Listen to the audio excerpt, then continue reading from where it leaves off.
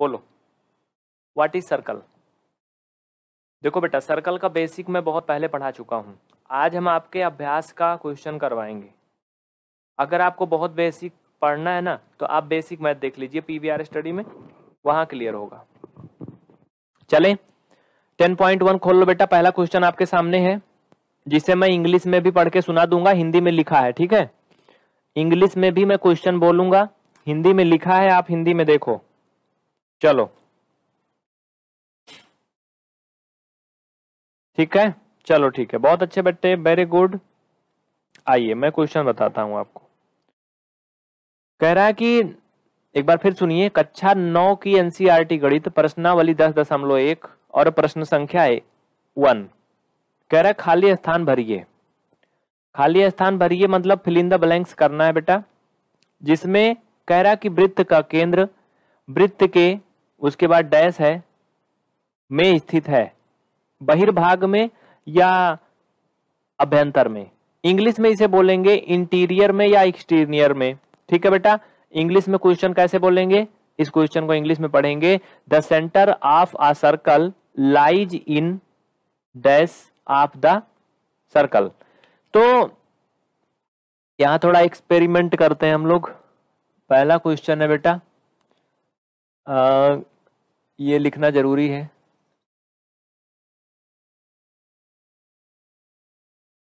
देखो ये एक सर्कल है। आप सबको पता है आप सभी जानते हो बचपन से ही। बेटा इसमें जो बीच में होता है वो सेंटर इंटरनेट थोड़ा बहुत डिस्कनेक्ट हो रहा है चलो कोई दिक्कत नहीं। तो बच्चा ये सेंटर है ना जिसे केंद्र बोलते हैं। ये बताओ ये वृत्त के अंदर में है कि बाहर है? बोलो मनोज यादव बताओ। ये जो मैंने बिंदी रखा है, केंद्र है, इसका नाम ओ रख दें, ये वृत्त के अंदर में है बाहर है। अंदर में है ना? सबको पता अंदर में है ना? तो क्या बेटा ये अंदर में है, आप इसे लिखोगे अभ्यंतर। हम्म? इसका पहला वाला में क्या करोगे? आप लिखोगे हिंदी में अभ्यंतर। इंग्लिश मीडियम वाले बच्चे लिखेंगे क्या? इंटीरियर। क्या लिखेंगे बेटा? Interior. I N T R English में थोड़ा मुझे कम अच्छा लगता है। हा? ये इंटीरियर सेकेंड देखिए। अंशिका प्रतापगढ़। जी, बिल्कुल अंशिका वेरी गुड ठीक है। बहुत अच्छे। अगला बढ़े देखो भाई क्लास को लाइक करते चलो बेटा। लाइक करते चलो, ऐसे मज़ा नहीं आ रही। इसका दूसरा भाग देखिए। क्वेश्चन आपको स्क्रीन पर दिख रहा है। मैंने लगा दिया है साफ़ साफ़ स्क्रीन पर देखो, चाहे अपनी किताब में देखो। कह रहा है कि एक बिंदु जिसकी वृत्त के केंद्र से दूरी त्रिज्या से अधिक हो, वो वृत्त के कहा स्थित होगा? अभ्यंतर में या बहिर्भाग में? बताइए। कह रहा है, एक ऐसा बिंदु क्वेश्चन थोड़ा और बड़ा कर दो भाई। क्वेश्चन थोड़ा और बड़ा कर दो, चलो। अब देखो। आप तो दिख रहा चटक मटक ना? कह रहा है एक ऐसा बिंदु जिसकी वृत्त के सेंटर से यानी केंद्र से जो दूरी है, त्रिज्या से अधिक है। मतलब एरिया से बाहर निकल जाए, वृत्त को चीरते हुए तो क्या होगा? वृत्त के बाहर चला जाएगा। भाई सीधी सी बात है, अगर यहाँ तक आ रहा बाबू, ये क्या है? ये त्रिज्या तक है ना? लेकिन कह रहा है त्रिज्या के बाहर तक जाए। थोड़ा एक क्वेश्चन हटा के दिखाता हूँ। यानी ये यहाँ तक निकल जाए ऐसे, त्रिज्या से बड़ा हो जाए तो क्या होगा? भाई वृत्त के बाहर निकल जाएगा। अगर यहाँ तक है तो वृत्त में है, यहाँ तक तो है वृत्त में है, सर्कल में है, कहाँ तक है सर्कल में है। ये सब क्या रेडियस है? यानी त्रिज्या है। लेकिन अगर ये बड़ा हो गया तो वृत्त के बाहर आ जाएगा ना। बोलो, बाहर आ जाएगा ना। एक्सटीरियर होगा बेटा ये। क्या होगा? एक्सटीरियर। आप लिखोगे? क्या? बाहर चला जाएगा, ठीक है? बहिर्भाग में। हिंदी में लिखोगे बहिर्भाग में। ये क्वेश्चन एक जगह लगा रहने दो, इसको डुल्लुर मुल्लुर ना करो, मुझे डिस्टर्ब हो जाता है। चलो। तो क्या हो जाएगा बेटा ये? एक्सटीरियर हो जाएगा। आ, हिंदी भी खतरनाक है। ऐसे आसान नहीं है ये। ये बहिर्भाग हाँ? समझ में आ रहा है ना? बिल्कुल टेंशन मत लेना। समझाने की पूरी गारंटी होती है ठीक है? एक्सटीरियर लिखोगे। इंग्लिश में इसे कैसे पढ़ेंगे सुन लो। इंग्लिश वाला मुझे कम आता है लेकिन मैं बता दूँगा आपको। चलो। इंग्लिश में इस क्वेश्चन को पढ़ेंगे। A point whose distance from the centre of a circle is greater than its radius lie in dash of the circle आप लिखोगे exterior T E R I O R okay ये बताओ, समझ में आ रहा है ना सबको? सबको समझ में आ रहा है ना? देखो, इसमें दिमाग लगेगा। जो लोग केवल मज़ा लेने आए हो तो यहाँ मज़ा नहीं आएगी आज। बिल्कुल मज़ा नहीं आएगी, सिर्फ़ पढ़ने वाले बच्चों के लिए है ये। जो पढ़ने वाले हैं वही टिकेंगे। फालतू बच्चे नहीं रुक पाएँगे आज। ये मज़ेदार क्लास ही नहीं है। सीबीएसई वाले अक्सर समझ पा रहे होंगे, क्योंकि मैं हिंदी, इंग्लिश दोनों लैंग्वेज में बता रहा हूँ। है ना? तीसरा क्वेश्चन पढ़िए। थर्ड क्वेश्चन पढ़िए, क्या कहता है? आइए। कह रहा the longest chord of a circle is a dash of the circle Hindi में देखिए, कह रहा, वृत्त की सबसे बड़ी जीवा, वृत्त का क्या होती है? बताइए, सबसे बड़ी जीवा ब्यास होती है, अंशिका बता रहे मनोज भी ब्यास बता रहे हैं। अलोन गेमिंग कह रहे हैं what is this this is your थूथुन समझ रहे हो? नहीं समझ पाए? चलो बाद में बताऊँगा। इनको मैं क्या कहूँ? देखो, क्या होगा ये बेटा? ये होगा ब्यास इनको मैं और क्या कहूँ? ये समझ भी नहीं पाए होंगे। कुछ गलत नहीं बोला मैं अच्छा ही बोला। चलो। क्या होगी ब्यास? जिसे बोलेंगे डायमीटर। ठीक है? क्या बोलेंगे बेटा? डायमीटर। देखो, इधर साइड समझो। ये एक सर्कल है। ठीक है? सर्कल में जो हम यहाँ पे होता है, इसे क्या होता है? सेंटर बोलते हैं। ये भले गोल मटोल नहीं है, जो भी हो। जो ऐसे ऐसे खींचते हैं, क्या होती है? कॉर्ड होती है। ये क्या होती है बेटा? कॉर्ड होती है, जो छोटी बड़ी हो सकती है। ऐसे ऐसे क्या है कॉर्ड होती है? लेकिन कॉर्ड तभी तक है जब ये सेंटर को टच ना करे। हाँ सेंटर को टच ना करे तो ये कॉर्ड है। अगर ये सेंटर को टच करी तो ये कॉर्ड नहीं डायमीटर हो जाएगी। मतलब अगर ये इसके खोपड़ी चढ़ के चली गई ना तो ये ब्यास बन जाएगी। ठीक है? तो जो सबसे बड़ी जीवा है, क्या कह रहा था? हम्म वृत्त की सबसे बड़ी जीवा। देखो, जीवा ये भी है, ये भी है, ये भी है, ये भी है, सब जीवा है। लेकिन जो सबसे बड़ी वो वृत्त का व्यास होती है। समझ में आया ना बेटा? चलो, अगला फोर नंबर पे आ जाओ फटाफट। दिख तो रहा ना सभी को, कोई दिक्कत? नहीं, फोर नंबर पे आ जाओ। हिंदी में क्वेश्चन आपके सामने स्क्रीन पर दिख रहा है। इंग्लिश लैंग्वेज में मैं पढ़ के बोल रहा हूँ, क्योंकि इंग्लिश वाले उतने समझदार होते हैं, सुन के जान सकते हैं। ठीक है? ठीक है, ओके। हाँ जी, मैम, अभी क्लास चल रही है। ठीक है? हेलो? चले आगे? ठीक है, ओके, डन। तो ये हो गया। आगे बढ़े। चलो बेटा, चलो ठीक है। चौथा नंबर देखो। कह रहा है, एक चाप डैश होता है जब इसके सिरे एक ब्यास के सिरे हों। हम्म? क्या होता है, बताओ। एक चॉप चॉप का मतलब chord C H O R D ठीक है? ये होता है, क्या होता है? जब इसके सिरे एक ब्यास के सिरे हों। बताइए क्या होता है। फटाफट बताइए। देखो, मैं समझाता हूँ। इधर फिगर देखो तो समझ में आएगा बेटा। फिगर देखो तभी समझ में आएगा, नहीं ऐसे हवा में नहीं आएगा। फोर नंबर समझना। इंग्लिश में पढ़ देता हूँ क्वेश्चन फोर पार्ट इंग्लिश में सुन लो. सामने से हट गया हूँ, देख लो, इसे लिख लो. कह रहा है an arc is a dash when its ends are ends of a diameter थोड़ा बफरिंग हो गया, बीच में डिस्टर्ब हो गया, एक बार फिर से सुन लो. An arc is a dash when its ends are the ends of a diameter. देखो, ये पढ़ने से कम समझ में आएगा, दिखाने से ज़्यादा आएगा ये। ये क्या बेटा, एक सर्कल है? ये क्या है एक डायमीटर है, समझना। ये क्या डायमीटर है? इसका नाम मान लो कि मैंने ए बी लिख दिया। ठीक है? समझना। कह रहा कि एक चाप, जब इसके सिरे एक ब्यास के सिरे हो तो ये क्या कहलाता है? जरा समझना बेटा। अगर ये चाप हम ऐसे लगाते हैं चाप लगाना जानते हो कि नहीं तुम लोग? थोड़ा रुकना थोड़ा संभलना थोड़ा संभलना मैं तुम्हें दिखाता हूँ चाप लगा के। देखो एक मिनट देखो ये देखे हो इसको पहचानते हो कौन सा जानवर है ये? हम्म? चाप ऐसे लगाते हैं।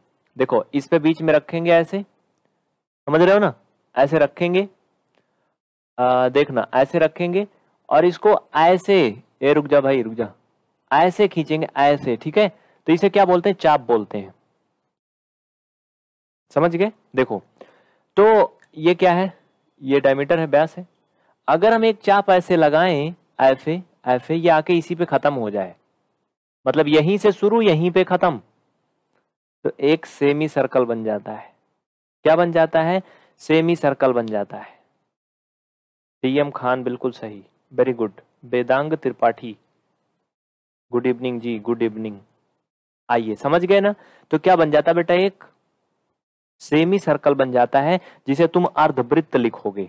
हिंदी वाले लिखेंगे, अर्धवृत्त, इंग्लिश वाले लिखेंगे semi circle okay any doubt तो बताओ। सालू यादव। जी बिल्कुल सालू, बहुत अच्छे। वेरी गुड कोई डाउट होगा तो बता देना बेटा, ठीक है? देखो, रोज आप लोगों के नाम नहीं बोले जाते हैं। आपकी बहुत शिकायत रहती है ना? लेकिन पढ़ाई पे ध्यान दिया करिए, नाम पर नहीं। अच्छा काम करोगे, ज़रूर नाम होगा। पांचवा पार्ट देखो, इंग्लिश में पढ़ के सुनाऊँगा, हिंदी में आपके सामने लिखा है। स्क्रीन पर देखो, पांचवा पार्ट क्या कह रहा है। कह रहा है कि वृत्तखंड एक चाप तथा डैश के बीच का भाग होता है। वृत्तखंड जो होता है, वो एक चाप और किसके बीच का भाग होता है, बताओ। हम्म? जो वृत्तखंड है, जिसे सेमी सर्कल बोलते हैं, वो किसके किसके बीच बना होता है? बताओ। आओ, मैं इधर साइड में दिखाता हूँ। वृत्तखंड बोले या फिर जैसे देखो, रेखाखंड होता है। रेखा का एक भाग होता है। वैसे बाबू, जो वृत्तखंड है ना, वो वृत्त का एक भाग है, जिसे सेमी सर्कल भी कहते हैं। ठीक है? आओ, देखो, समझो। अगर मैंने एक सर्कल खींचा ऐसे भाई, थोड़ा गोल मटोल बन जाए यार। ज़िंदगी में कभी गोल चीज़ नहीं बनी मुझसे, रोटी भी नहीं बनती गोली। देखो, चलो, आओ इधर समझो। ये क्या है? एक मैंने सर्कल बनाया। कह रहा, वृत्तखंड एक चाप तथा डाट डाट के बीच का भाग होता है। भैया, हो, ये केंद्र है। हा? हमें अगर वृत्तखंड बनाना है सेमी सर्कल तो हम इसका आधा मिटा देंगे। अब क्या बना? एक सेमी सर्कल बन गया ना? ये एक चाप के द्वारा घिरा है, ये तो सही बात है। ये तुम्हें सबको पता है, यहाँ पर हम गोला प्रकार रख के ए चाचा, समझ लो समझ लो ये। ऐसे रख के क्या करेंगे? इसका यही पूंछ पकड़ते हैं ऊपर वाली। ऐसे पकड़ के घुमाते हैं, याद रखना। ऐसे रख के ए, ऐसे घुमाएँगे। अब इस पे हम रख देंगे तो हमारे इसमें लग जाएगा खोचकर इसलिए मैं इस पर रखना नहीं चाहता हूँ बोर्ड में। ये ऐसे हाँ? नहीं, बोर्ड में निशान पड़ जाएगा। इसलिए मैं इसको बोर्ड पे नहीं रखना चाहता हूँ। हम्म? तो क्या क्या होता है? भाई, एक तो जीवा, ये चाप होता है क्या होती? जीवाएँ होती हैं, ठीक है? क्या होती? है जीवा कॉड जिसे बोलते हैं। तो आप लिखोगे जीवा। ठीक है बेटा? पांचवा में क्या लिखोगे? जीवा। यानी जो सेमी सर्कल है, वो जीवा और जीवा और ब्यास। ब्यास नहीं, चाप। जीवा और चाप के बीच का भाग होता है, ठीक है? फट से लिख लो इसे। हरीश पांडे, हरीश बाबू पढ़ाई कर लो, नाम लेने वाले से तो हम बहुत ज़्यादा दुखी हो जाते हैं हाँ? फटाफट कर लो, फटाफट, देर ना करो। ठीक है? ओके। आगे बढ़े। चलो, डोंट वरी। ये हो गया डन। मिटाऊ इसे? अभी इसमें एक और बचा है ना वो भी कर लो देखो। कह रहा कि एक वृत्त जिस तल पर स्थित है मतलब एक सर्कल जिस प्लेन पर बेस्ड है। सर्कल मतलब वृत्त प्लेन मतलब तल। उन्हें कितने भागों में कितने पार्ट्स में डिवाइड किया जाता है, है या करता है? पहले तो मैं एक सर्कल बनाता हूँ फिर तुम्हें समझ में आएगा। इधर देखो। इसको मिटा दू ना? चलो। कितने भागों में विभाजित करता है एक सर्कल भाई? एक मिनट कहा गया? इधर देखो इधर देखो। ये लास्ट क्वेश्चन है। 10.1 क्वेश्चन नंबर फ़र्स्ट का ये लास्ट भाग है कि एक सर्कल जिस तल पर बनता है, जिस स्थान पर बनता है, उसे कितने भाग में बांट देता है? बताइए। आइए मैं एक वृत्त बनाता हूँ। मैंने एक सर्कल बना लिया। कह रहा है, इसे कितने भाग में बांटेगा? भैया, हो, ये सर्कल है ना। इसके जो बाहर का ये वातावरण है ना, ये सब ये सब क्या है? बताओ, जहाँ ये बना है, इसके बाहरी भाग को क्या बोलेंगे, जहाँ डैश डैश है? इसे एक्सटीरियर बोलेंगे ना। एक्सटीरियर पार्ट ना, या फिर बाहरी भाग। हा? क्या बोलेंगे? बाहरी भाग बोलेंगे ना। और इसे क्या बोलेंगे? इंटीरियर यानी आंतरिक भाग। बोलेंगे ना? हा? इसे क्या बोलेंगे? ये, इसे बोलेंगे आन द सर्कल, यानी वृत्त पर। तो कुल मिलाकर के सर्कल जो है, जहाँ भी बनता है, उसे तीन भाग में बांटता है। कितने में? तीन भाग में उस तल को डिवाइड कर देता है। आप लिखोगे, तीन भाग में। ठीक है? थ्री पार्ट्स सभी को समझ में आया ना? देखिए, बिल्कुल थोड़ी सी बुद्धि लगानी पड़ेगी, दौड़ के क्वेश्चन आ जाएगा। मैंने एकदम एक्सप्लेन करने की भरपूर कोशिश किया। बताइए, अगर किसी का कोई डाउट रह गया तो बोलो। हम्म? कल्लू भाई, आया समझ में कि नहीं? श्रेया दक्षवानी नीरज, नेहा यादव। पढ़ना है तो पढ़ लो, नहीं तो जाओ, चौका बर्तन करो काय परेशान हुआ मतलब मैं इतना चिल्ला चिल्ला के बता रहा हूँ, इनको उससे नहीं मतलब है। इनको इससे मतलब है कि आखिर ये क्लास बंद कब होगी? कब बंद होगी, इन्हें बता दो बस।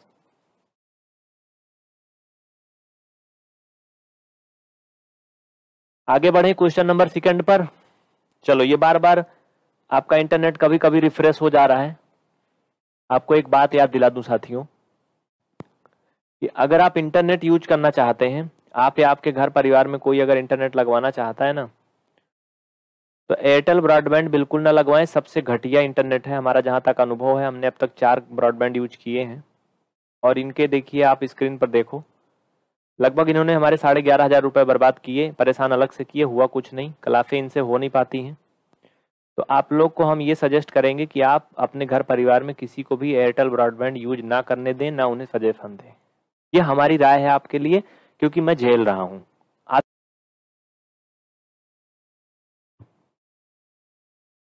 ठीक है तो ये हमारा एक्सपीरियंस है इनके साथ पिछले एक दो साल का, इसलिए बता रहा हूँ।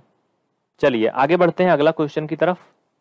ये हमारी अपनी बात थी जो मैंने आपको दिखाया, क्योंकि आप हमारे लिए सबसे प्रिय हैं, खास हैं। क्वेश्चन नंबर सेकंड पे आ जाओ बेटा। सेकंड नंबर पे आ जाओ। सेकंड नंबर क्या कह रहा है? जरा देखते हैं, ध्यान देना। कह रहा है कि निम्नलिखित सत्य या असत्य अपने उत्तर के कारण दीजिए। अच्छा एक बात बताओ, इसमें कितने बच्चे यूपी बोर्ड वाले हैं या सीबीएसई वाले हैं? अधिकतर तो यूपी वाले हैं ना। ठीक है, मैं इंग्लिश में भी बताऊँगा टेंशन मत लेना। कह रहा है ट्रू एंड फॉल्स आपको लिखने हैं। ट्रू एंड फॉल्स इसमें से क्या करने हैं? आपको छांटने हैं। क्वेश्चन पढ़िए, हिंदी इंग्लिश दोनों लैंग्वेज में मैं बताऊँगा। इंग्लिश में बोलूँगा, हिंदी में लिखा है, ठीक है? चलो। है line segment joining the centre to any point on the circle is a radius of the circle यानी केंद्र को वृत्त पर किसी बिंदु से मिलाने वाली रेखाखंड वृत्त की त्रिज्या होती है। आइए बताता हूँ। क्वेश्चन नंबर सेकंड है बेटा, ये सेकंड का पहला पार्ट फिर से देखो question line segment joining the center to any point on the circle is a radius of the circle यानी केंद्र को वृत्त पर किसी बिंदु से मिलाने वाला जो रेखाखंड है, वो त्रिज्या होता है क्या? यस यस ट्रू होगा ये। इसका फ़र्स्ट पार्ट है, बेटा, लिखोगे ट्रू क्योंकि ये सेंटर है, क्या है? केंद्र है। ये सर्कल के किसी भी साइड अगर इसे मिला देगा ले जाके ऐसे तो ये क्या हो जाएगा? रेडियस हो जाएगा। किसी भी साइड मिला दे, आँख बंद करके या खोल करके, इससे कोई फ़र्क नहीं पड़ता है। ये क्या हो जाएगा? रेडियस हो जाएगा।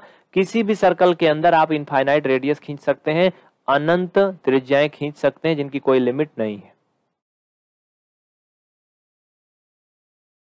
आया कुछ समझ में? बुझाया उजाया कि नहीं भाई?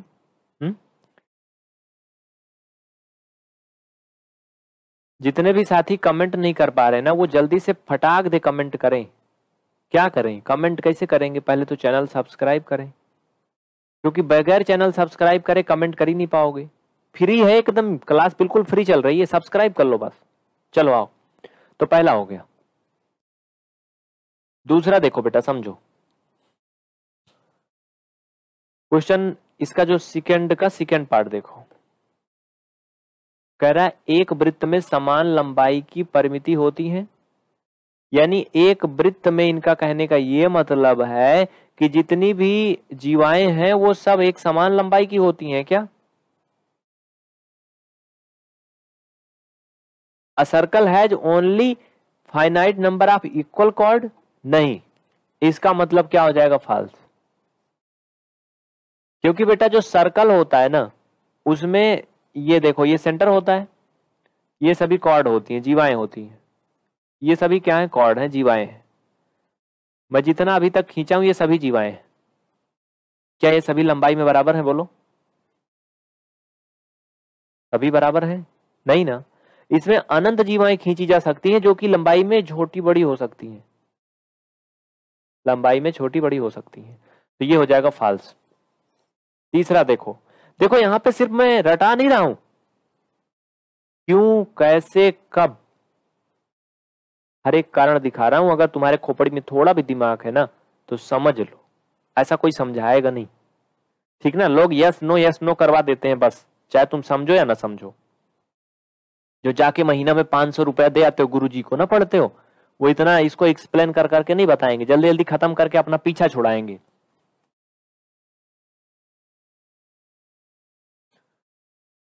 तो तीसरा हो गया बेटा।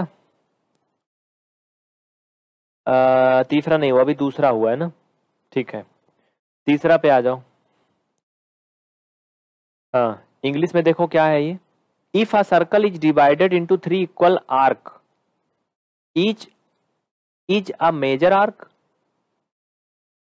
फिर से सुन लीजिए, कह रहा if a circle is divided into three equal arcs arcs मतलब होता है चाप, ठीक है? Each is major arcs Hindi में देखो स्क्रीन पे सामने दिख रहा है। यदि वृत्त को तीन बराबर बराबर चापों में बांट दिया जाए तो प्रत्येक भाग दीर्घ भाग होगा। नहीं। भैया, हो, अगर तीन भाग में वृत्त को बांट दोगे तुम तो बराबर बराबर भाग में बांट भी रहे हो, फिर ये सभी दीर्घ चाप कैसे रहेंगे? हा? तुम बांट दो, बराबर बराबर बांटोगे तो कहा दीर्घ रह जाएँगे? सब माइनर हो जाएँगे। लघु चाप हो जाएँगे, ठीक है? तो तीसरा हो जाएगा फाल्स असत्य हो जाएगा तीसरा, ठीक है? सभी माइनर आर्क्स हो जाएँगे मेजर आर्क्स नहीं बनेंगे। लघु चाप हो जाएँगे, दीर्घ चाप नहीं होंगे। चौथा कह वृत्त की एक जीवा, जिसकी लंबाई त्रिज्या से दो गुनी है, वो वृत्त का व्यास है। इसको तो बाबा जी बता के गए थे, बहुत पहले से तुमको पता है। हम्म? इंग्लिश में बोलेंगे, बेटा, इसको सुन लो। A chord of a circle which is twice as long as its radius is a diameter of the circle फिर से सुन लो काय सर मार रहे हो। कह रहा a chord of a circle which is twice as long as its radius is a diameter of circle हाँ सही yes yes yes yes yes yes नहीं, इस पर ट्रू लिखोगे। T R U E okay यानी कहने का इनका ये मतलब है, चाचा ये सेंटर है ना, हिया से हिया मिलाया तो क्या बना, त्रिज्या बनी, जिसे रेडियस बोलते हैं, और इसका दो गुना कर दिया जाए, इतना ही पीछे मिला दिया जाए तो क्या ये डायमीटर बन जाता है? हाँ ये ब्यास बन जाता है, बिल्कुल सही है। राजकुमार तिवारी। जी, बिल्कुल, बहुत अच्छे राजकुमार जी वेरी गुड नेहा यादव, बहुत अच्छे। ठीक है, आप लोगों में से जो भी साथी अभी इस सेशन को लाइक नहीं किए, बाबू, ना फटाफट लाइक करो, जल्दी देर ना करो, बहुत जल्दी करो। फटाफट लाइक करो हम्म। आज ये टेन पॉइंट वन खत्म हो जाएगा, बहुत जल्दी जल्दी आगे बढ़ाता हूँ। चलो नेक्स्ट पार्ट देखो, इसका क्या कहता है। चौथा कदम, पांचवा। कह रहा, त्रिज्यखंड जीवा एवं संगत चाप के बीच का क्षेत्र होता है। त्रिज्यखंड का मतलब जानते हो बेटा क्या होता है? त्रिज्यखंड का मतलब एक प्रकार से सेक्टर ऑफ़ रीजन इंग्लिश में पढ़ देता हूँ, सुन लो। क्वेश्चन नंबर सेकेंड का फाइव नंबर पार्ट सुनिए। कह रहा sector of the region between the chord and its corresponding arcs sector of the region between the chord and its corresponding arcs नहीं, गलत है। ये मैंने एक सर्कल बनाया ना। यहाँ पर एक सेंटर होता है, ये एक त्रिज्या है, ये भी एक त्रिज्या है। तो बेटा ये जो भाग है बीच में ना, ये क्या है? त्रिज्यखंड है। ये क्या है? त्रिज्यखंड है। जो कि त्रिज्याओं द्वारा घिरा है। यहाँ पर जीवा का कोई मतलब नहीं है। ठीक है? तो जो त्रिज्यखंड होता है, वो जीवाओं द्वारा घिरा होता है, ठीक है? तो आप इसको लिखोगे फाल्स क्या लिखोगे? फाल्स समझ में आया? आयुष यादव, सालू यादव, मनोज यादव बैड बॉय कब है तुम्हें हमारे क्लास में ली थी? हा? मतलब बैड बॉय को पढ़ने के लिए यही क्लास मिली? हो गया? चलो। ऐसे मज़ाक में बोला, बुरा नहीं मानना, चलो, ठीक है ठीक है। बैड कोई तो अच्छा बनाते हैं हम। तो ये हो गया। छठवा नंबर, इसका लास्ट पार्ट और टेन पॉइंट वन का लास्ट पार्ट कह रहा, वृत्त एक समतल आकृति है। इंग्लिश में सुन लो, इसे बोल लेंगे a circle is a plane figure a circle is a plane figure बताइए। बोलिए, फटाफट। एक सर्कल जो है, वो एक प्लेन फिगर है क्या? भाई, सीधी सी बात है यस ट्रू लिखोगे। क्योंकि इसके कोई हाथ पाँव तो निकलते नहीं अगल बगल कुल मिला के कहने का इनका ये मतलब है कि टू डायमेंशनल फिगर है ना? थ्री डायमेंशनल तो है नहीं तो ये ट्रू हो जाएगा, ये एक प्लेन फिगर है। समझ में आया सभी को? कोई दिक्कत? नहीं ना। कोई अगर डाउट तो बताओ जल्दी से। सबको आया समझ में ना? आगे चलें फिर। तो आपका ये जो चैप्टर था टेन पॉइंट कौन सा भाई? टेन पॉइंट वन इंडो हो गया, ठीक है? हिंदी में लिखूँगा, इंग्लिश में बोल दूँगा, आप सुन लीजिए, ठीक है? इंग्लिश में है बेटा, सुन लीजिए। Theorem number theorem ten point one यानी परमीय दस दशमलव एक। आप सभी लिखिए। वृत्त की बराबर जीवाएँ, वृत्त की बराबर जीवाएँ केंद्र पर परस्पर बराबर कोण अंतरित करती हैं। ये है, ठीक है? वृत्त की बराबर जीवाएँ। लिख लो भैया, लिख लो तभी मज़ा आएगा। केंद्र पर परस्पर बराबर कोण? आंतरित करती हैं। इसको लिखिए फटाफट आप सभी। देखिए ये हमें प्रूव करके दिखाना बेटा ठीक है? कितने लोग इसमें कर लेंगे इसे बोलो हाथ उठाओ। आ, मुझे शेयर करना था कुछ आपके साथी लोग अभी आए नहीं हैं जो। तो ठीक है मैं करूँगा बाद में। आओ चलो। सबसे पहले सर्कल बनाएँगे, एक वृत्त खींचेंगे इधर साइड में। आप सबको दिख रहा है ये खाली जगह? कह रहा कि प्रूव कीजिए, वृत्त की जो जीवाएँ हैं, अगर वो बराबर हैं तो केंद्र पर बराबर कोण भी बनाएँगी, ऐसा सिद्ध करना है। जबकि ये होता है हकीकत में, ये सच है, लेकिन हमें प्रूव करके दिखाना है। देखो बेटा, ठीक है, समझो। समझो कैसे, क्यों और कब? आओ समझते हैं। सबसे पहले हम इस पर दो जीवा ऐसे खींच देंगे। इसे इंग्लिश में भी अभी बोल के सुना दूँगा, सुन लेना। इंग्लिश में बोलेंगे। सुन लीजिए, थ्योरम क्या है? इक्वल कोड ऑफ़, ये कोड बोल रहा हूँ। क्या बोलते हैं इसे? सीओ आर डी ठीक है? Equal code of circle, subtend equal angle of centre. Equal chord of circle, subtend, ये सब टेंड मतलब आंतरित करती हैं, ठीक है? इक्वल एंगल ऑफ़ सेंटर आइए प्रूव करते हैं, सबसे पहले हमने दो कोर्ड यानी कि जीवाएँ खींच लिया है। इनके नाम मान लेते हैं कि ए बी और सी डी है। कह रहा वृत्त की बराबर जीवाएँ ये जीवाएँ आपस में बराबर हैं, ठीक है? याद रखना ये क्या है, बाबू? आपस में, ये बराबर है, थोड़ा इनको एक ढंग से हम खींच लेते हैं, चलो। ठीक है? कह रहा कि ये केंद्र पर बराबर कोण भी अंतरित करती हैं, यानी जो सेंटर है सर्कल का, इस पर जो एंगल बनेगा, वो बराबर होगा। आइए देखते हैं बराबर होता है कि नहीं होता फ़िलहाल। खींच के देखते हैं। हम्म? ऐसे बना लो सभी। कापी किताब लिए हो ना भैया? कि नहीं? लिए हो ना कापी किताब? ऐसे बना लो, कोई दिक्कत होगी तो बता देना, मुझे गड़बड़ हो रहा है। हाँ चलो। बन रहा है? इसको मान लीजिए इस पे ओ है। ठीक है? एंगल क्या है? ओ है। आइए इसे प्रूव करते हैं। चलिए, इधर साइड में आ जाइए फटाफट। क्या करना है? इसमें तीन चीज़ें मुख्य होती हैं। सबसे पहले गिवन उसके बाद प्रूफ दैट उसके बाद प्रूफ है ना? यानी दिया है, सिद्ध करना है और पूरी प्रक्रिया जो करते हैं, जिसे हिंदी में शायद उत्पत्ति बोलते हैं। हिंदी बड़ा अजीब टाइप कठिन है, थोड़ा। हाँ? चलो ठीक है। तो लिख लो बेटा कमेंट तो मैं सबका देख रहा हूँ, लेकिन मैं कोशिश कर रहा हूँ आपको समझाने की। मनोज यादव मिस्टर सोएब सालू यादव, हर्षित पांडे, राजेश विश्वकर्मा सबका कमेंट आ रहा, सिर्फ़ पढ़ाई पे ध्यान दो। यहाँ पे आप लिखेंगे हल। हिंदी में पढ़ा रहा हूँ, चूँकि मैं। तो आप लिखेंगे दिया है। इंग्लिश वाले लिखेंगे गिवन। देखो बाबू, क्या दिया है? एक वृत्त जिसका केंद्र ओ है। लिखो, दिया है मैं एक वृत्त जिसका केंद्र ओ है तथा जीवाएँ A B equal C D है। मतलब दोनों जीवाएँ क्या आपस में बराबर हैं? क्यों? मैंने क्यों लिखा? क्योंकि ये करना ही वही है सिद्ध। तो इसका मतलब ये बराबर दिया है।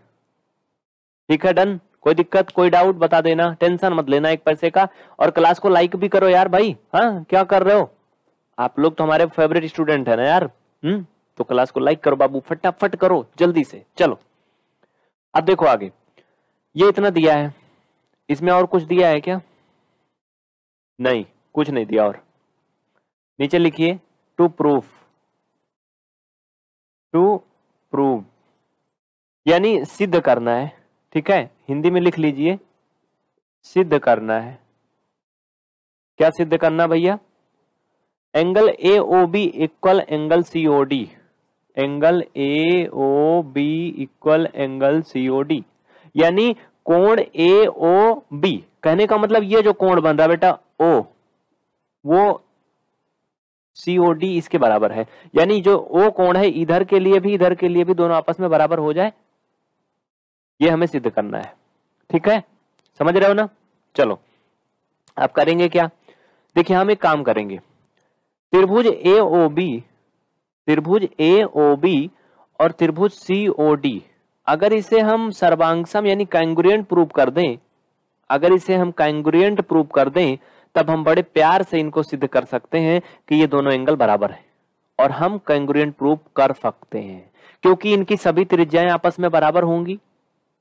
और एबीसीडी पहले से ही बराबर दिया है तो दो कोण और सॉरी दो भुजा एक कोण मिल गया तो हो नहीं गया काम। आइए दिखाता हूँ कैसे।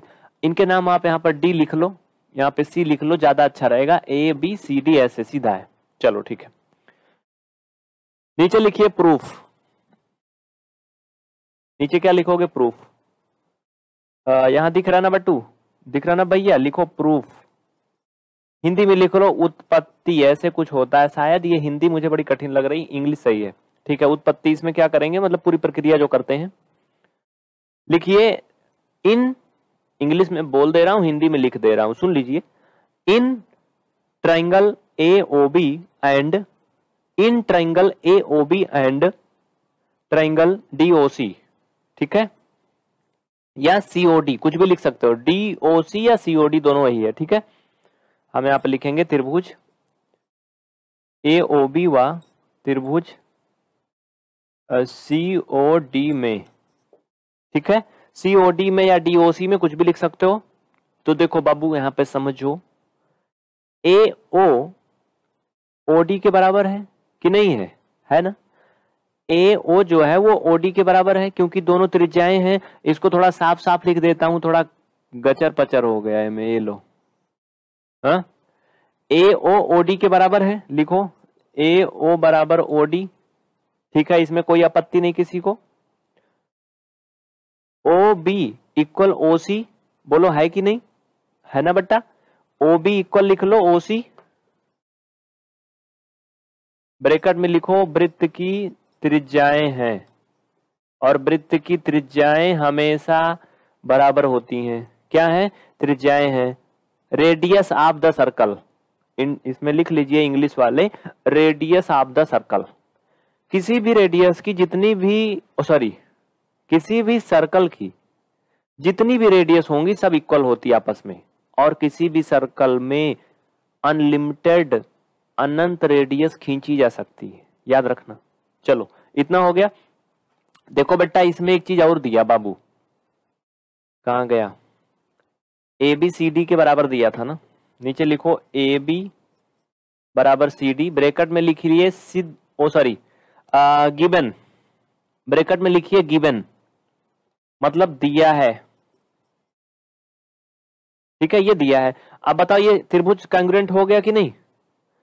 हो गया कि नहीं? हबी खान, अमन पाल, मनोज, मुस्कान यादव, राजेश विश्वकर्मा, श्रेया दक्ष बंसी। आलोक यादव, बताइए, हो गया कि नहीं? भाई, ये भुजा बराबर हो गई, ये सब तो बराबर है यार तीन तीन भुजाएँ बराबर हैं। हो गया ना आओ इधर लिखो। इतना करने के बाद यहाँ आ जाओ फटाफट। यहाँ पे लिखो, इसलिए सो हम लिख सकते हैं triangle A O B congruent triangle C O D A O B congruent triangle C O D यानी त्रिभुज ए, ओ, बी, सर्वांगसम का चिन्ह है ये। सर्वांगसम मतलब कैंग्रियंट सी, ओ, डी। और भैया हो, बाबू हो, एक चीज़ और जानते हो वो का है। कि अगर कोई दो ट्राइंगल आपस में सर्वांगसम है, यानी कैंग्रियंट है तो उनकी भुजाएँ आपस में बराबर होती हैं। हुँ? उनके कोण भी आपस में बराबर होते हैं। जैसे कैंग्रियंट यानी सर्वांगसम का मतलब ये हुआ कि जैसे हम है ना हमारे जैसा ही कोई एक बंदा होना चाहिए। इतना ही दुबला पतला, जितनी लंबी हमारी नाक है, उतनी लंबी उसकी भी होनी चाहिए। जितनी लंबी हमारी अंगुली है, उतनी लंबी उसकी भी होनी चाहिए। जितने बड़े बड़े हमारे बाल हैं, उतने बड़े बड़े उसके होना चाहिए। कपड़ा भी वही रंग का होना चाहिए। यानी सब कुछ एक समान होना चाहिए। अभी तो कहते ना, सर्व अंग सम, सर्व अंग सम। समझ रहे हो? तो भैया, अगर ये सर्वंग सम है तो आप यहाँ नीचे लिख नहीं सकते हो फिर। हाँ ब्रेकट में लिख दो। बाई यस यस यस जो लोग कंग्रेंट रूल पढ़े उनको मालूम होगा यस यस रूल ठीक है? भुजा भुजा भुजा। ठीक है? अमन पाल, बेटा ब्लॉक कर देंगे तुम्हें। सुन रहा है ना? हाँ? भाई ब्लॉक करो इसे इसे ब्लॉक करो फटाफट। अमन को ब्लॉक करो और ये कौन बात कर रहा है? इनको ब्लॉक करो फटाफट। क्या कर रहे हो आप लोग? अरे इनको ब्लॉक करो जल्दी जल्दी से। जो नहीं पढ़ रहे उन्हें ब्लॉक करो। चलो। नीचे लिखिए। इसलिए कोण ए ओ बी बराबर कोण सी ओ डी इसलिए कोण ए ओ बी इक्वल कोण सी ओ डी अतः सिद्ध अतः नहीं, नीचे लिखिए सिद्ध हुआ, ठीक है? क्या लिखेंगे? सिद्ध हुआ। इंग्लिश वाले लिखेंगे प्रूव्ड इंग्लिश वाले लिखेंगे प्रूव्ड हिंदी वाले लिखेंगे सिद्ध हुआ, ठीक है? चलिए नेक्स्ट अगले थ्योरम पे चलते हैं। बेटा लिख लो जल्दी जल्दी से। सूरज। सुबह चलता बाबू। कक्षा दस की मैथ सुबह आठ बजे। कक्षा दस वालों का सुबह आठ बजे। बेसिक मैथ रात के नौ बजे। डीएलएड की मैथ रात के दस बजे। चलो, आगे चले नेक्स्ट थ्योरम बहुत जल्दी करो, फटाफट। हो गया। भाई, जल्दी जल्दी लिख लो। मुझे ज़्यादा मत चिल्लवाओ। हम्म। हो गया। आगे चले। चलो। एक आपको इंपॉर्टेंट नॉलेज देनी है। वो क्या है, पता है? अगर आप या आपके घर परिवार में कोई भी ब्रॉडबैंड लगवाने की सोच रहा है तो एयरटेल का बिल्कुल ना लगवाएँ, बहुत ही घटिया चलता है। हमारे लगभग साढ़े ग्यारह हज़ार इसमें फंसे हुए हैं, बर्बाद हुए हैं। आप स्क्रीन पे देख रहे हो ना? आपकी जब क्लासें डिस्टर्ब हो जाती हैं एप्लीकेशन की ना, इसके पहले रोज होती थी ना, वो ऐप इसी इंटरनेट का कमाल है। इसलिए आप लोगों को मैं सावधान कर रहा हूँ कि हम फंस गए, हमारे साथ धोखा हो गया, आपके साथ ना होने पाए। ठीक है? तो अपने घर परिवार को सजेशन दें कि भैया एयरटेल तो बिल्कुल ना लगवाएँ ब्रॉडबैंड नहीं तो आपको लगभग हज़ार रुपए महीना देना पड़ता है। सर्विस एकदम ना के बराबर घटिया होती है। ठीक है? तो बिज़नेस पर्पज से तो बिल्कुल ना लगवाएँ, बाकी मज़े लेना है तो अलग बात है। आगे चले नेक्स्ट थ्योरम नेक्स्ट थ्योरम देखो बाबू फटाफट। टेन पॉइंट टू अच्छा एक बात बताओ, इसमें से कितने बच्चे एनसीईआरटी e किताब लिए हैं? फटाफट बोलो कितने बच्चे एनसीईआरटी बुके लिए हैं? अगला थ्योरम लिखने के बाद ही मैं कमेंट देखूँगा, तुम लोग बता दो फटाफट बस। ए, रुक के रे कहा कड़िंग कड़िंग कर रहा है। हाँ नेक्स्ट थ्योरम देखो बेटा। एनसीईआरटी जो किताब लिया है पेज नंबर 207 खोल लीजिए। Page number 207 if the angle subtended by the chord of a circle at the center are equal, then chords are equal. कुछ नहीं समझ में आया? हिंदी में सुनिए। कह रहा यदि एक वृत्त की जीवाएँ, यदि एक वृत्त की जीवाएँ केंद्र पर बराबर कोणांतरित करती हैं तो फिर वो जीवाएँ भी बराबर होती हैं। सीधा फीधा इन्हें बोले तो ऐसे होगा। ठीक है? यानी अगर कोई वृत्त की जीवाएँ केंद्र पर बराबर कोण अंतरित कर रही तो वो बराबर होंगी, इतना सिद्ध करना है। Ajit Singh, Nitin, Priyanshu, only gaming. ठीक है बेटा, चलो फिर। इसमें जो जो हिंदी मीडियम है, वो यच लिख के कमेंट करें, और जो इंग्लिश मीडियम है, वो ई लिख करके। देखते हैं, एच वाले ज़्यादा हैं कि ई वाले?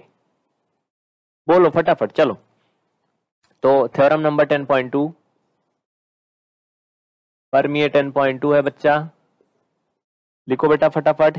इंग्लिश वालों को बोल दूँगा, हिंदी वाले कल लिख दे रहा हूँ। हिंदी वाले थोड़ा कमज़ोर होते हैं इंग्लिश वाले थोड़ा फर्राटा होते हैं। हा? चलो लिख देता हूँ। यदि एक वृत्त की जीवाओं द्वारा केंद्र पर अंतरित कोण बराबर है, यदि एक वृत्त की जीवाओं द्वारा केंद्र पर, यही तो है। अंतरित कोण बराबर है तो वो जीवाएँ बराबर होती हैं।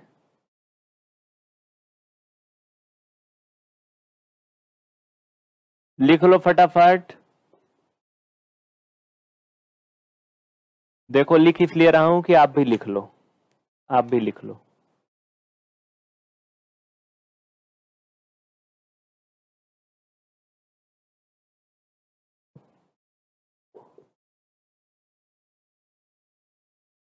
वे जीवाएँ बराबर होती हैं। देखो भैया, यही फिगर रहेगा। जो चित्र इसमें बना है, वही रहेगा, बदलेगा नहीं। ज़्यादातर सब हिंदी मीडियम वाले हैं। अंशुमान मिश्रा जी बिल्कुल ठीक है। कमेंट आपका आ रहा है। इसलिए देखिए, मैं ऐसा नहीं बोल रहा हूँ कि हिंदी वाले कमज़ोर होते हैं। ये हिंदी थोड़ा कठिन होती है, इंग्लिश आसान होती है।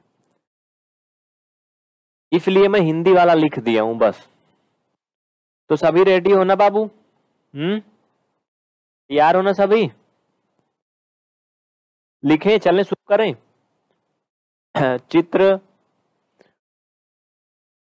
फिगर इसलिए मिटा दिया हूँ क्योंकि थोड़ा अच्छा बनाना आपकी बार। यहाँ तक दिख रहा है, थोड़ा इसके इधर भी दिख रहा है। तो ठीक है, चलो। पहले हम ऐसे दो जीवाएँ खींचेंगे इस पर। इनके नाम दे देंगे ए बी सी डी यहाँ एक केंद्र हो जाएगा जिस पर ऐसे ये सभी अपना अपना कोण बनाएँगे। इनका नाम ओ है। श्रेया दक्षवंशी, टीएम खान, गौरव सिंह। ठीक है, आओ चलो इधर आओ। बेटा करना क्या है, सुनो। कह रहा है कि यदि एक वृत्त की जीवाएँ द्वारा जो केंद्र पर कोण बन रहा है, वो बराबर है तो जीवाएँ बराबर होती हैं। इसमें भी करना वही सब है। बस थोड़ा सा घुमा फिरा के थोड़ा सा ठीक है? थोड़ा सा घुमा फिरा के। मेरी आवाज़ तो सही आ रही ना? क्यों भाई? आवाज़ तो सही है। आवाज़ में कोई गड़बड़ी तो नहीं है? ठीक है? थोड़ा सा आवाज़ तो ठीक है, आओ, चलो। सबसे पहले यहाँ पर हम लिखेंगे हल। और लिखेंगे यहाँ पर दिया है।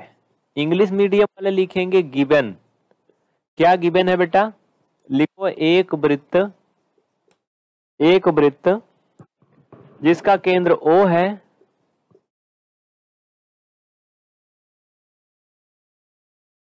ओ है तथा angle A O B equal angle C O D ये दोनों कोण इसमें बराबर दिए हैं। इसे हम चाहे तो सी ओ डी लिखें या फिर डी ओ सी लिखें बात एक है हुई। ठीक है? तो हम नीचे से सी ओ डी लिखे हैं इसको डी ओ सी लिख लो तो सीधा हो जाएगा। डी ओ सी या सी ओ डी बात एक हुई चलो ठीक है। ये हमें दिया है। आ, यहाँ तक सबको क्लियर देखो भैया और क्या दिया इसमें? और कुछ तो दिया नहीं है। हमें जीवाओं को बराबर प्रूव करना है, यानी ए बी बराबर सी डी या डी सी करना है तो हम लिखेंगे सिद्ध करना है। सिद्ध करना है। इंग्लिश वाले लिखेंगे अप्रूव दैट प्रूव दैट यहाँ पे लिखेंगे गिवन ठीक है? आओ चलो समझो। प्रूव दैट हमें ये प्रूव करना है A B equal C D या फिर B A equal D C चाहे जो भी लिख लो। क्लियर कोई दिक्कत? नॉट टेंशन चलो आगे बढ़ो। ठीक है बाबू। इतना हो गया। चल लिखेंगे प्रूफ यहाँ पे लिख लो प्रूफ इसमें भी वही करेंगे। उत्पत्ति लिख लो हिंदी में। आ, क्या करेंगे? जैसे उसमें करे थे सब कुछ इसमें भी वैसे ही करना है। इसमें भी लिखो भैया। त्रिभुज ए ओ बी। हाँ? और डी ओ सी लिखो, त्रिभुज ए ओ बी और त्रिभुज डी ओ सी में ए ओ बराबर ओ डी फटाफट लिखो। ओ ए बराबर ओ डी लिख लो या ए ओ बराबर ओ डी लिख लो, बात एक हुई, ठीक है?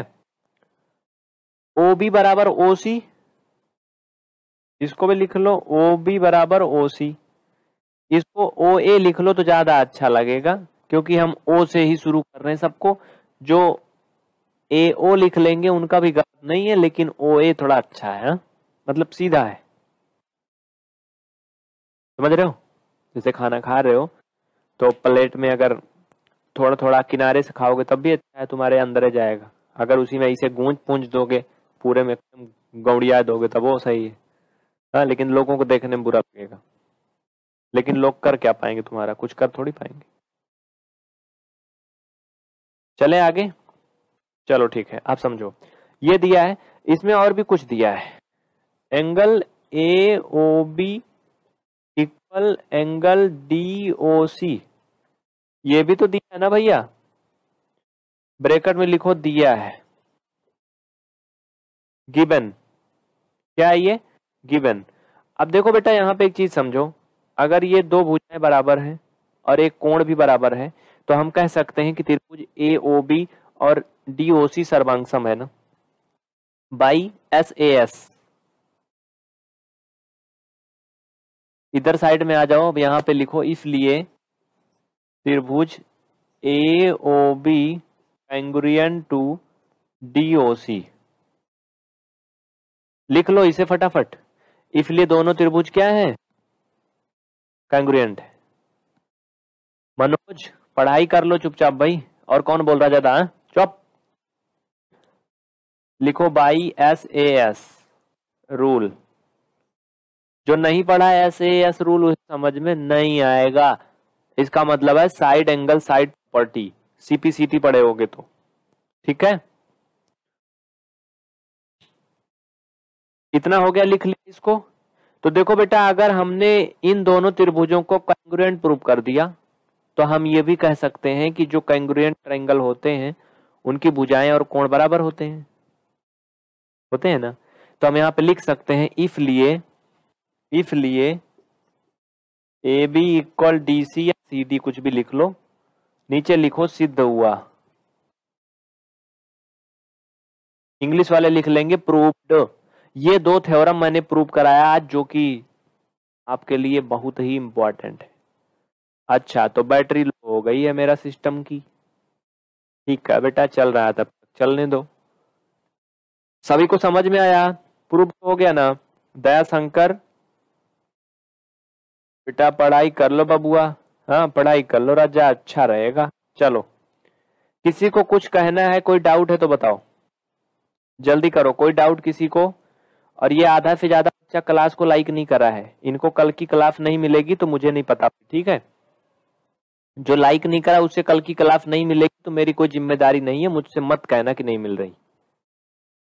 क्लास का समय प्रत्येक शाम सात बजे, प्रत्येक शाम सात बजे। फटाफट लाइक करो सभी जितने भी साथी जुड़े हैं। तो आज अब कुछ पढ़ाएँ कि ना पढ़ाएँ, ये बताओ। अच्छा एक बात बताओ। एक बात बताओ, तुम वो क्या है, पता है? चलो बताओ। अगर कोई ये सर्कल है, ये सर्कल है, और उसकी ये लाइन जो है ना मैंने खींचा ना, इसका नाम मैंने लिखा ओ ए तो इसको क्या बोलेंगे? क्या ये वृत्त की स्पर्श रेखा है? बताइए, क्या है ये? ओ ए को क्या बोलेंगे? स्पर्श रेखा है, परिधि है, त्रिज्या है, भुजा है, क्या है?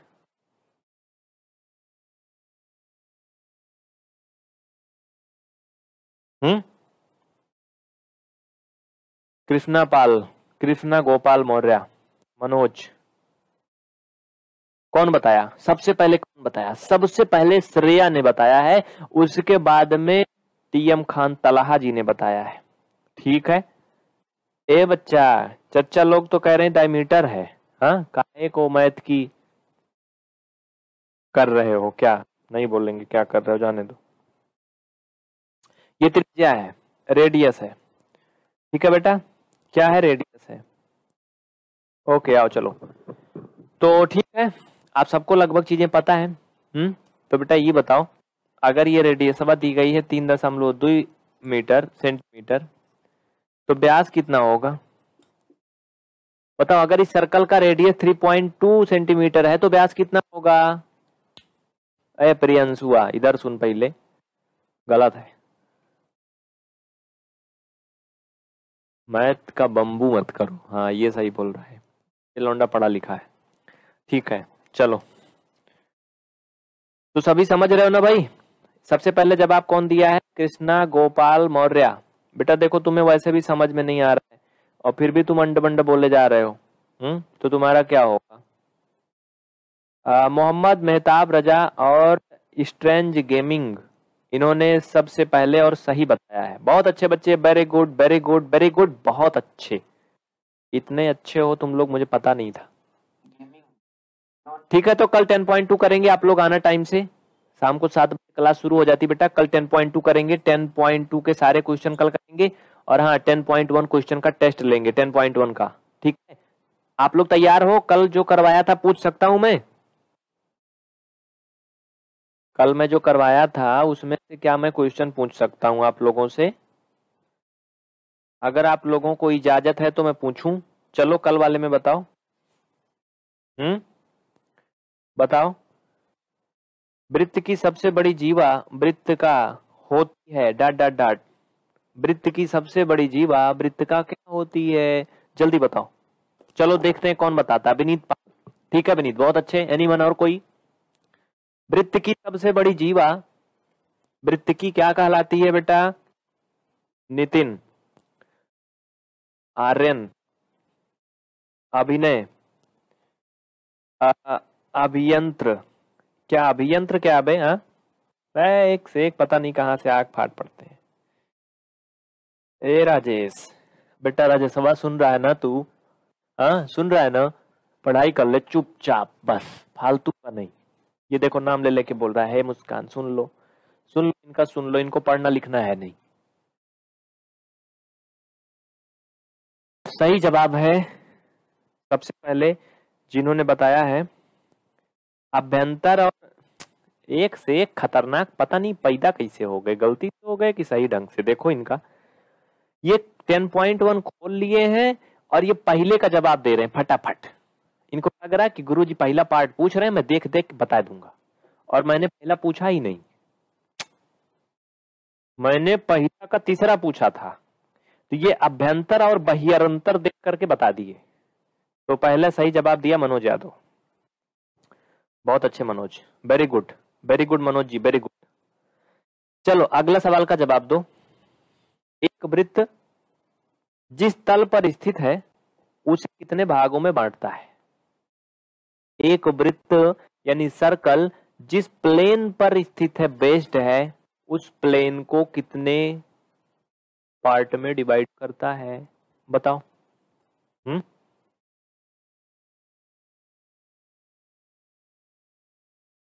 थोड़ा फंस रहा सिस्टम थोड़ा थक गया ये। बताओ। सबसे पहला जवाब दिया है भाई, खान टीएम खान ने। बहुत अच्छे भाई TM Khan ji very good Shreya Dachvanshi और जोंगे फबी खान। हेलो? जी।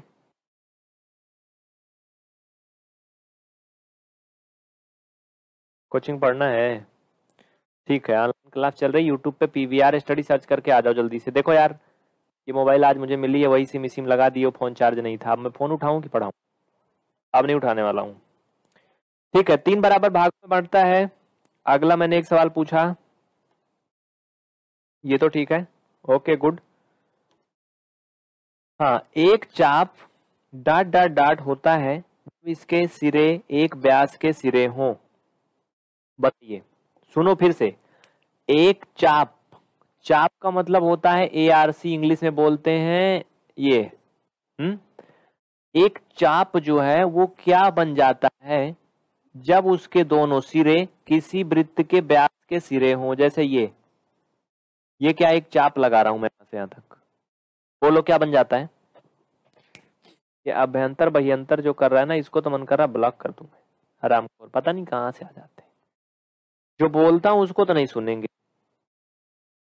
मुझे लगता कल ये पढ़े भी नहीं थे, कल मैं पढ़ाया था। कल जो बच्चा पढ़ा था, वही बता पाएगा, अन्यथा बता नहीं पाएँगे, मुझे पता है। कल नहीं पढ़ा होगा तो बता नहीं पाओगे। ठीक है श्रेया का सही है सेमी सर्कल बन जाता है। सालू यादव का भी सही है। आ, और किसका सही है? लगभग बहुत से बच्चों का सही है। विनीत बहुत अच्छे विनीत वेरी गुड अर्धवृत्त। अर्धवृत्त या सेमी सर्कल?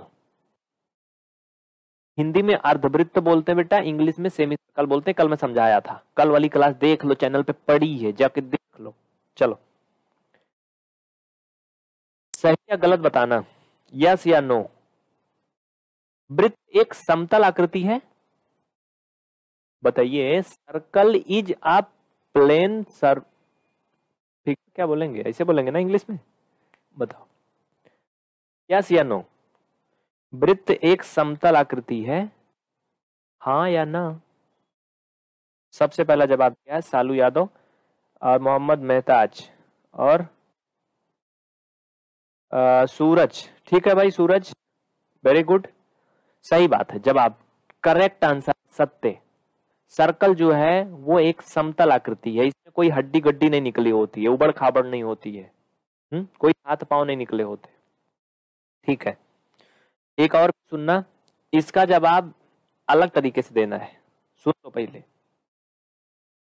कह रहा, केंद्र को वृत्त पर केंद्र को, यानी सेंटर को, वृत्त पर, यानी सर्कल पर, किसी बिंदु से मिलाने वाला रेखाखंड वृत्त की त्रिज्या होती है। केंद्र को वृत्त पर, और आगे, किसी बिंदु से मिलाने वाला रेखाखंड वृत्त की त्रिज्या होती है। इसका जवाब अगर हाँ है तो बोलोगे यच, और अगर ना है तो बोलोगे यन। जिससे दोनों में अंतर रहे कि तुम इसी का जवाब दे रहे हो। बोलो। एच या यन एच फार हैन मतलब मुर्गी? नहीं, हैन मतलब ये कोड है एक प्रकार से, ठीक है? इसका सबसे पहले और सही जवाब जिन्होंने दिया है, उनका नाम है विनीत पाल। विनीत पाल के बाद कृष्ण गोपाल मौर्य, मनोज यदुवंशी और अमन पाल, ठीक है? अंशुमान मिश्रा, राजेश वेरी गुड ये ही ही ही कौन कर रहा भाई? हाँ? मन तो कर रहा है तुमको मैं पटक दूँ उठा के, लेकिन नहीं पटकूँगा, क्योंकि तुम लोग पढ़ाई कर रहे हो, अभी डिस्टर्ब हो जाएगा। चलो ठीक है, आगे बढ़े। ठीक है, और जो क्लास को लाइक नहीं कर रहा, टकलुआ लोग, तुम काहे को नहीं कर रहा भाई? हाँ? ये क्लास को लाइक काहे नहीं कर रहा है? देखो, बुरा नहीं मानना मेरी बात को, मैं थोड़ा सा ऐसे बोलता हूँ ना, जिससे मज़ा आ जाए थोड़ी सी। और मैं क्या बोलूँ? और ज़्यादा बड़े तो हो भी नहीं कि तो मज़ाक वजाक हो जाए। अभी छोटे छोटे हो। हमारी समझ से अभी कम समझदार हो, बाकी तो तुम लोग बहुत बड़े एक्सपर्ट हो गए ठीक है? तो एक सवाल और मैं पूछ रहा हूँ, ध्यान देना, जवाब देना बड़े प्यार से सुन के। कह रहा, वृत्त की एक जीवा, जिसकी लंबाई त्रिज्या से दो गुनी है, वो वृत्त का व्यास है। बताओ। वृत्त की एक जीवा जिसकी लंबाई त्रिज्या से दो गुनी है। वो वृत्त का व्यास है। अगर हाँ तो आप लिखोगे पी अगर नहीं तो लिखोगे क्यू ये कोड है। ये पी और क्यू कोड है। ठीक है पी का मतलब हाँ क्यू का मतलब नहीं। बताओ। फिर से सुन लो। वृत्त की एक जीवा, जिसकी लंबाई त्रिज्या से दो गुनी है, वो वृत्त का व्यास होती है। इसका सबसे पहले सही जवाब जिन्होंने दिया है, उनका नाम मैं बड़े आदर सम्मान के साथ बोलूँगा और उनका नाम है मोहम्मद मेहताज रजा, कृष्ण गोपाल मौर्य, विनोद, दयाशंकर, बहुत अच्छे बच्चे वेरी गुड लेकिन ए चचा लाइक नहीं कर रहे हो क्लास बोलते बोलते मेरी आत्मा सूख जा रही, लेकिन तुम लोग लाइक नहीं कर रहे भाई लाइक करो यार। हम्म? सेशन को फट से लाइक करो बाबू, जल्दी से लाइक करो, फटाफट। देखिए, अगर इसे तैयार रखोगे ना, आगे चल के नौकरी नहीं खोजनी पड़ेगी। नौकरी आपको खोजेगी। विनीत पाल कहाँ गए, कृष्णा मौर्य कहाँ गए, अजीत सिंह कहाँ गए, मुस्कान सिंह कहाँ गई अंशुमान, अर्जुन, इन सबको नौकरी खोजेगी। ये नौकरी नहीं खोजेंगे। हाँ? लेकिन ये सब याद रखोगे तब। नहीं तो बेरोजगारी के माहौल में मंदिर मस्जिद की बात होती रहेगी, नौकरी मिलेगी नहीं। पढ़ लिख के पाँच रुपया के लिए तरफ़ जाओगे। समझ रहे हो? इसलिए नंबर वन पे रहो, हमेशा नंबर वन पे रहो। कितना भी क्राइम हो, कितना भी भ्रष्टाचार हो, लेकिन आप नंबर वन पे रहोगे तो कोई आपको पीछे नहीं छोड़ सकता है, कोई आपको अनदेखा नहीं कर सकता है है ना? वही लोग अक्सर मार खाते हैं जो एवरेज रह जाते हैं। एवरेज मतलब परीक्षा हो रही है तो तुम या तो सबसे ज़्यादा नंबर पाओ, या तो सबसे कम पाओ। तो सबसे ज़्यादा पाने में ही फ़ायदा है, सबसे कम पाओगे तो कुछ नहीं होने वाला। सबसे ज़्यादा नंबर पाओगे तो कोई तुम्हें अनदेखा नहीं कर सकता है। चलो ठीक है, आगे। अगला सुनो। खत्म हो जा रहा का एक वृत्त में समान लंबाई की परिमित जीवाएँ होती हैं। एक वृत्त में समान लंबाई की परिमित जीवाएँ होती हैं। अगर हाँ तो तुम लिखोगे ए अगर नहीं तो लिखोगे बी बी अरे बी बी मतलब पत्नी नहीं, वैसे कोड भाषा है। चलो बताओ एक वृत्त में समान लंबाई की परिमित जीवाएँ होती हैं। हम्म? क्या भाई ए लिख रहा है, कौन कौन बी बी लिख रहा है? देखो, सबसे पहले विनोद कुमार ने ए बताया है। ये कह रहे हैं कि एक वृत्त में समान लंबाई की परिमित जीवाएँ होती हैं। मतलब कुछ निश्चित जीवाएँ होती हैं। समान लंबाई की कुछ निश्चित जीवाएँ होती हैं, इनका कहने का मतलब। चलो, फटाफट और ये नियमन बताए रहो, कल मैं पढ़ाया था इसको, पेज नंबर हमने कहा लिखा था? चलो ठीक है very good Suraj very good new song ठीक है ठीक है बेटा, ठीक है ठीक है ठीक है ठीक है क्वेश्चन नंबर सेकंड ना। ठीक है? वेरी गुड तो ये आपका लगभग खत्म भी हो गया। हम्म? बीबी वाला ही सही है भाई, जो जो बीबी बता रहा है उसी का सही है। पूनम सिंह, बहुत अच्छे very good very good very good very good very good very good very good एक वृत्त में समान लंबाई की परिमित जीवाएँ होती हैं। ना। पहली बात तो इनकी सारी बातें गलत है। एक वृत्त के अंदर अनंत जीवाएँ हम खींच सकते हैं, ये। अनंत जीवाएँ खींच सकते हैं। और ये जीवाओं की जो लंबाई है अच्छा वो घटती बढ़ती रहती है। जो इधर दीवार में सटी है, वो छोटी है, जो इधर है, वो बड़ी है। हाँ? ठीक है टेन पॉइंट टू क्वेश्चन दूसरा का दूसरा पार्ट आप लोग देख लो। असत्य होगा ये, ठीक है? ये मुझे थोड़ा कंफ्यूज कर रहा था। तो इससे प्रूफ होता है कि एक सर्कल में ढेर सारी जीवाएँ खींची जा सकती हैं और उनकी लंबाई कोई बराबर तो होती नहीं है। तो हम कह सकते हैं कि असत्य है। ठीक है बीबी वाला ही सही है। कि जीवाएँ छोटी बड़ी हो सकती हैं। हम्म? मुस्कान यादव, ठीक है। तो सभी समझ गए ना मेरी बात को कि नहीं? समझ गए ना? टेन पॉइंट टू है सॉरी उसमें हमने आपको क्या करवाया था? दो परमीय सिद्ध करवाए थे ना? उन्हीं दो परमीय पर आधारित ये प्रश्न है। बहुत आसान है, एकदम हलुआ है। चलिए देखते हैं कैसे कह रहा है। क्वेश्चन पढ़िए। कह रहा कि याद कीजिए कि दो वृत्त सर्वांगसम होते हैं। याद कीजिए मतलब आपको याद दिला रहा है, क्योंकि अभी आपने इसके पहले पढ़ा था। ठीक है बेटा? कह रहा याद कीजिए कि दो वृत्त सर्वांगसम होते हैं, यदि उनकी त्रिज्याएँ बराबर हों। ये ऐसा बोल रहा है, इसमें दिया है। हम्म याद कीजिए, दो वृत्त सर्वांगसम होते हैं, कब? जब उनकी त्रिज्याएँ आपस में बराबर हों। और क्या करने को बोल रहा है ये? मैं इसमें कुछ सेटिंग भी कर रहा था साथ साथ में, क्योंकि आज टेक्निकल काम भी मुझे ही करना है भाई। हाँ आगे कह रहा है, सिद्ध कीजिए कि सर्वांगसम वृत्तों की बराबर जीवाएँ उनके केंद्रों पर बराबर कोण आंतरित करती हैं। एक तो ये कह रहा कि याद कीजिए, दो वृत्त सर्वांगसम होते हैं, यदि उनकी त्रिज्याएँ मतलब रेडियस इक्वल हो, और आगे कह रहा कि सिद्ध कीजिए, सर्वांगसम वृत्तों की जो बराबर जीवाएँ हैं, जीवा मतलब chord C H O R D ठीक है? बराबर जीवाएँ उनके सेंटर पर यानी केंद्र पर बराबर कोण बनाती हैं। आइए सिद्ध करते हैं। ठीक है? अभिषेक जी, इनका इंटरनेट नहीं चल रहा बाबू। देखो, जिनका इंटरनेट नहीं चल रहा ना भैया इंटरनेट अपना थोड़ा सही कर लो क्लियर हो जाएगा। क्वेश्चन देखो स्क्रीन पर बाकी चित्र में बना रहा हूँ, क्योंकि ये चित्र जो स्क्रीन पर दिख रहा है, उसमें तुम समझ नहीं पाओगे। उसमें समझा नहीं पाएँगे, जगह नहीं है हाँ? आओ यहाँ पे आ जाओ। क्वेश्चन नंबर पहला।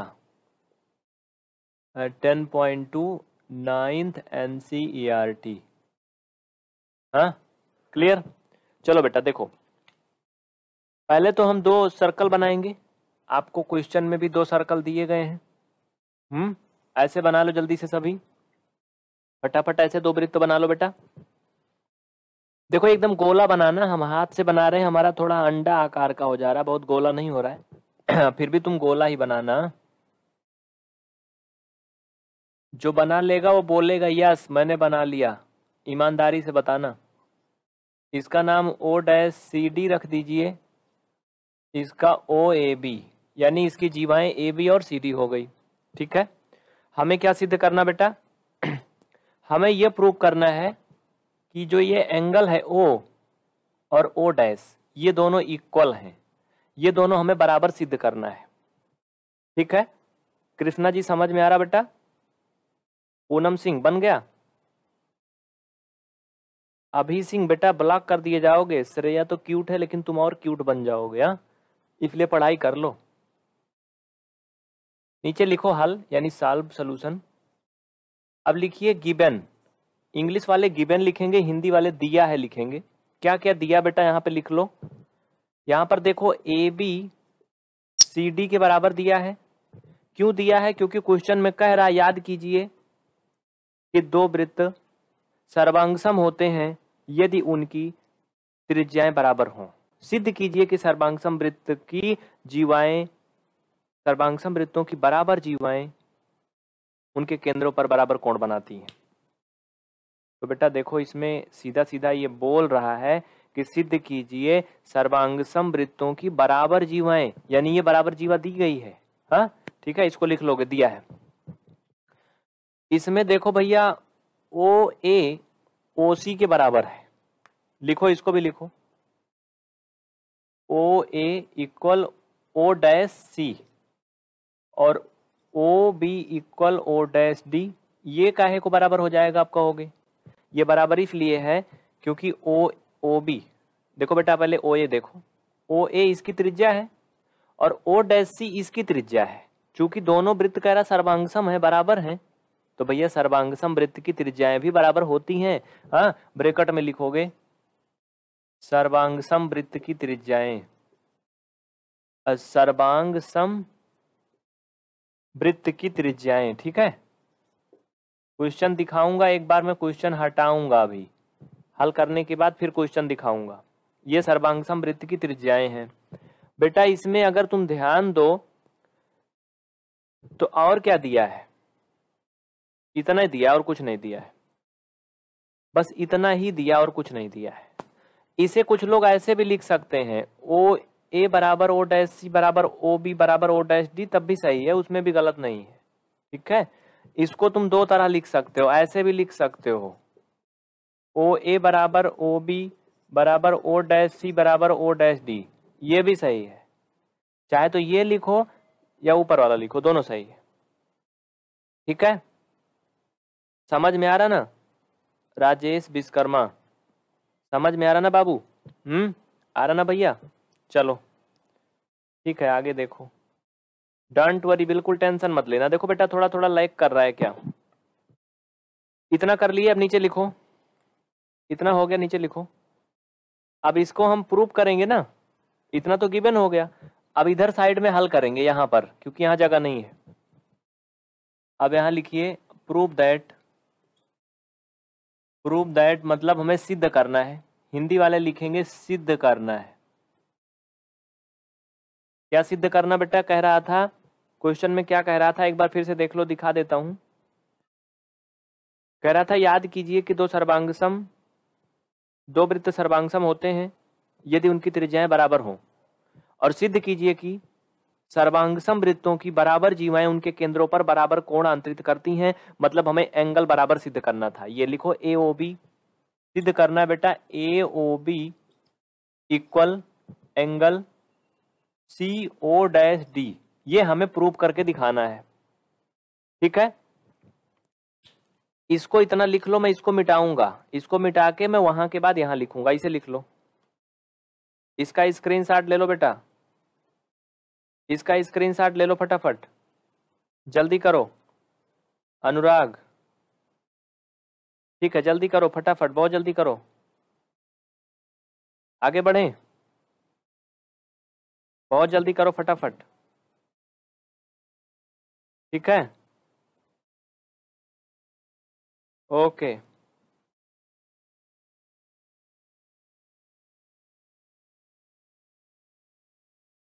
आगे बढ़ें।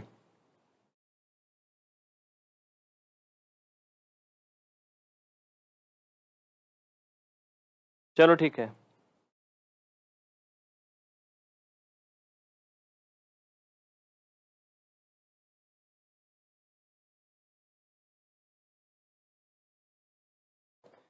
ठीक है, इतना हो गया। इसको स्क्रीन शॉट ले लिया ना। हो गया, इसको मिटा रहा हूँ अब। हमने क्या क्या लिखा? हमने लिखा, सिद्ध करना है और दिया है। अब लिखेंगे बेटा यहाँ पर प्रूफ लिखो। क्या लिखोगे? यहाँ पे प्रूफ लिखो। प्रूफ मतलब उत्पत्ति जिसे बोलते हैं। हिंदी में हमें लगता है उत्पत्ति ही बोलते हैं। लिख लो। इसके अंदर अब पूरी कहानी लिखना है। ठीक है? इसके अंदर पूरी कहानी लिखना है। आओ चलो लिखते हैं। अब क्या लिखेंगे? यहाँ पे लिखो त्रिभुज। A, O, B, A, O, B और त्रिभुज सी, ओ, डैश, डी में। इन्हीं दोनों ट्रायंगल में हमें क्या करना है? इनको कांग्रुएंस प्रूव कर देना है। क्या करना है? सर्वांगसम सिद्ध कर देना है। ठीक है? सर्वांगसम सिद्ध करके हम कोण को बराबर दिखा सकते हैं। आइए इनको सर्वांगसम कैसे करेंगे? देखो बेटा, लिखो। ओ ए, ओ डैश सी के बराबर है। लिखो। O A equal O dash C. भाई, ये क्या है? त्रिज्या है ना? देखो, ये दोनों अगर वृत्त सर्वांगसम है, यानी दोनों सर्कल बराबर ही त्रिज्या के बने हैं। भाई, सर्वांगसम तभी तो होंगे ना। सर्वांगसम का मतलब ये होता बच्चा कि एक वृत्त को दूसरे वृत्त पे रख दो तो पूरा पूरा ढक ले। दिखे ना हल्का सा भी। समझ रहे हो? जैसे देखो, ये मेरी हथेली है। दिख रहे हैं तुम्हें? हमारी दोनों हथेलियाँ सर्वांगसम है। कैसे? देखो, जब हम एक हथेली पर ऐसे दूसरी वाली ऐसे रख देते हैं तो दूसरी वाली को हर जगह से पहली वाली ढक लेती कि नहीं? बोलो, ढक लेती ना? ढक लेती ना? यानी कहने का यह मतलब है कि कोई भी चीज़ अगर सर्वांगसम है तो उसको एक दूसरे के ऊपर रखोगे तो पूरा पूरा ढक लेगा। फिर दिखेगा नहीं वो। कहीं से भी। ना दिख, किसी भी तरफ़ से नहीं दिखेगा। अगर एक वस्तु छोटी है, एक बड़ी है, उसको ढक दोगे तो बड़की वाली की तरफ़ से देखोगे, नहीं दिखेगा, छोटकी वाली दिखेगी, उधर से देखोगे। लेकिन अगर दोनों बराबर है तो चाहे तुम उलट पलट के इधर से देखो या इधर से देखो, किसी तरफ़ से नहीं दिखेगा। तो इसका मतलब यही हुआ, इसलिए क्या ये त्रिज्याएँ आपस में बराबर हैं।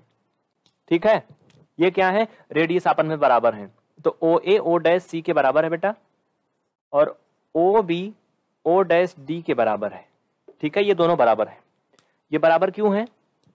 ब्रैकेट में लिख लो, वृत्त की सर्वांग वृत्त की त्रिज्याएँ। लिखो।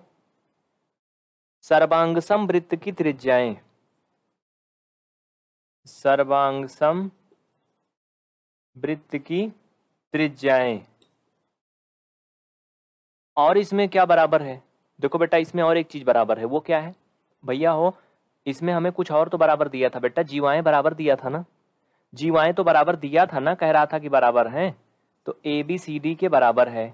ये क्यों है? क्योंकि दिया है। अब देखो, हमें तीन भुजाएँ बराबर मिल गई। इस त्रिभुज की सभी तीनों भुजाएँ बराबर मिल गई।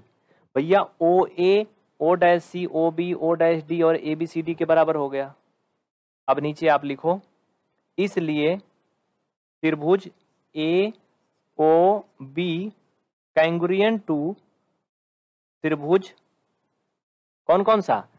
ए, ओ, बी और सी, ओ डैश डी। यानी दोनों त्रिभुज क्या हो गए? सर्वांगसम हो गए। ठीक है? समझ में आया ना? दोनों रेडियस क्या हो गए? सर्वांगसम हो गए। ये सर्वांगसम का चिन्ह है। समझ रहे हो ना? हम्म? समझ रहे हो ना? ये हो गया, और बेटा, अगर दोनों त्रिभुज सर्वांगसम हैं, लेकिन क्यों है सर्वांगसम? हाँ इसमें आगे लिखो, भूलना नहीं बाई एस एस एस यानी साइड साइड साइड त्रिभुज की प्रॉपर्टी से। ठीक है? नीचे लिखो। देखो, ईमानदारी से पढ़ो। ये बहुत आसान नहीं है। ईमानदारी से पढ़ो। जो लोग सिर्फ़ बातचीत कर रहे हैं, उन्हें एक पॉइंट ना समझ में आएगा।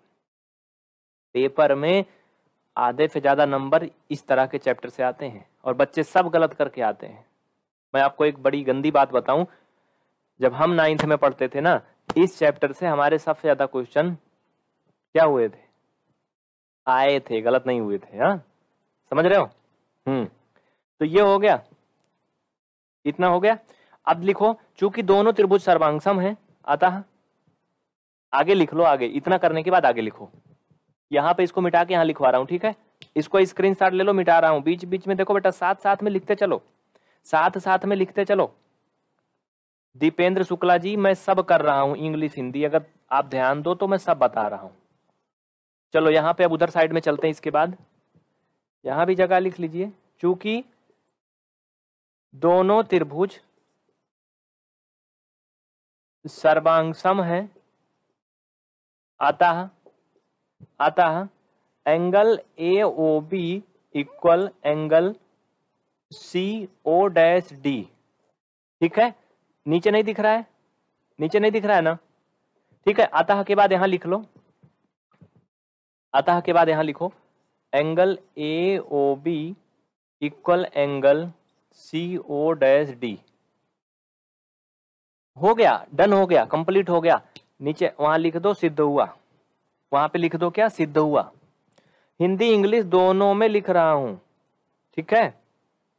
टोपी लगाओ लो अच्छा लगोगे। कौन है भैया ये? हिमांशु सिंह।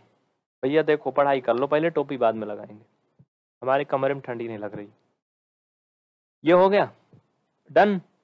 समझ में आया सबको? देखो बेटा, जो शुरू से देखा होगा, वो स्टेप बाय स्टेप समझा होगा। जो बच्चा बीच में जुड़ा होगा, उसे समझ में नहीं आएगा। उनके लिए एक सुझाव है। जो बच्चे नहीं समझ पाए ना, वो पीवीआर स्टडी 3.0 चैनल पर इस क्लास को रिपीट कर सकते हैं। कब? कब पता है? बता दूँ टाइम क्या? इसे पीबीआर स्टडी 3.0 चैनल पर रिपीट कर सकते हो कल सुबह सात बजे। ठीक है? यही सेम क्लास रिपीट करवा दी जाएगी पीवीआर स्टडी 3.0 चैनल पे। जिनको नहीं देखा जिन्होंने रिपीट कर लेना। ठीक है? चलें आगे बढ़ें। हबी खान। जीवा बराबर होंगी यदि उनके केंद्र पर बराबर कोण अंतरित करती हैं। बिल्कुल ठीक है। चलो। कृष्णा। ठीक है, मिटाऊं अब? सेकेंड नंबर क्वेश्चन दिखाओ भाई। दूसरा नंबर दिखाइए, जल्दी करिए। फटाफट फटाफट। एक बात बताऊँ, इस चैप्टर के जितने क्वेश्चन है, बहुत आसान है। बहुत आसान है। सच्ची में बता रहे हैं। बस इसमें वैसे ही करना जैसे इसमें करा था। चलो इसको भी देखो। इसको भी देखो। देखो बाबू, सभी बच्चे ना क्लास को लाइक कर दो एक बार, ईमानदारी से। देखिए, आप लोग ना हमारे बहुत ही फेवरेट स्टूडेंट हैं और हम भरपूर कोशिश करते हैं आपको समझ में आए। जो बच्चे देर में आए हैं, कल सुबह सात बजे ये क्लास हम उनको फिर से पढ़ा देंगे। पीवीआर स्टडी 3.0 चैनल पर, ठीक है? पीवीआर स्टडी इलाहाबाद पे नहीं। पीवीआर स्टडी का दूसरा चैनल है पीवीआर स्टडी 3.0 उस पर हम इस सेम क्लास को कल सुबह सात बजे पढ़ा देंगे।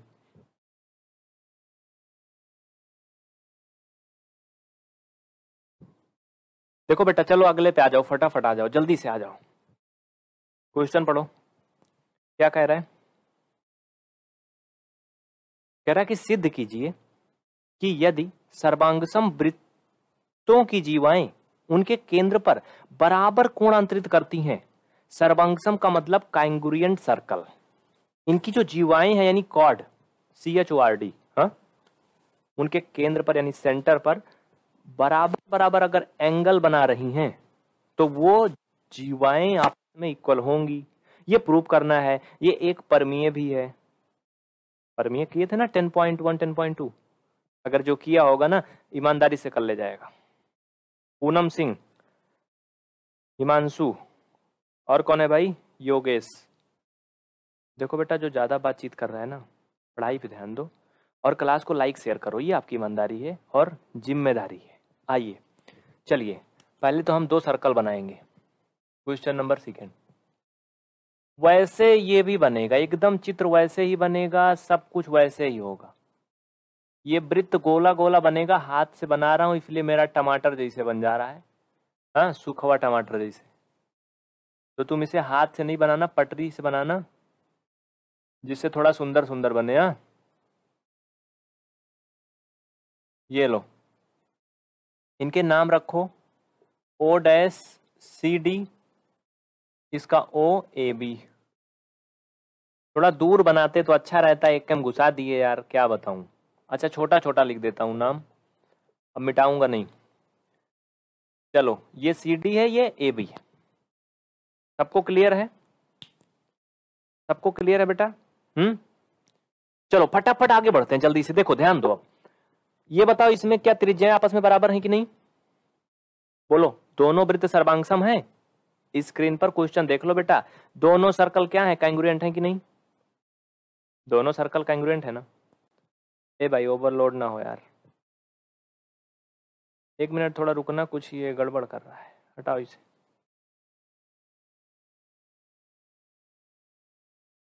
भाई, ठंडा हो जा, ठंडा हो जा।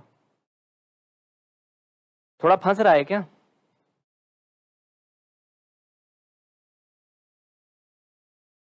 भाई बैड बॉय कौन है? हैं? बातचीत ना करो, चलो आओ, देखो। कह रहा, सिद्ध कीजिए कि यदि सर्वांग समृत्तों की जीवाएँ उनके केंद्रों पर बराबर कोणांतरित करती हैं तो जीवाएँ बराबर होंगी। देखो बेटा, इसमें कह रहा है कि सिद्ध कीजिए सर्वांगसम वृत्तों की। यानी ये दोनों वृत्त क्या है? सर्वांगसम है। दोनों क्या है? कैंग्रुएंट है। ये कैंग्रुएंट है। अगर ये कैंग्रुएंट है तो इसमें और भी कुछ कह रहा है। कह रहा है सर्वांगसम वृत्तों की जीवाएँ उनके केंद्रों पर बराबर कोण अंतरित करती हैं तो जीवाएँ बराबर होती हैं। यानी इसमें एंगल बराबर दिया है। क्या दिया बेटा? इसमें कोण बराबर दिया है। लिखो। इसमें ये एंगल बराबर दिया बेटा, ये। ये कोण ओ और ओ डैश बराबर दिया है।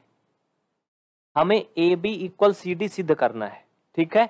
A B equal C D सिद्ध करना है। यहाँ पर हम लिखेंगे सॉल्व आपकी इंग्लिश में लिखेंगे, हिंदी में बोलेंगे। यहाँ पे लिखो गिवन। हिंदी वाले लिखेंगे, दिया है। इतना तो बुद्धि तुम्हारे पास, भगवान ने भी दिया है। हाँ? यहाँ पे लिख लो, दिया है। क्या दिया है? लिखो बेटा, angle A O B equal angle C O dash D. ये दिया है। बोलो हाँ। दिया है, क्योंकि ये कोण बराबर दिए हैं, कह रहा है। ठीक है, आगे बढ़ो। नीचे लिखो, सिद्ध करना है। इंग्लिश में लिखो proof that proof that proof that मतलब सिद्ध करना है। सिद्ध करना है लिखो। हिंदी, इंग्लिश दोनों बोल रहा हूँ, जो ईमानदारी से पढ़ेगा वो लिख लेगा, कोई दिक्कत नहीं है, ठीक है? मनोज यादव, ठीक है, बहुत अच्छा है मनोज जी, कोशिश करिए आप भी पढ़ाई की। आइए। क्या क्या दिया बेटा इसमें? सिद्ध क्या करना है? एंगल बराबर दिए हैं, हमें जीवाएँ बराबर सिद्ध करना है। लिख लो क्या क्या सिद्ध करना भैया? हम्म? A B equal C D सिद्ध करना है। लिख लो ना A B equal C D ये सिद्ध करना है। नीचे लिखो proof P R O F इसे शायद हिंदी में उत्पत्ति बोलते हैं, मैं थोड़ा कम जानता हूँ। हिंदी मैंने सुना नहीं, लेकिन इंग्लिश सही है, ठीक है? प्रूफ मतलब पूरी कहानी इसमें होगी। चलो, देखो बेटा, दोनों त्रिभुज लेंगे, लिखो त्रिभुज ए ओ बी और त्रिभुज सी ओ डैश डी में। कौन कौन में? क्वेश्चन हटा रहा हूँ।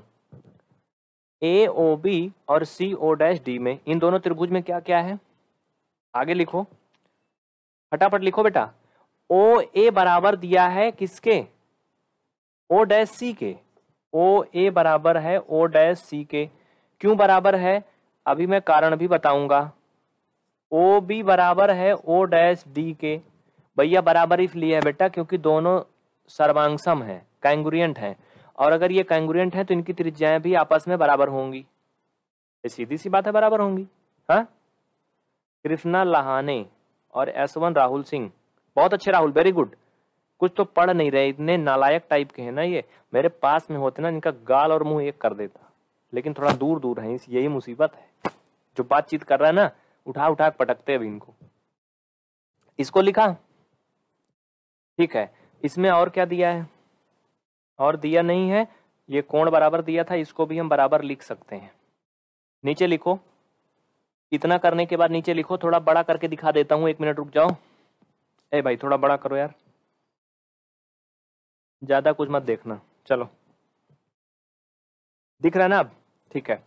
इसी लाइन में यहाँ नीचे और लिखना है इसी में। देखो बेटा, इसमें और भी दिया है। Angle A O B equal angle C O dash D. ये मैंने क्यों लिखा? है क्योंकि दिया है। लिख लो, दिया है गिवन ओके? अब देखो, ये भुजा बराबर है, ये भुजा बराबर है, ये कोण बराबर है। तो भैया क्या है? ये दोनों सर्वांगसम हो गए कि नहीं? बोलो, सर्वांगसम के लिए क्या चाहिए? तीन चीज़ें ही तो चाहिए ना। अब लिख लो। आगे लिखो, ऊपर साइड में। यहाँ पे लिखो, अतः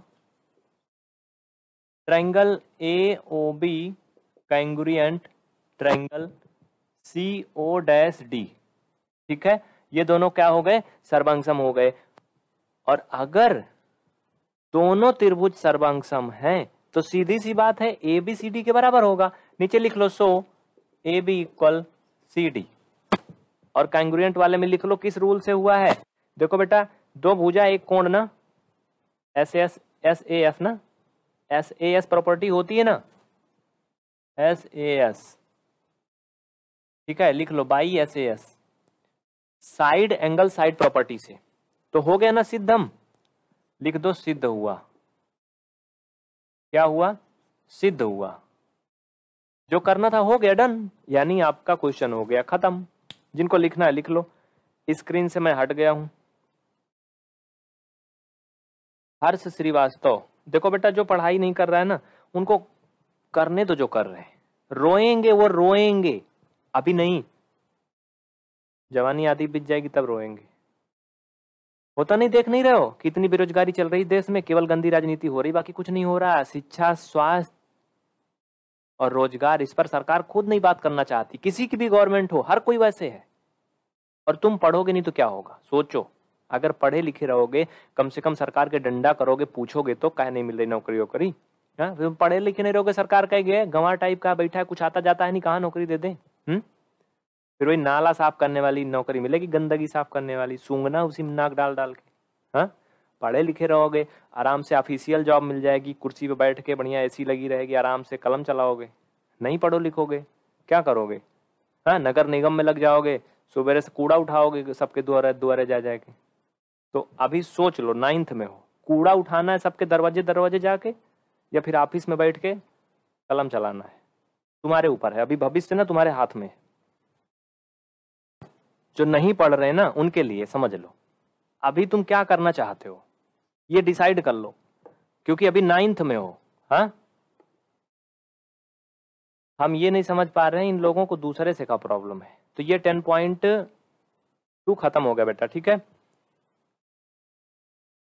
अब इसके पहले आप ये बताओ कि कल की क्लास कौन कौन नहीं देखा था? देखो बेटा, जो नहीं देखा था वो class P V R study 3.0 channel पर कल हम सात बजे दिखा देंगे सुबह। ठीक है, कल सुबह सात बजे P V R study 3.0 channel पर दिखा देंगे। ये चैप्टर आपका खत्म होता है, कल टेन पॉइंट कल टेन पॉइंट थ्री पढ़ेंगे, ठीक है? तो बंद करें आज की क्लास चूँकि ये चैप्टर खत्म हो गया, इसलिए छोटी क्लास है। कल टेन पॉइंट कौन सा पढ़ेंगे? टेन पॉइंट थ्री अच्छा थोड़ा रिवाइज कर लो, थोड़ा क्वेश्चन बताओ। थोड़ा क्वेश्चन बताओ। उपपत्ति होता है मीट माही ठीक है। क्वेश्चन बताओ। आ, ये बताइए कल जो पूछा था उसी में से पूछूँगा। वृत्त एक समतल आकृति नहीं है। वृत्त एक समतल आकृति नहीं है। मैं सही बोल रहा हूँ तो बोलो हाँ गलत बोल रहा हूँ तो बोलो ना। बोलो।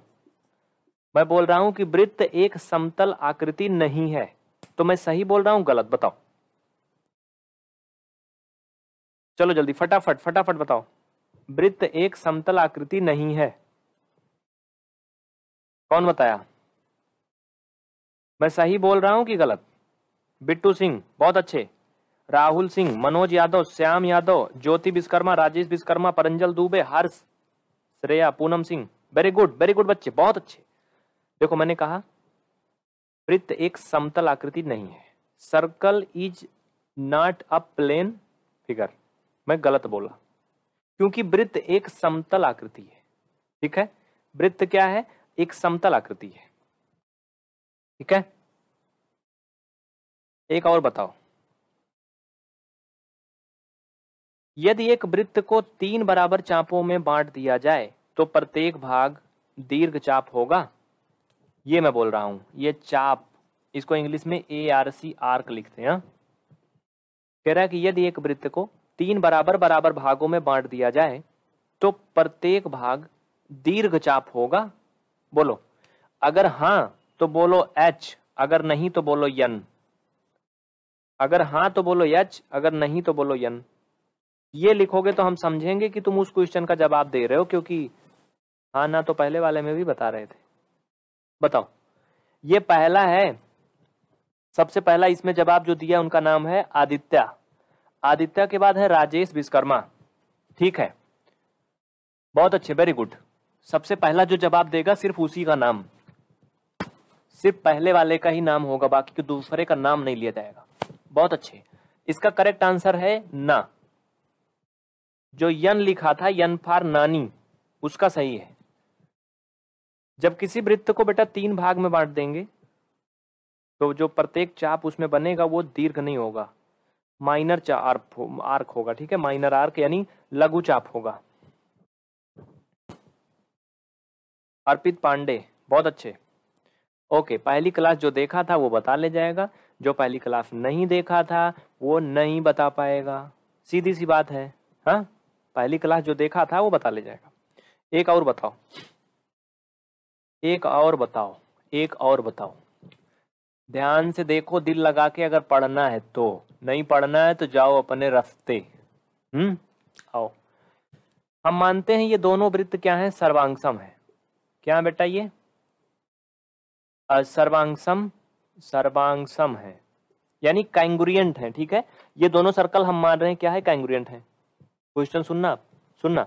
अगर ये दोनों कैंगुरियंट हैं और मैंने इसको ऐसे बनाया, इसका नाम पी क्यू लिखा, इसका नाम यम लिखा, इसका नाम यन लिखा, इसका नाम लिखा मैंने ए बी तो ये बताओ, अगर ये दोनों सर्कल कैंगुरियंट है, सर्वांगसम है तो इसमें कौन भुजा किस भुजा के बराबर होगी? बताओ।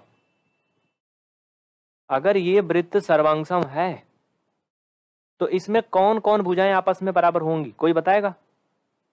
जो पढ़ा होगा, वो बता ले जाएगा। बाकी ये मज़ा आने वाला सवाल नहीं है। इसमें मज़ा आएगी नहीं। मज़ा दूर दूर तक नहीं नज़र आएगी इसमें। मीट माही। अर्पित पांडे। जी, बहुत अच्छा अर्पित जी वेरी गुड बस पढ़ाई करते रहिए। सत्यन शर्मा। देखिए, इसका जवाब कोई देगा? बिट्टू सिंह बता रहे हैं पी ओ देखो बेटा, मैंने तो यहाँ कहीं ओ लिखा नहीं है, तुम्हारा सब गलत है। इस दोनों चित्र में मैंने कहीं ओ नहीं लिखा है। बिट्टू के बाद बताए हैं, Aditya Y three seven seven P Q A B के बराबर है। ये कह रहे हैं, बाकी मैं नहीं कह रहा हूँ। कृष्णा, कुछ नहीं बता रहे हैं। मनोज यादव बता रहे हैं पी क्यू ए बी के बराबर है। रवि प्रकाश, इसमें कहीं ओ नहीं है दूर दूर तक, इसलिए मैंने हटा दिया कि तुम कंफ्यूजन में न रहो। ठीक है, बहुत से बच्चे बता रहे हैं कि जो बेटा ये पी क्यू है, वो ए बी के बराबर है। बिल्कुल सही बोल रहे हो। पी क्यू ए बी के बराबर है, लेकिन और भी बराबर हो सकती है, ऐसा थोड़ी एक के बराबर रहेगा। सही बोल रहे हो, ठीक है, सही बोल रहे हो। इसके अलावा पीएम पीएम जो है वो ए एन के भी बराबर होगा। हा? और एक और सुन लो। मैंने लिखा है यम क्यू ये does not equal B N क्या ये मैंने सही लिखा है? अगर ये सही लिखा है तो तुम लिखोगे क्या? सी सी मतलब सही। हा? और अगर मैंने गलत लिखा गया तो बताओगे जी जी मतलब गलत। ये मैं कोड दे रहा हूँ। ये हमारा कोड है आज के लिए बस। बताओ, ये मैंने सही लिखा, गलत? बोलो। सबसे पहला जवाब कौन देगा इसका? एनीवन कोई भी? मैं जैसे बोलूँ, उसी कोड में बताओगे, तब हम समझेंगे कि तुम मेरा ही बता रहे हो। दूसरे कोड में बताओगे तो हम नहीं समझ पाएँगे। ठीक है, इसका सबसे पहला सही जवाब दिया है आदित्य जी ने। बहुत बहुत बधाई हो आदित्य जी, आप काफ़ी मेहनत कर रहे हैं। बाकी ये जो नालायकवे हैं ना, काश ये सब पढ़ लिख लेते तो अच्छा रहता। लेकिन वो कहावत है ना कि सब कुकुरिए गया चली जाइए पतरिया की जाटे। हम्म? तो ये पतरिया चाटे के लिए बतला रहे हैं बैठ के। क्या कहें इनको और क्या कह सकते हैं? अब ये समझदार हैं, कोई दूध पीने वाले बच्चे तो है नहीं। नाइन्थ में पहुँच गए, बहुत समझदार हैं। इनको पता होना चाहिए कि हमारा फ्यूचर आगे क्या होगा। मम्मी पापा ज़िंदगी भर साथ नहीं देने वाले हैं। हाँ नाइन्थ में पहुँचे हो, अगली साल बोर्ड का परीक्षा दोगे बोर्ड का रिज़ल्ट लेके ज़िंदगी भर रोगे अगर बोर्ड में कम नंबर आएगा। कहीं कुछ भी होता बोर्ड की मार्कशीट लगती है। हाई स्कूल की मार्कशीट लगेगी तुरंत। और हाई स्कूल की मार्कशीट सही तब बनेगी जब तुम नाइन्थ में सही से पढ़े रहोगे। समझ रहे हो ना? ब्रजेश कुमार, ठीक है। बहुत अच्छे। चले, आगे बढ़ें। तो बेटा देखो, आप लोग कर लेना।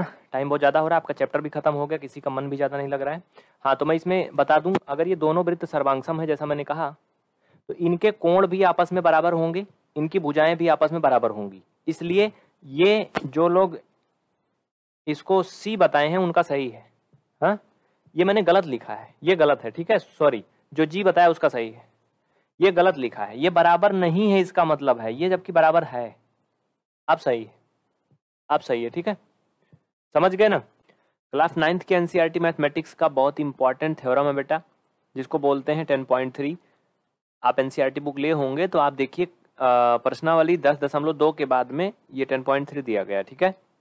करा वृत्त के केंद्र से जीवा पर डाला गया लंब जीवा को समदुभाजित करता है। यानी सर्कल का जो सेंटर से परपेंडिकुलर खींचा जाता है कार्ड पर, वो कार्ड को बिसेक्ट करता है, ठीक है? इंग्लिश में भी नीचे देखो लिखा है the perpendicular from the centre of a circle to a chord bisect the chord आइए इसका फिगर बनाते हैं, पहले एक सर्कल बनाएँगे। हो गया फिगर आपका, हो गया। अब देखिए, इसमें हम लोग क्या लिखेंगे? दिया है। मैंने फिगर कैसे बना लिया? भाई, जैसे बोल रहा था, वैसे मैंने कर लिया।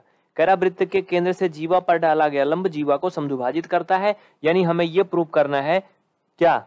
कि ए बी जो है सॉरी ए एम जो है, वो बी एम के बराबर है। यानी ये जो ओ एम इस पर लंब डाला गया है, परपेंडिकुलर डाला गया ए बी पर, वो इसे आधा आधा पार्ट में बांट रहा है, ये हमें प्रूव करना है। ठीक है?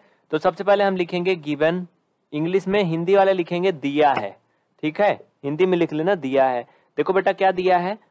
लिखो एक वृत्त क्या क्या दिया है? एक वृत्त, जिसका केंद्र जिसका केंद्र ओ है। ठीक है, ये हमें दिया है। तथा जीवा ए बी ये भी हमें क्या है? दी गई है, हा? ठीक है? और क्या दिया है? हमें ये भी दिया है कि ओ एम जो है वो ए बी पर लंब है। ए बी इतना इसके बाद लिखना, तथा O M perpendicular A B ये इतनी बातें हमें दी गई हैं। ठीक है भैया? हाँ? आगे बढ़े। अब देखो, इसमें क्या करना है? प्रूफ क्या क्या करना है? हमें इसमें प्रूफ करना है कि ये क्या है? इस पर लंब है। क्यों? यही तो प्रूफ करना है। अब नीचे लिखेंगे सिद्ध करना है। सिद्ध क्या करना है? सिंपल सी बात है, नीचे लिखिए आप प्रूफ टू प्रूव इंग्लिश में लिखेंगे टू प्रूव हाँ P R O B E ये टू अलग रहेगा प्रूव अलग रहेगा। याद रखना, एक में नहीं रहेगा, ठीक है? टू अलग रहेगा प्रूव अलग रहेगा। यानी सिद्ध करना है। तो देखो क्या सिद्ध करना है। आइए यहाँ पे लिखिए।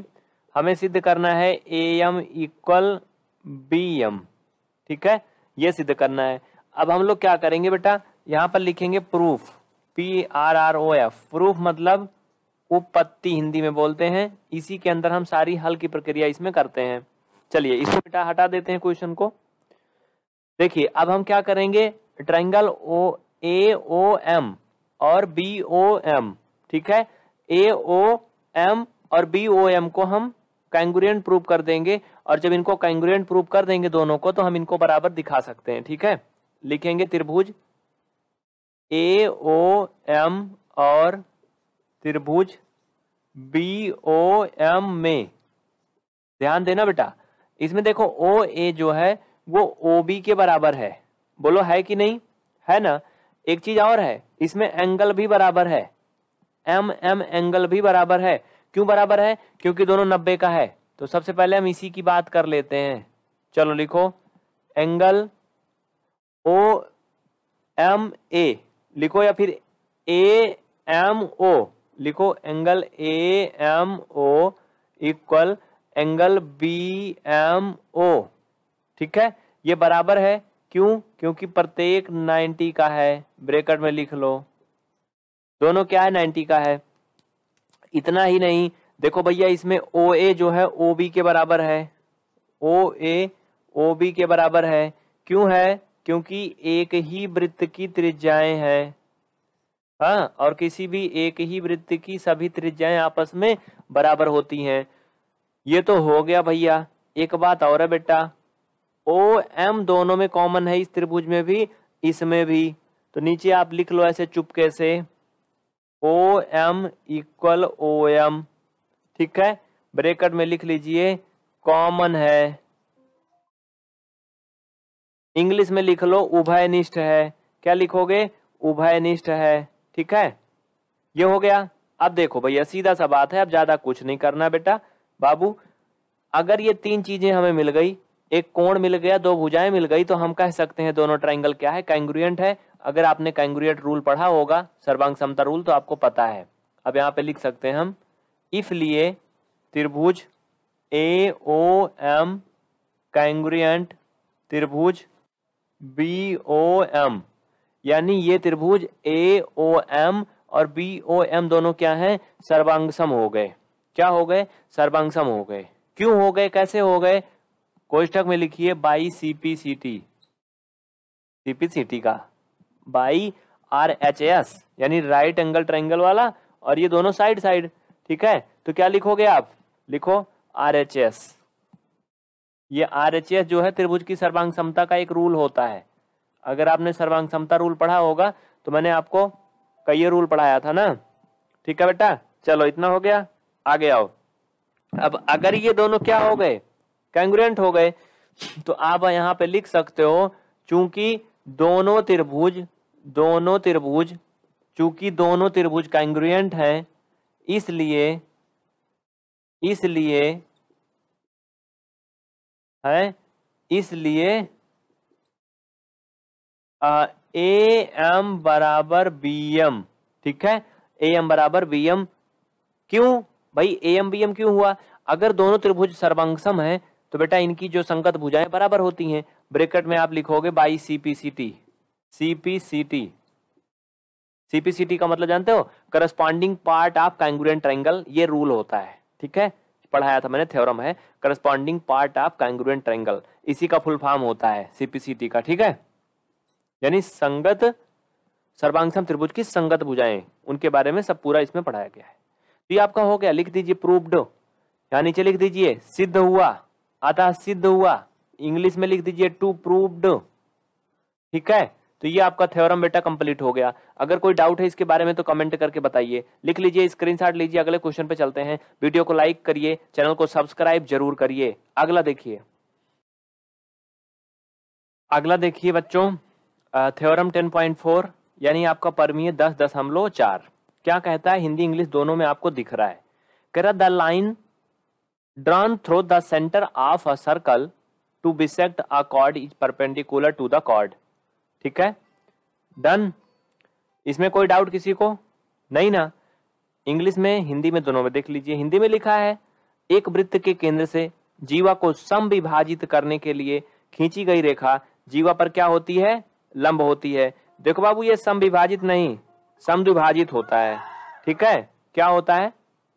समद्विभाजित होता है सम विभाजित नहीं, समद्विभाजित। मतलब बराबर बराबर दो भाग में बढ़ता है। इसका ये मतलब है। ठीक है? आइए।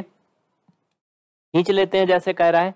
हमने क्या किया? एक जीवा खींच लिया। कह रहा कि वृत्त के केंद्र से जीवा को सम द्विभाजित याद रखना, जहाँ सम विभाजित लिखना बाबू, वहाँ पर ये सम द्विभाजित रहेगा। इन्होंने टाइपिंग में थोड़ा मिस्टेक किया है। इंग्लिश में सही लिखा है बिसेक्ट ठीक है? ये सम विभाजित नहीं, बल्कि सम द्विभाजित है। ठीक है? ओके केंद्र से जीवा को सम द्विभाजित करने के लिए खींची गई रेखा जीवा पर लंब होती है। तो ये हो गई रेखा वो, जिसके बारे में ये बोल रहा है। मान लेते हैं कि इसका नाम ए बी है, या पी क्यू आप कुछ भी मान सकते हो। ये मान लो सेंटर ओ है, ये क्या है? यम है। ठीक है? तो कह रहा है, ये इस पे लंब है। ओ एम क्या है इस पर बेटा? लंब है, हमें ये प्रूव करना है। चलिए लिख लेते हैं। इंग्लिश में लिखिए, गिवन, हिंदी में लिखिए, दिया है। बहुत से बच्चे कमेंट के पीछे परेशान है, जैसे कि एस के म्यूज़िक हो गए, नान बाबू गोस्वामी हैं, सौरभ हैं स्ट्रेंज गेमिंग है, और उमेश शर्मा है, मोहित, रोहिणी और नंदन कुमार, अनूप अग्रहरी, स्वतंत्र देव, सचिन यादव। देखो बेटा, पढ़ाई कर लो। पढ़ाई कर लो कमेंट के पीछे ना पढ़ो। टुनटुन तुम्हारा भी कमेंट आ रहा है, ठीक है? परेशान ना रहो बिल्कुल भी। धीरज कुमार का, रुद्रदेव, इन सबका कमेंट आ रहा है। जो कल जुड़े थे मैं, उनका ना भी नाम अवश्य बोलता हूँ। हो सकता है पहले दिन आप जुड़े हो तो आपका नाम ना बोला जाए। ठीक है? सूरज सोनकर बेटा तुम्हारा भी कमेंट आ रहा है। ठीक है, आओ चलो। आगे बढ़े। लिखो दिया, इसमें क्या क्या दिया है? लिखो अ सेंटर विथ हिंदी में बोले। लिखो, एक वृत्त एक वृत्त जिसका केंद्र जिसका केंद्र ओ है तथा तथा, लिखो फटाफट। ठीक है, मैंने लिख दिया जो दिया है, और जो सिद्ध करना वो भी मैंने दिखा दिया। ध्यान दीजिए बेटा, समझिए, यही लिखना था, थोड़ा टाइम आपको बचेगा ओके सिद्ध करना है, इसे आप लिखोगे टू प्रूव ये हमें प्रूव करना है, ठीक है? प्रूफ ये करना है कि जो ओ एम है, वो ए बी पर लंब है। इतना हो गया? अब हम इसकी पूरी कहानी करते हैं, जो हमें हल करना है, ठीक है? लिखेंगे प्रूफ ऊपर साइड में इंग्लिश वाले लिखेंगे प्रूफ हिंदी वाले लिखेंगे उपपत्ति हम हिंदी इंग्लिश दोनों के लिए करवा रहे हैं। ये सिर्फ़ एक के लिए नहीं है, इस बात का याद रखना।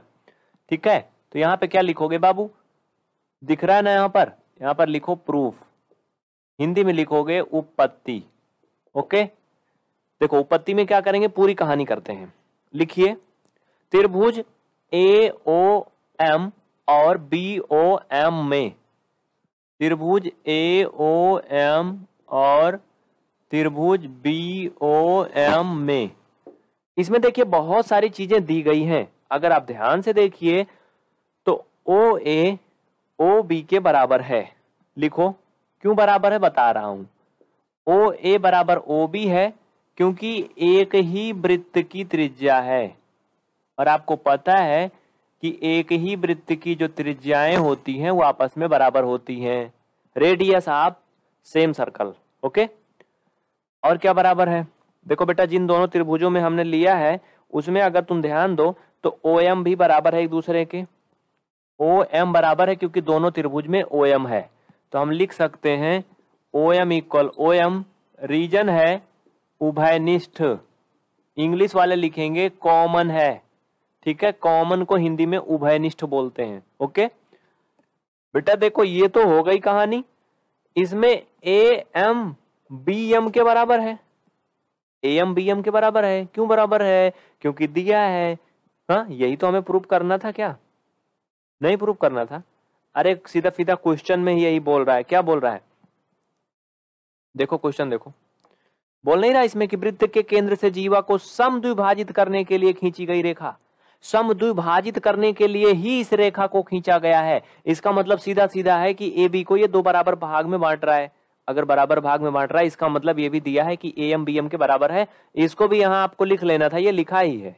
एक जीवा ए बी जिसे ओ एम समद्विभाजित कर रही है। तो अगर समद्विभाजित कर रही है तो भैया ए एम बराबर ये बी एम होगा। लिख दीजिए, दिया है। गिवन लिखिए इंग्लिश में। देखिए, तीन साइड। तीन साइड इसमें अगर बराबर है तो ये क्या, सर्वांगसम हो नहीं क्या? अब आप लिखिए नीचे। इसलिए इसलिए ट्राइंगल ए ओ एम ऐसे कैंग्रियंट का चिन्ह लगाइए ट्राइंगल बी ओ एम यानी दोनों त्रिभुज क्या है भैया? सर्वांगसम है। आप यहाँ साइड में रूल लिख दीजिए। रूल कौन सा लगेगा? एस एस एस ठीक है? मतलब side side side congruent rule से ये क्या हो गए? कैंग्रियंट हो गए सर्वांग सम हो गए, ओके? करना क्या था? हमें करना था कि ये दोनों क्या है इस पर? भाई ओ एम जो है, वो ए बी पर लंब है। इसमें थोड़ा हम और आगे बढ़ेंगे। और आगे क्या बढ़ेंगे? आइए मैं बताता हूँ। अगर ये दोनों त्रिभुज बेटा सर्वांगसम है तो इसका मतलब ये कोण भी तो बराबर होगा। बोलो करस्पांडिंग एंगल बराबर होते हैं कि नहीं? यानी यम जो है वो क्या होगा? बराबर होगा। आप लिखो।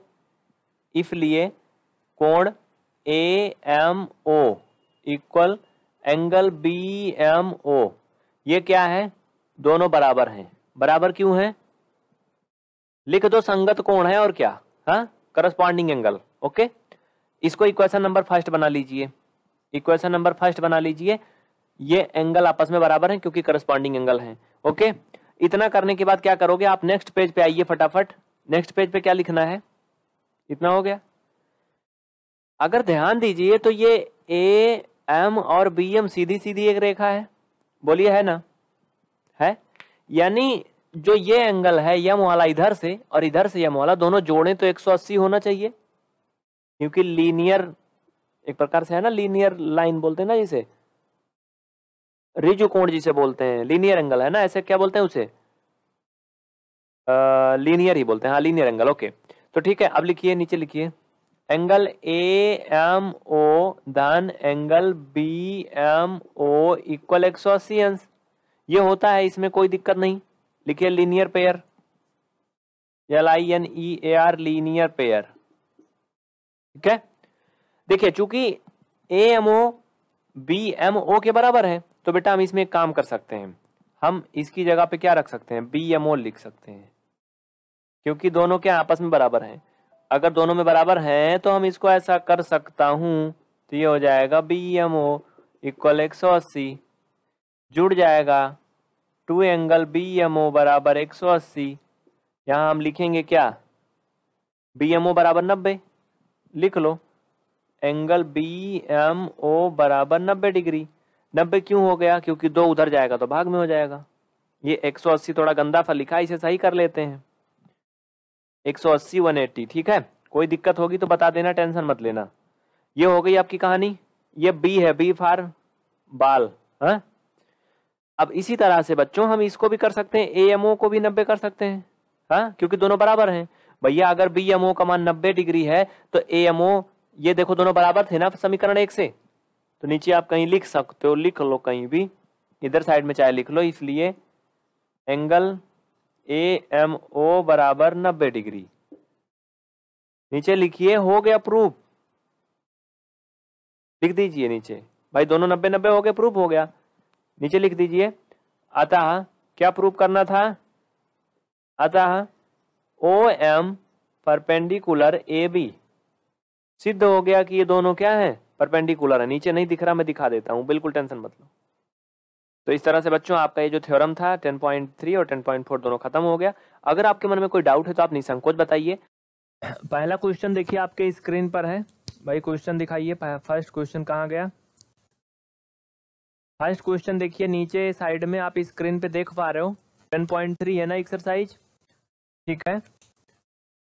तो क्वेश्चन सभी पढ़िए। एनसीईआरटी e किताब है ये। एनसीईआरटी e ठीक है एक्सरसाइज टेन पॉइंट तीन क्लास नाइन्थ मैथमेटिक्स ओके देखिए बच्चों, क्वेश्चन बहुत ही आसान है, सिर्फ़ आपको थोड़ा सा दिमाग लगा के समझना है थोड़ी सी बुद्धि लगानी है। कैरा वृत्तों के कई जोड़े, जोड़ा का मतलब होता है युग्म हिंदी में बोलते हैं। इंग्लिश में बोले तो पेयर यानी सर्कल का हमें एक से अधिक पेयर बनाने हैं। कह रहा, प्रत्येक जोड़े में कितने बिंदु उभयनिष्ठ हैं? देखो बेटा, उभयनिष्ठ का मतलब होता है कॉमन ठीक है? हिंदी बड़ी कठिन है। उभयनिष्ठ को हिंदी में सॉरी, हिंदी में उभयनिष्ठ, इंग्लिश में कॉमन बोलते हैं। तो कह रहा, कितने पॉइंट जो है उसमें कॉमन होंगे? जितने पॉइंट कॉमन होंगे, उनकी मैक्सिमम नंबर क्या है? उभयनिष्ठ बिंदुओं की अधिकतम संख्या क्या है, ये बताना है। तो देखिए, इधर देखिए क्वेश्चन नंबर फ़र्स्ट है। देखिए बच्चा, कि हम सर्कल का पेयर कितने तरीके से खींच सकते हैं? हम्म? सर्कल का पेयर हम कितने तरीके से खींच सकते हैं? तो हम यहाँ लिखेंगे स्थिति पहली। इंग्लिश वाले लिख लेंगे केस फ़र्स्ट। ठीक है? Case first. सीबीएसई बोर्ड और जो हिंदी वाले हैं, उनमें कोई बहुत बड़ा अंतर नहीं ऐसे ही करना है। हम्म? अमन पाल। बेटा, पढ़ाई कर लो, पढ़ाई कर लो, सिर्फ़ पढ़ाई। पढ़ाई कर लो, पढ़ाई, हा? चलो तो पहला तरीका है कि सर्कल हम ऐसे खींच सकते हैं, पेयर। हा? ये बिल्कुल गोला रहेगा। ये हमारा आलू जैसे बन रहा है, वो अलग बात है। एक तो ये पहली स्थिति है, हम ऐसे खींच सकते हैं। इसमें हम लिखेंगे कॉमन पॉइंट कॉमन पॉइंट कितने हैं? ज़ीरो हिंदी वाले लिखेंगे उभयनिष्ठ। मैं हिंदी इंग्लिश दोनों में लिख रहा हूँ। उभयनिष्ठ बिंदु तो कितना है भैया? ज़ीरो इसमें ये पहली स्थिति है। हम तीन स्थिति में इस तरह का सर्कल खींच सकते हैं, ठीक है? ये पहली स्थिति है। इधर साइड में करिए। स्थिति number second case number second हाँ? देखिए, दूसरा स्थिति ये है कि अगर हमें सर्कल का पेयर बनाना है तो हम ऐसे भी खींच सकते हैं। हा? देखते जाना। अरे, ये गोला लंबा से नहीं मतलब सब गोला ही बनेगा। हम ऐसे भी खींच सकते हैं कहने का ये तात्पर्य है, ये। अब एक थी छोट होगा एक थी बड़ा, उससे नहीं मतलब है। पेयर मुझे बनाना है, चाहे छोटा बड़ा खींच सकते हो उससे कोई मतलब नहीं, ठीक है? फ़िलहाल आप बराबर भी खींच दोगे, तब भी दिक्कत नहीं है। देखो बेटा, इसमें क्या है, ये एक पॉइंट कॉमन है। दोनों एक दूसरे को टच कर रहे हैं ना? बोलो, कर रहे हैं कि नहीं? हम्म? तो यहाँ पे आप लिखोगे कॉमन पॉइंट कितना? कॉमन पॉइंट बराबर एक। हिंदी में लिखोगे उभयनिष्ठ बिंदु बराबर कितना? वन। ये दो स्थिति हो गई, ठीक है? श्रेया, चुपचाप पढ़ाई कर लीजिए। राहुल, बच्चा देखो बहुत बात कर रहे हो। कुछ लोग कहते हैं कि मैं नाम नहीं बोलता हूँ। अगर इस तरह के करोगे तो ना तुम ब्लॉक कर देंगे, जान लो। सिर्फ़ पढ़ाई कर लो, अभी नाइन्थ में हो। पढ़ाई कर लो। हा? अभी बहुत टाइम बचा है लाइफ में, बहुत बचा है। चलो। स्थिति नंबर सेकेंड हो गई थर्ड क्वेश्चन देखते जाओ स्क्रीन पर है नीचे। कैरा वृत्तों के कई जोड़े बनाइए। कई युग्म बनाइए। प्रत्येक जोड़े में कितने बिंदु उभयनिष्ठ हैं? और उनकी अधिकतम संख्या क्या हो सकती है? इनका कहने का यह तात्पर्य है कि आप दो, अगर पेयर बनाओगे सर्कल का तो उन्हें कितनी तरह से बना सकते हो? एक तो ऐसे बना सकते हो बगल बगल एक तो ऐसा बना सकते हो दोनों एक दूसरे में सट जाएँ, और एक ऐसा बना सकते हो दोनों एक दूसरे के ऊपर चढ़ जाएँ। हाँ कैसे आओ देखो। इधर साइड में देखो, तीसरा स्थिति। स्थिति थर्ड, क्वेश्चन हटा दूँगा अब मैं। जगह नहीं है। लाइट गई। देखो, ये पहला सर्कल दूसरा सर्कल ऐसे। ठीक है? यहाँ पे देखो दो पॉइंट कॉमन हो जाएँगे, एक ये एक ये। आप यहाँ पे लिखिए, इधर साइड में लिख देता हूँ, इसका ध्यान रखना। यहाँ पे लिखो कॉमन पॉइंट कॉमन पॉइंट बराबर टू हिंदी में लिखोगे, उभयनिष्ठ बिंदु बराबर दो। ठीक है? ये क्वेश्चन हो गया डन कंप्लीट हो गया पहला। जल्दी करो, लिख लो फटाफट, लिख लो बेटा। लिख लो फटाफट, लिख लो फटाफट। फटाफट लिख लो, बिल्कुल देर ना करो। ठीक है? फ़र्स्ट क्वेश्चन डन हो गया, आपका कंप्लीट हो गया। किसी के मन में कोई डाउट है, कोई दुविधा है तो बताओ।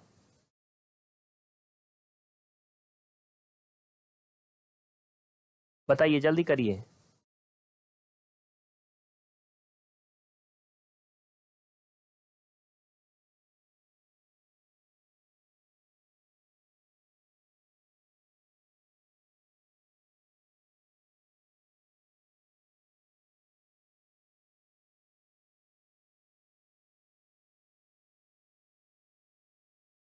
आगे बढ़े? चलो, फटाफट। ओके इतना ठीक है? किसी के मन में कोई दिक्कत, कोई कंफ्यूजन नहीं? चलो। लिख लो इसे, फटाफट लिख लो। सेकेंड क्वेश्चन दिखाओ भाई सेकेंड सेकेंड नंबर और थर्ड नंबर एक बड़ा झिकझिक वाला क्वेश्चन है। हाँ? थर्ड वाला झिकझिक नहीं मतलब थोड़ा बड़ा लगेगा। सेकेंड नंबर देखिए। सेकेंड नंबर ये आप लोग कर लोगे कि नहीं? बताइए सेकेंड क्वेश्चन आप लोग कर लेंगे? क्वेश्चन देख लीजिए, तब तक मैं मिटाता हूँ। ओम प्रकाश। ओम प्रकाश जी, समझ में आने के लिए समझने की कोशिश करनी पड़ती है आपको और क्लास में टाइम से जुड़ना पड़ता है बेटा, ठीक है? क्लास शुरू होगी सात बजे और अगर आप आओगे नौ बजे तो कहाँ समझ में आएगा? हम्म? क्वेश्चन देखिए, ये बताइए सभी, क्या आप लोग सभी एनसीईआरटी किताब लिए हो? सभी बच्चे एनसीईआरटी बुके लिए हो कि नहीं? हाँ भाई।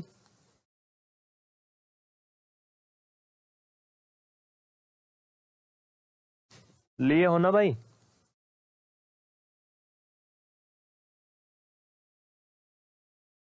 चले आगे। ये भाई उल्टा पुल्टा नाम वालों को ब्लॉक कर दो यार, हा? पापा बोल पापा वाले एक हैं, देखो।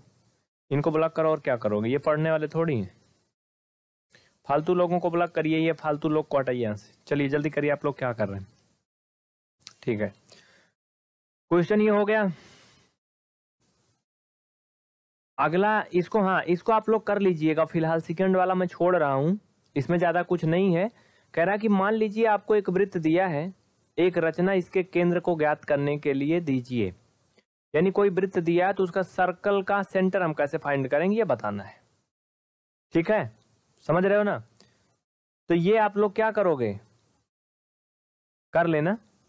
नेक्स्ट वाला चलिए, हम करवाते हैं तीसरा। तीसरा इंपॉर्टेंट भी है। चलिए।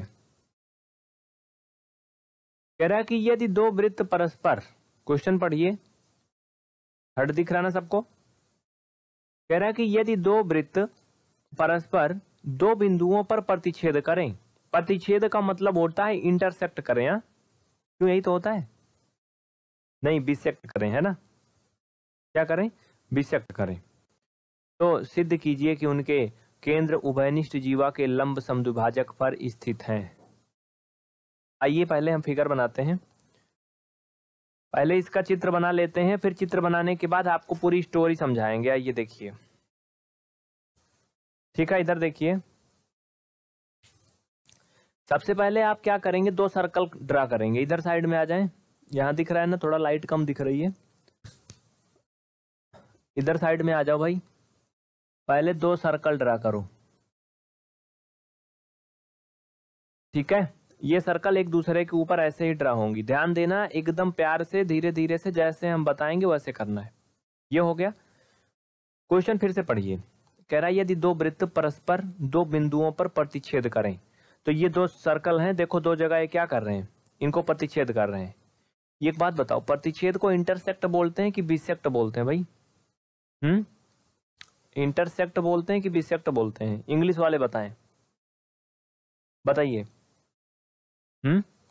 चलिए, जो भी है, ठीक है। मैंने कर दिया, ये दो जगह पे क्या कर रहे हैं? इसको प्रतिच्छेद कर रहे हैं। तो सिद्ध कीजिए, उनके केंद्र उभयनिष्ठ जीवा के लंब समदुभाजक पर स्थित है। क्या करना है इन्हें?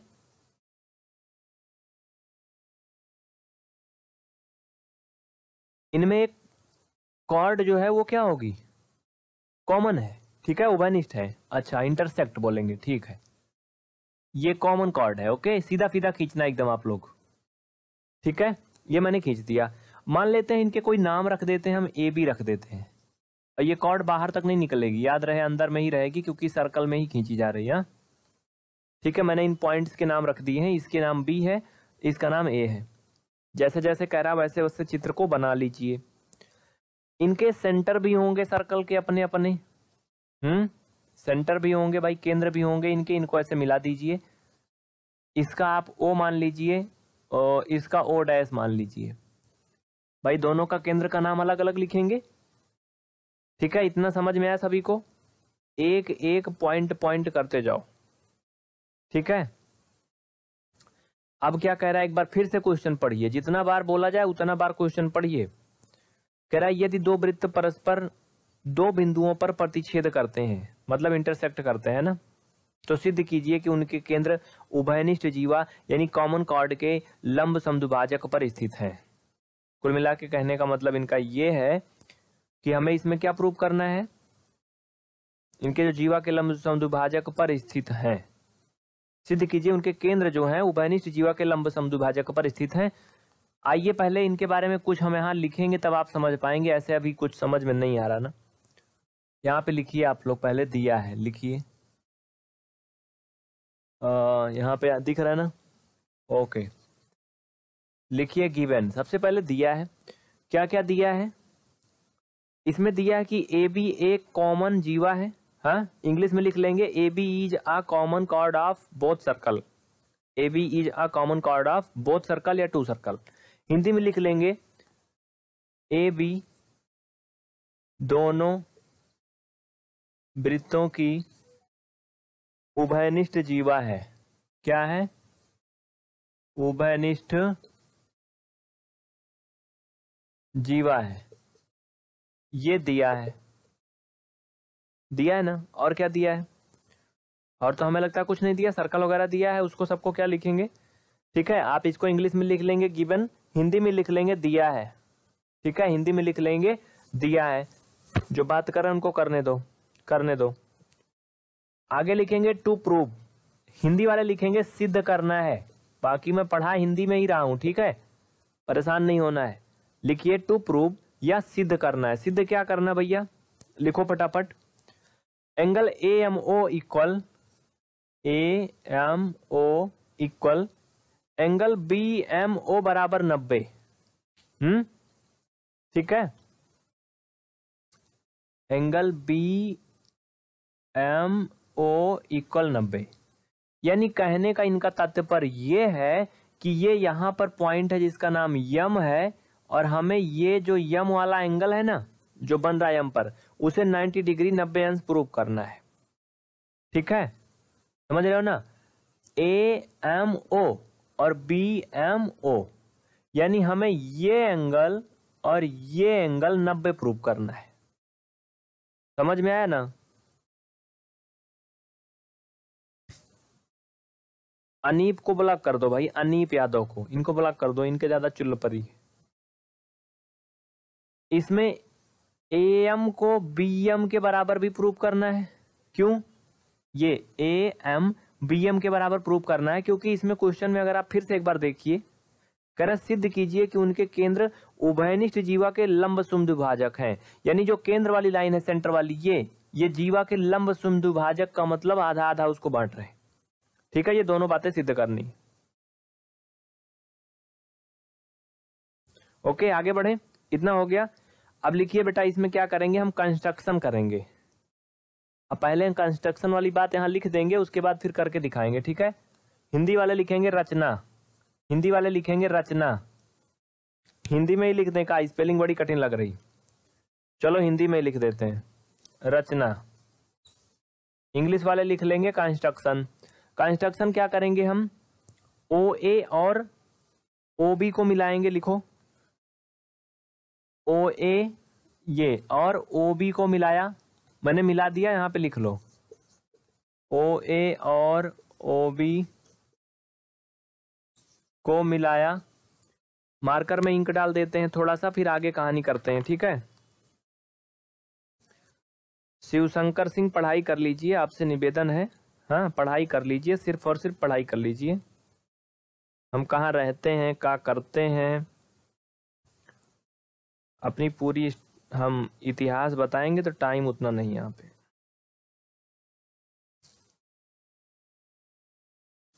चलिए। अभी एक इसमें और भी कंस्ट्रक्शन करना है। बताइए वो क्या करना, जानते हो? आइए बताते हैं। हमने ओ ए ओ बी तो मिला लिया बेटा। अब दूसरा उधर साइड और भी ये कंस्ट्रक्शन करना है। ओ डैश ए और ओ डैश बी को भी मिलाना है। ये तभी तो काम बनेगा। नीचे लिखिए ओ डैश ए और ओ डैश बी को मिलाया। ये कंस्ट्रक्शन में करना है या रचना में करना है? ये इतना हो गया। अब मुख्य पॉइंट पे आते हैं। मुख्य पॉइंट पे आते हैं जो प्रूफ करना है। ठीक है, यहाँ पे लिख दीजिए इधर साइड में। इधर का काम हो गया, नीचे थोड़ा गंदा दिख रहा है, यहाँ पे लाइट कम पड़ रही है, इसलिए मैं इधर करूँगा। यहाँ पे लिखिए अब प्रूफ और हिंदी वाले लिखेंगे उपपत्ति उपपत्ति लिखेंगे, ठीक है? इंग्लिश वाले लिखेंगे प्रूफ चलिए लिखिए। देखिए ए ओ और ओ डैश ट्राइंगल लेंगे, समझना थोड़ा सा ठीक है? ए ओ और ओ डैश कुछ समझ रहे हो? मैंने क्या कहा? ए ओ और ओ डैश ठीक है? और बी ओ और ओ डैश में लिखिए त्रिभुज त्रिभुज। ए ओ ओ डैश और बी ओ ओ डैश में, ठीक है? इन दोनों ट्राइंगल में। ये जो नहीं देख रहे ध्यान से ना, इनको ज़िंदगी में नहीं समझ में आने वाला है, क्योंकि ये बहुत आसान नहीं है। ये खेल नहीं जो हो रहा है। अच्छे अच्छे जो बहुत सारी डिग्री लेके रखे हैं ना, उनसे ये क्वेश्चन ले जाके पूछ लोगे तो वो नहीं करेंगे, कोई ना कोई बहाना बता देंगे। समझ रहे हो ना? ये जो क्वेश्चन है, इसमें चैप्टर में जो चल रहे हैं, ये बहुत हवा नहीं है। आपके भैया दीदी कंपटीशन वगैरह की तैयारी भी करते हैं, उनसे जाके पूछ लो प्रूव कर दीजिए इसको तो वो जल्दी करेंगे नहीं। क्योंकि इसमें ना बड़ा घोर पेंच करना पड़ता है। ठीक है? इतना आसान नहीं है, बहुत कठिन भी नहीं है, लेकिन हाँ जो इधर उधर मज़ा ले रहे हैं, उनके लिए नहीं। ए, ओ ओ डैश और बी, ओ ओ डैश में क्या है? ओ, ए बराबर ओ बी है। क्यों बराबर है? फिर से देखो। ओ, ए बराबर ओ बी है क्योंकि एक ही सर्कल की त्रिज्या है। हम्म लिखिए। O, A equal O B, bracket में लिखिए। एक ही वृत्त की त्रिज्या। एक ही वृत्त की त्रिज्याएँ हैं। ठीक है? हमने क्या लिखा? ओ ए ओ बी के बराबर है।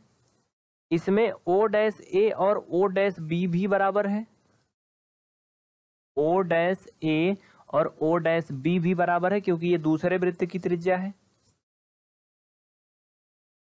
इसमें भी वही लिख सकते हैं, एक ही वृत्त की त्रिज्या। देखो, ध्यान देना, ये दोनों एक वृत्त की त्रिज्या है। दूसरी लाइन वाला, ये दोनों दूसरी वृत्त की त्रिज्या है। हम्म? लेकिन हम एक ही वृत्त का लिखेंगे क्योंकि ओ ए और ओ भी दोनों एक वृत्त में है। O A sorry O A O dash A O dash A याद रखना इसके ऊपर डैश लगा है ओके ओ डैश ए और ओ डैश भी एक वृत्त में है और ओ ए और ओ बी एक वृत्त में है, ठीक है? इसमें हम जो ट्राइंगल त्रिभुज लिए थे ए ओ ओ डैश और बी ओ ओ डैश इसमें देखो बच्चा, एक एक कॉमन भी है। कौन सी भुजा कॉमन है? ओ ओ डैश कॉमन है कि नहीं दोनों में? दोनों में कॉमन है ना? जो ट्राइंगल हम लेके चल रहे हैं, उनमें ये कॉमन है। आप लिख लो। O dash O equal O dash O bracket में लिखिए कॉमन है। हिंदी वाले लिखेंगे, उभयनिष्ठ है। ठीक है? समझ में आ रहा है ना? फटाफट लिखो। चलो। इतना हो गया। अब ये बताओ भैया, अगर ये तीन चीज़ें मिल गई तो ये दोनों ट्राइंगल कैंगुरेंट हो सकते हैं कि नहीं? हो सकते हैं ना।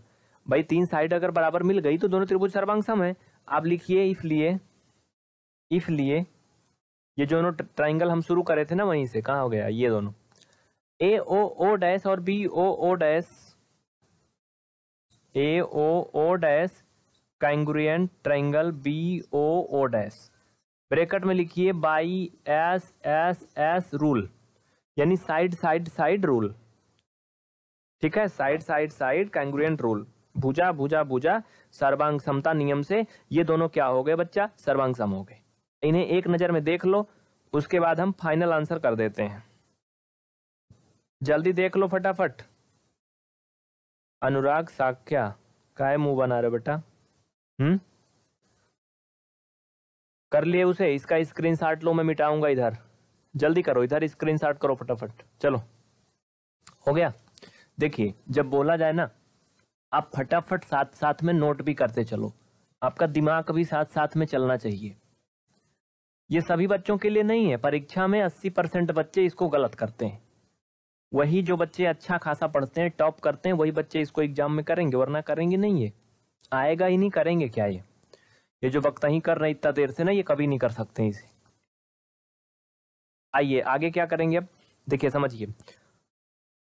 ए ओ ओ डैश और बी ओ ओ डैश अगर ये सर्वांगसम है कैंग्रुएंट है तो इनकी जो करस्पॉन्डिंग साइड है करस्पॉन्डिंग एंगल है, वो क्या होते हैं? इक्वल होते हैं ना? होते हैं ना? हा? हिंदी में बोले तो दो सर्वांगसम त्रिभुजों के संगत कोण और संगत भुजाएँ भी बराबर हो सकती हैं। बताओ, होती हैं कि नहीं? होती है ना? चलो आगे देखो फिर। अब नीचे लिखो, इसलिए इसलिए, भाई ये हो गया तो अब नीचे लिखो, इसलिए एंगल,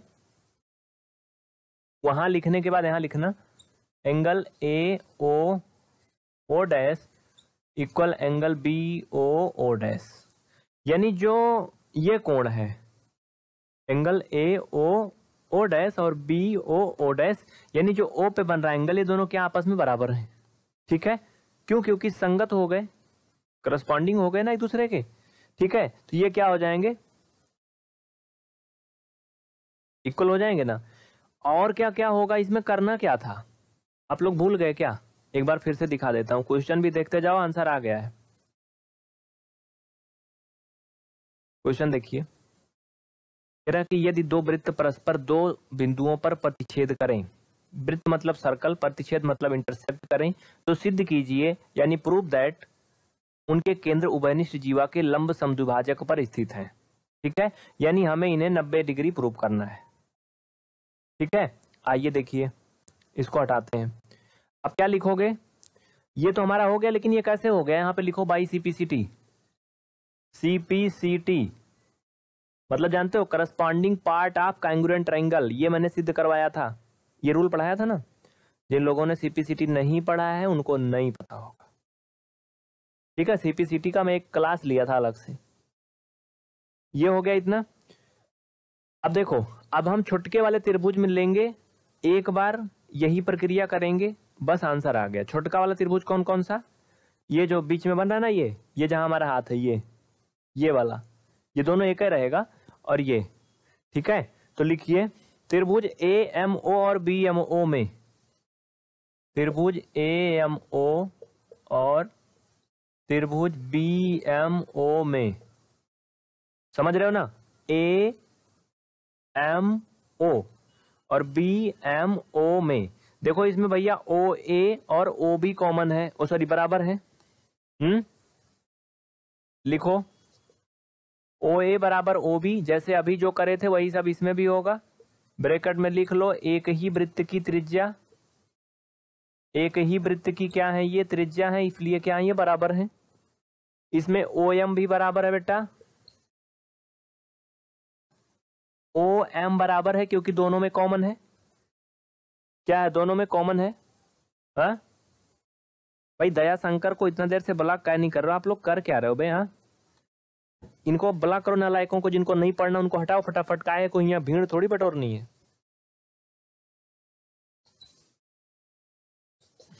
ये क्या है? कॉमन है। इसमें और क्या है?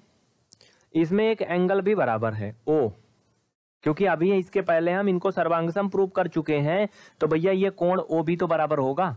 बोलो, होगा कि नहीं? अगर हम इन बड़े वाले त्रिभुज को कैंग्रुएंट कर चुके हैं, यानी कहने का मतलब जो चीज़ें आपके माई बाप करते आए हैं, आजा पर पाजा करते हैं, उसको आप भी करेंगे उसमें से कुछ चीज़ें, है ना? क्योंकि हमारे पूर्वजों द्वारा मिली है। तो क्या है? इसमें अगर बड़के वाले त्रिभुज के जो एंगल बराबर थे, वो छोटके वाले भी होंगे हाँ? समझ रहे हो ना? चलो आगे। तो यहाँ पे आप लिखोगे angle A O M equal B O M A O M equal angle B O M ये क्यों बराबर है? क्योंकि आप ब्रेकर में लिख लो। ए ओ ओ डैश ये हम कर चुके हैं। एंगल यहाँ पे लिख लो। Angle A O O dash equal angle B O O dash इसको कोष्ठक के अंदर लिख लो, दिखाने के लिए, ठीक है? और अगर ये चीज़ें तीनों मिल गई तो हम यहाँ पर कह सकते हैं इसलिए triangle A M O congruent triangle B M O A M O congruent triangle B M O कैसे? दो भुजा बराबर है, एक कोण बराबर है। ठीक है? तो आप क्या करोगे? यहाँ पे लिखो by S A S congruent rule ठीक है? यानी भूजा, कोण, भूजा, सर्वांग समता नियम से ये दोनों क्या हुए? सर्वांगसम हो गए। और भैया, अगर ये छोटके दोनों त्रिभुज भी सर्वांगसम हो गए तो हमें जो करना था वो मिल गया। आप नीचे लिख लो। इसलिए A M equal B M यही तो हमें प्रूव करना था ना लास्ट में। और एक एंगल वाला प्रूव करना था, उसको मैंने पहले ही कर दिया, ऊपर ही कर दिया। हा? ये दोनों यहाँ ऊपर कर दिया था ना। अच्छा मिट गया का। ये ये। ये ओ को नब्बे करना था, इसको मैंने पहले ही कर दिया था। समझ में आया ना सभी को? किसी को कोई दिक्कत तो बताइए। जल्दी लिख लीजिए, आपका ये 10.3 खत्म हो गया। एक्सरसाइज 10.3 खत्म हो गया और बच्चा इसमें 10.45 और पढ़ाएँगे, फिर आपका चैप्टर वृत्त वाला खत्म हो जाएगा। अगला एक नया अध्याय शुरू होगा। ये फिर पूरा चैप्टर खत्म हो जाएगा। तो बिल्कुल भी ध्यान लगा के पढ़ना है क्योंकि ये क्वेश्चन बहुत ही आसान नहीं है। हाँ नॉर्मल सा है मतलब मीडियम सा, ना बहुत आसान है, ना बहुत कठिन है। क्वेश्चन आपके सामने स्क्रीन पर दिख रहा हिंदी में? इंग्लिश में मैं बोल दूँगा, जो लोग सुनना चाहें वो सुन सकते हैं इंग्लिश वाले बच्चे। तो सभी बच्चे जुड़े हैं, आकाश सिंह जी कमेंट आपका आ रहा है। Anshika Vipin Yadav, Divyanshi, Neelam Singh, Jyoti Tiwari student of the year Kartik Roy, Anil, Muskan Yadav, Ashish Chandrashekhar और भी बहुत से बच्चे जुड़े हैं जिनका नाम नहीं बोल पा रहे हैं, वो बिल्कुल भी नाराज़ नहीं होंगे, हमारे साथ बने रहेंगे। सवालों का जवाब टाइम टाइम से देते रहेंगे, उनके नाम भी बोले जाएँगे, ठीक है? चलिए। तो सभी साथी, फटाफट एक बार लाइक करके बता दीजिए कि आप आ गए हैं। सोनू चौरसिया जी, आपका भी कमेंट आ रहा है। अंतिमा सिंह, आपका भी कमेंट आ रहा है। अंकित अंकित आपका भी आ रहा है। और अनिस राइन, ठीक है? ठीक है, बहुत अच्छे। चंद्रशेखर यादव वेरी गुड तो बच्चों देखो, क्वेश्चन पहले पढ़ना है। कह रहा है कि पाँच सेंटीमीटर तथा तीन सेंटीमीटर त्रिज्या वाले दो वृत्त, यानी टू सर्कल दिए गए हैं, जो कि दो बिंदुओं पर एक दूसरे को इंटरसेक्ट कर रहे हैं। तथा उनके केंद्रों के बीच की दूरी चार सेंटीमीटर है, यानी जो दो सर्कल हैं, उनके जो सेंटर की डिस्टेंस है वो फोर सेंटीमीटर है, जो कि मैंने पहले से बना के लिख दिया जिससे कि जल्दी हो जाए उभयनिष्ठ जीवा की लंबाई ज्ञात कीजिए। जो दोनों में कॉर्ड कॉमन है ए बी इसकी हमें लेंथ फाइंड करनी है, यही हमें इस क्वेश्चन में निकालना है। क्वेश्चन इंग्लिश में कैसे पढ़ेंगे, सुन लीजिए, मैं दोनों लैंग्वेज में बताऊँगा। Two circle of radius 5 centimeter and 3 centimeter intersect at two points and the distance between their centers is 4 centimeter. ठीक है? कर find the length of common chord find the length of length of common chord मतलब A B आइए देखते हैं। सबसे पहले आप लिखेंगे गिवन गिवन मीन्स दिया है। क्या है? दिया है। क्या क्या दिया है? मैं बोल रहा हूँ कापी पेन लेके चुप्पे से लिख लीजिए, मैं लिखूँगा नहीं। ठीक है? दिया है जो हेडिंग डालो जल्दी। अमन पाल सैड बॉय और सारंग सिंह। भाई सैड बॉय अपना नाम अच्छा से रख लो का है फालतू का ब्लॉक व्लॉक कर देंगे हाँ? भाई बच्चे हो पढ़ने वाले हो तो थोड़ा सभ्य तरीके से बनो सैड बॉय हम्म, मतलब अजीब सा फीलिंग आती नहीं है? चलो सैड ही रहोगे ज़िंदगी भर कुछ और भी करोगे। हाँ लिखिए दिया है हमें क्या क्या दिया है? लिखिए फटाफट इसमें सभी लोग टाइटल डालिए लिखिए क्या क्या दिया भाई देखो फिर से एक बार क्वेश्चन पढ़ लो।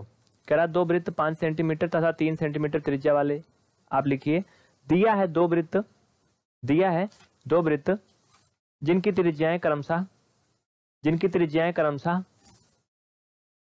पाँच सेंटीमीटर और तीन सेंटीमीटर हैं।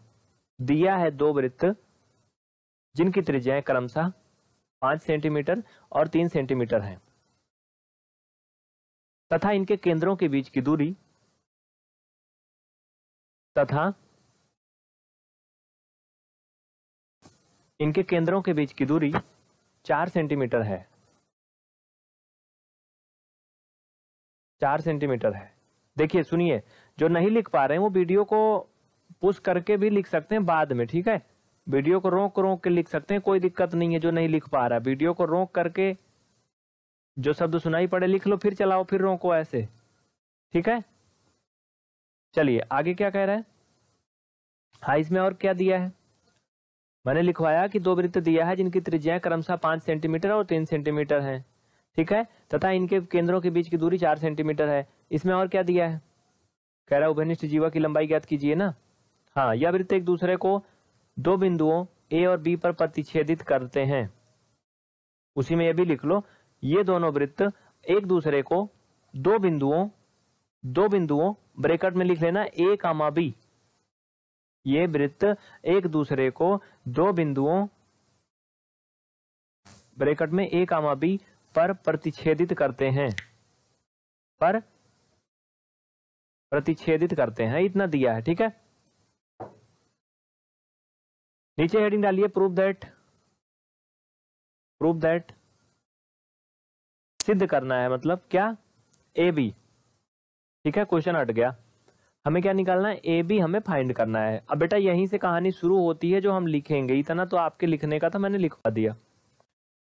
अब नीचे लिखिए प्रूफ हिंदी वाले लिखेंगे उपपत्ति उपपत्ति मतलब इसी में पूरी कहानी होती है प्रूफ ठीक है? लिखिए फटाफट। देखिए, यहाँ पर एक चीज़ आपको समझना है। हमें ए बी की लेंथ फाइंड करनी है। तो पहले हम ए ओ ओ डैश फिर से देखो। ए ओ ओ डैश ये त्रिभुज लेंगे और इस त्रिभुज में हम लोग क्या करेंगे पता है? पहले इसमें हम पाइथागोरस परमीय लगा के 90 डिग्री वाला कोण खोजेंगे कि आखिर 90 डिग्री कहाँ बन रहा है। आप सभी पाइथागोरस परमीय पढ़े हो कि नहीं? पढ़े हो ना? पाइथागोरस परमीय क्या होते हैं? किसी समकोण त्रिभुज में लंब और आधार का जो वर्ग होता है, उसका योग कर्ण के स्क्वायर के बराबर होता है, ऐसे होता है ना? तो उसमें एक खासियत और होती है। जो भुजा कर्ण होती है, यानी हाइपोटेनियस होती है, उसके सामने का जो एंगल है, वो 90 होता है। होता है ना? हम्म? ठीक है, आगे बढ़े। तनुज राजपूत, बेटा सिर्फ़ पढ़ाई पे ध्यान दो बस, सिर्फ़ पढ़ाई पे। चलो इधर देखो। तो ये सबको पता है? अब लिखो। त्रिभुज ओ ए ओ डैश में, यहाँ पे लिखो त्रिभुज ओ ए ओ डैश में, जो मैंने बताया वही। आइए इसमें हम देखते हैं, देखो यहाँ पाँच दिया है। भैया ओ ओ डैश चार दिया है पूरा पूरा बताया था, केंद्रों के बीच की दूरी चार है, ये तीन है। तो हम ये देखेंगे क्या इसमें समकोण बन रहा है कि नहीं कहीं। मतलब पाइथागोरस परमीय अप्लाई की जा सकती है कि नहीं, उसके लिए हम इसका टेस्ट करेंगे, ठीक है? तो पहले हम लिखेंगे ओ ए इसका स्क्वायर कर लो, इन दोनों का स्क्वायर करके जोड़ के देखते हैं, क्या ये बराबर आता है? अगर बराबर आएगा तो हम पाइथागोरस परमीय इसमें अप्लाई कर सकते हैं। ओ ए का वैल्यू फाइव दिया है। ये ट्वेंटी फाइव सेंटीमीटर आ जाएगा। मतलब ये साइड ट्वेंटी फाइव आ गई। अब हम ये साइड का स्क्वायर और ये साइड का स्क्वायर करके जोड़ेंगे। तो O O dash plus A O dash इसका होल स्क्वायर इसका भी whole square O O dash का मान कितना है? बताओ फट से तो। काजल यादव, बताइए प्रशांत मलिक। जवाब दो फटाफट। जल्दी करो बेटा, बहुत जल्दी। देखो, कमेंट करे रहो। ए, फालतू कमेंट वाले को ब्लॉक करिए। आप सर क्या कर रहे हैं? ब्लॉक करिए इनको, फटाफट करिए। फालतू वाले तुरंत ब्लॉक करिए। ये आंसर एक नहीं बता रहा है। हर्षित पांडे। और कोई एनीवन मैंने पूछा कि ओ ओ डैश की लेंथ कितनी है? देखो, इतने नालायक हैं, ये एक नहीं देख रहे चलो ठीक है, दिव्यांशी जी ने कोशिश किया। दिव्यांशी जी देखिए, ये सेवन नहीं है, ओ ओ डैश। कह रहा था, क्वेश्चन देख लो, कि दोनों वृत्तों के जो केंद्रों के बीच की दूरी है, वो कह रहा चार सेंटीमीटर है। तो भैया, ये ओ डैश और ओ दोनों सेंटर हैं दोनों सर्कल के, इनकी फोर सेंटीमीटर थी ना? फोर थी ना तो ये कितना था? फोर था। ऐसे पूछ लेंगे तो मुँह बना लोगे। हाँ दिमाग नहीं लगा रहे हो। ए, ओ डैश की लेंथ कितनी है बोलो? हट से बताओ। चंद्रशेखर यादव। साजन गेमर, बोलो। तो देखो बेटा, ए, ओ डैश की लेंथ थ्री है। अच्छा ये जोड़ जाड़ के बता रहे थे। ये चार चौक सोलह हो जाएगा, तीन त्रिक नौ। सोलह धन नौ, बराबर हो जाएगा पच्चीस सेंटीमीटर। यानी हम कह सकते हैं कि यहाँ पर बेटा ये भी ट्वेंटी फाइव आया और इन दोनों को वर्ग करके जोड़ने पर भी ट्वेंटी फाइव आया। तो हम इसे कर्ण मान सकते हैं, सबसे बड़ी भुजा ना। कर्ण मान सकते हैं और अगर इसे हम कर्ण मानेंगे तो इसमें एक एंगल नाइन्टी का भी बनेगा। बोलो बनेगा कि नहीं? इसमें पाइथागोरस परमी अप्लाई की जा सकती है, क्योंकि इसमें जो लंब और आधार का वर्ग है, उसका योग करने पर कर्ण के स्क्वायर के यानी वर्ग के बराबर आ रहा है। यानी पाइथागोरस परमी इसमें अप्लाई की जा सकती है ना? लिख लीजिए आप लोग लिखना है तो नीचे। पूनम सिंह, बहुत अच्छे। दिव्यांशी, अंकित पांडे, रूपेश बंसल वेरी गुड नीचे लिखिए इसके नीचे। जब किसी त्रिभुज में दो भुजा के वर्गों का योग तीसरी भुजा के बराबर हो, जब किसी त्रिभुज में दो भुजाओं के वर्गों का योग तीसरी भुजा के बराबर हो तो वहाँ पाइथागोरस परमीय का प्रयोग किया जा सकता है। या फिर ऐसे भी कह सकते हैं तो वहाँ पाइथागोरस परमीय मतलब लगाई जा सकती है। पाइथागोरस परमीय का नियम है, आप समझ लो बस, ठीक है? चाहे जैसे भी अब लिखिए नीचे पाइथागोरस परमीय से। पाइथागोरस परमीय से। इंग्लिश वाले लिखेंगे बाई पाइथागोरस थ्योरम। तो यहाँ क्या हो जाएगा बेटा? एंगल ए, ओ, डैश और ओ इक्वल 90 डिग्री। यानी हम इसको कोण को 90 अंश क्या किए? पाइथागोरस परमीय के माध्यम से इसे प्रूव कर दिए। ये क्या? ओ डैश कितना? नब्बे है। ध्यान देना, प्यार से देखना ओ डैश कितना है? नब्बे है। ये इक्वेशन नंबर फ़र्स्ट बन गया। स्क्रीन शॉट ले लीजिए, आगे बढ़ते हैं। बहुत जल्दी करिए। जल्दी करिए बेटा, फटाफट, देर नहीं। बहुत जल्दी वेरी गुड चलिए। हो गया। इसको मैं मिटाऊँगा। अब आगे बढ़ेंगे फिर से। ध्यान देना। वैसे मैंने गलती किया नीचे से मिटा के, लेकिन फिर भी आप लोग वीडियो को थोड़ा बैक कर लीजिए, अगर नहीं लिख पाए तो। जैसे आप वीडियो बैक करेंगे, आपको ये मिटाई गई चीज़ें फिर से दिखने लगेंगी। ठीक है? इसमें कोई ऐसा है जो स्क्रीनशॉट नहीं लेना जानता है? बोलो। हम्म? या तो स्क्रीनशॉट लेके लिखा करो या तो वीडियो को रोक करके लिखा करो। वीडियो को रोकोगे तो लाइव में साथ नहीं रह पाओगे, पीछे हो जाओगे। स्क्रीनशॉट ले लीजिए, बाद में लिखा करिए। हम्म? चलिए, ठीक है। आगे बढ़े फिर। आइए। इतना हो गया पहला। अब लिखिए इसी तरह। इसी तरह। समझना अभी हमने क्या किया? ए ओ ओ डैश में किया था। अब बच्चा, हम नीचे वाले त्रिभुज में आएँगे। ओ बी और ओ डैश में लिखिए इसी तरह, त्रिभुज ओ बी और ओ डैश में। ठीक है? इस त्रिभुज में भी ऐसे ही प्रक्रिया अप्लाई करेंगे। इस तरह से एक और इक्वेशन मिलेगा, दोनों को जोड़ देंगे, आपका आंसर आ जाएगा। आइए, इसमें भी देख लेते हैं। क्या पाइथागोरस परमी अप्लाई करने लायक है? ये आया 25 सेंटीमीटर हमने निकाला O B O dash B और ओ ओ डैश का स्क्वायर करके जोड़िए। O dash B whole square plus O O dash whole square O dash B तीन है और ये चार है। स्क्वायर है, याद रखना। ठीक है? तीन तरीका नौ और चार चौक सोलह, ये हो जाएगा पच्चीस। फाइनल में देख लो, ये नौ हो जाएगा, ये सोलह। देखो बेटा, ये फाइनल में पच्चीस आ गया। हम इसे यहाँ भी लिख सकते हैं। हम कह सकते हैं सिंगल साइड का जो स्क्वायर आया था 25 सेंटीमीटर आया था, उसी तरह से इन दोनों को स्क्वायर करके जोड़ने पर भी 25 आया। यानी यहाँ भी आधार और लंब का स्क्वायर कर्ण के स्क्वायर के बराबर आ रहा है। यहाँ भी हम पाइथागोरस परमीय अप्लाई कर सकते हैं। है ना? लिख लेंगे, फिर से लिखना चाहो तो लिख लो। लिखना चाहो तो लिख लो। क्या लिखोगे? यहाँ पर भी भुजाओं के वर्गों का योग, यहाँ पर भी दो भुजाओं के वर्गों का योग, तीसरी भुजा के वर्ग के योग के बराबर हो रहा है। अतः सबसे बड़ी भुजा ओबी का सम्मुख कोण ओ डैश नब्बे का होगा। हम्म? भाई देखो ये चीज़ तुम सभी पढ़े हो कि नहीं? पाइथागोरस परमेय जब हम लोग अप्लाई करते हैं तो ये भुजा कर्ण होती है कि नहीं? ये आधार होती है, ये लंब होती है ना बेटा? बोलो, होती है ना? पाइथागोरस परमेय इसी तरह से लगाते हैं ना, इसी तरह के त्रिभुज में समकोण में ना? तो जो कर्ण होती है बेटा, इसके सामने का कोण नब्बे होता है, इसका सम्मुख कोण।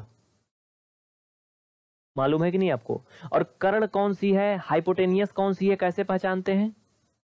हाइपोटेनियस की एक पहचान होती, सबसे बड़ी होती है तीनों भुजाओं में। हम्म? इधर आओ। ओ बी ओ डैश फिर से देखो। ओ बी ओ डैश इसमें देखो ओ बी पाँच है ओ डैश बी तीन है, और ओ ओ डैश चार है। यानी तीन, चार, पाँच। सबसे बड़ी भुजा यही है ना? तो इसका सम्मुख कोण? ओ डैश यानी ये नीचे वाला जो है ओ डैश इसमें। ये क्या होगा? नब्बे का होगा। यहाँ भी ये नब्बे का बना था। यही तो हम निकाल रहे थे ना? अब नीचे आप लिखो। इसलिए कोण बी ओ ओ डैश बराबर नब्बे। इसलिए angle B O O dash B O dash O लिख लो। हम्म? बराबर नब्बे। Equation number second equation number क्या हो गया? सेकंड हो गया। दोनों को जोड़ लीजिए। रोहित विश्वकर्मा जी, आप पढ़ाई पे ध्यान दीजिए। इन लोग को जो कर रहे हैं, करने दीजिए। हाँ आप अपना टाइम मत वेस्ट करिए। हमने तो इनसे बिल्कुल छुट्टी ले लिया, इनको रोकना ही मना कर दिया है, जो मर्ज़ी वो करो। ठीक है, आप परेशान न रहिए। हमारे लोग इनको बोलते नहीं है, जो पढ़ने वाले वो पढ़ रहे हैं। आइए। अब लिखिए by adding Samik equation number first and second by adding equation number first and second Hindi वाले लिखेंगे समीकरण एक और दो को जोड़ने पर। समीकरण एक और दो को जोड़ने पर। तो बच्चा, समीकरण एक आया था angle A O dash O O dash O plus angle B O dash O equal कितना हो जाएगा? भैया, ये नब्बे है, ये भी नब्बे था चचा तो हम 180 लिख सकते हैं कि नहीं? बोलो, लिख सकते हैं। तनुज राजपूत, विशाल कुमार रोहित जी, कोई बात नहीं भाई। रोहित विश्वकर्मा जी, बहुत अच्छे, आप बहुत अच्छे हैं। वेरी गुड चलिए। ठीक है, आप अपना काम कर रहे थे, अच्छी बात है, लेकिन पढ़ाई पे ध्यान दीजिए आप, क्योंकि दूसरों को सुधारते सुधारते यहाँ अपना नुकसान हो जाता है। प्रॉब्लम ये है, और आप भी एक स्टूडेंट हैं। ये हो गया, इतना लिख लिया, फटाफट इसको नोट करिए। अब यहाँ पे आ जाओ फटाफट सभी। यहाँ पे देखो ए ओ डैश बी अगर हम यहाँ पे ध्यान दें, हमने क्या क्या जोड़ा है? ए ओ और ओ डैश ना? या फिर ऐसे देखें ए ओ डैश ओ और बी ओ डैश ओ यानी ये त्रिभुज ये त्रिभुज हमने जोड़ा है तो इनको जोड़ा तो ऐसे हो रहा नहीं है। अगर हम देखें सीधा सीधा 180 अंश का कोण कब बनता है, पहले ये बताओ। 180 का कोण बनने का मतलब एक सीधी रेखा होती है कि नहीं? जिसे बोलते हैं क्या? क्या बोलते हैं? स्ट्रेट एंगल बोलते हैं ना, रिजु कोण बोलते हैं ना, ये एक सीधी रेखा होती है ना, यानी ये जो ओ डैश है ना, ये कहीं ना कहीं सीधा होकर के यहाँ आ रहा है, यहाँ यहाँ आ रहा है, सीधा हो रहा है एकदम। ठीक है? जो समझदार हैं, वो लोग समझ गए होंगे, जो क्लास को शुरू से देख रहे हैं, सारे मतलब थ्योरम देखे होंगे, वो समझेंगे। जो बीच की थ्योरम को स्किप कर दिया, वो नहीं समझ पाएगा। हाँ थ्योरम 10.6 एंड 10.7 भी आपको पढ़ना ज़रूरी है। तो नीचे लिखिए इफ़ लिए A O dash B A O dash B एक सीधी रेखा होगी। एक सीधी रेखा होगी। ठीक है? कुछ चीज़ें इसमें याद ही कर लो अगर नहीं समझ में आ रहा तो और क्या बताऊँ? अब यहाँ पे लिखो ए बी बराबर ए बी बराबर क्या होगा? इन दोनों को जोड़ दीजिए जो दिया गया भैया। अगर ये सीधी रेखा होगी ए ओ डैश बी तो यहाँ से ए बी निकाल लीजिए। ए ओ डैश और ये बी ओ डैश को जोड़ दीजिए। या फिर ऐसे कर लीजिए ओ डैश ए धन ओ डैश बी इनका मान तीन तीन दिया है, बराबर छह सेंटीमीटर यानी ए बी कितना आ गया? छह सेंटीमीटर आ गया, हमें ए बी निकालना था। देखिए, ये क्वेश्चन बहुत आसान नहीं है बेटा, ठीक है?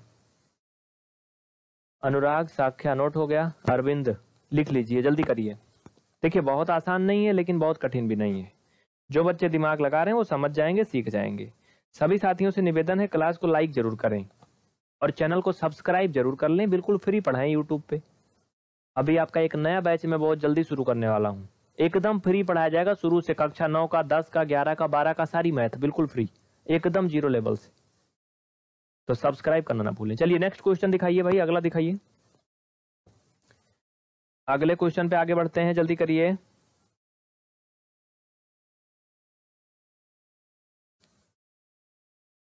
Next question next question question number second इसमें से कितने लोग कर लेंगे? बोलो फटाफट। स्क्रीन पर आ चुका है, हिंदी मीडियम में इंग्लिश मीडियम में, मैं बोल के सुना दूँगा। कितने लोग कर लेंगे? क्वेश्चन स्क्रीन पर दिख रहा है। ईमानदारी से बताओ सेकेंड नंबर कौन कौन कर लेगा? क्वेश्चन देखिए, मैं पढ़ देता हूँ। कुछ लोग पढ़ भी नहीं पा रहे कह रहा कि, सुन लो क्या कह रहे हैं। कह रहा है, यदि एक वृत्त की दो समान जीवाएँ, जीवा मतलब होता है कॉर्ड वृत्त के अंदर प्रतिच्छेद करें। प्रतिच्छेद मतलब इंटरसेक्ट करें। मतलब सर्कल के अंदर में ही। तो प्रूव कीजिए, सिद्ध कीजिए कि एक जीवा के खंड दूसरी जीवा के संगत खंडों के बराबर हैं। हमें लग रहा है जीवाएँ बराबर सिद्ध करने को बोल रहा है क्या इसमें? हम्म? यानी कॉर्ड को इक्वल प्रूफ करना है। क्यों भाई काय निकल रहा है तू? एक मिनट। पहन ले बेटा पहन ले ठंडी लग जाएगी। ठंडी लग जाएगी पहन ले नेहा कर लेंगे ठीक है। तो इनको आप लोग कर लेना। हम्म? तीसरा क्वेश्चन मैं बताऊँगा चलो। थर्ड वाला मैं बताऊँगा सेकंड आप लोग होमवर्क कर लेना। नहीं आएगा तो बता दिया जाएगा ट्राई करना।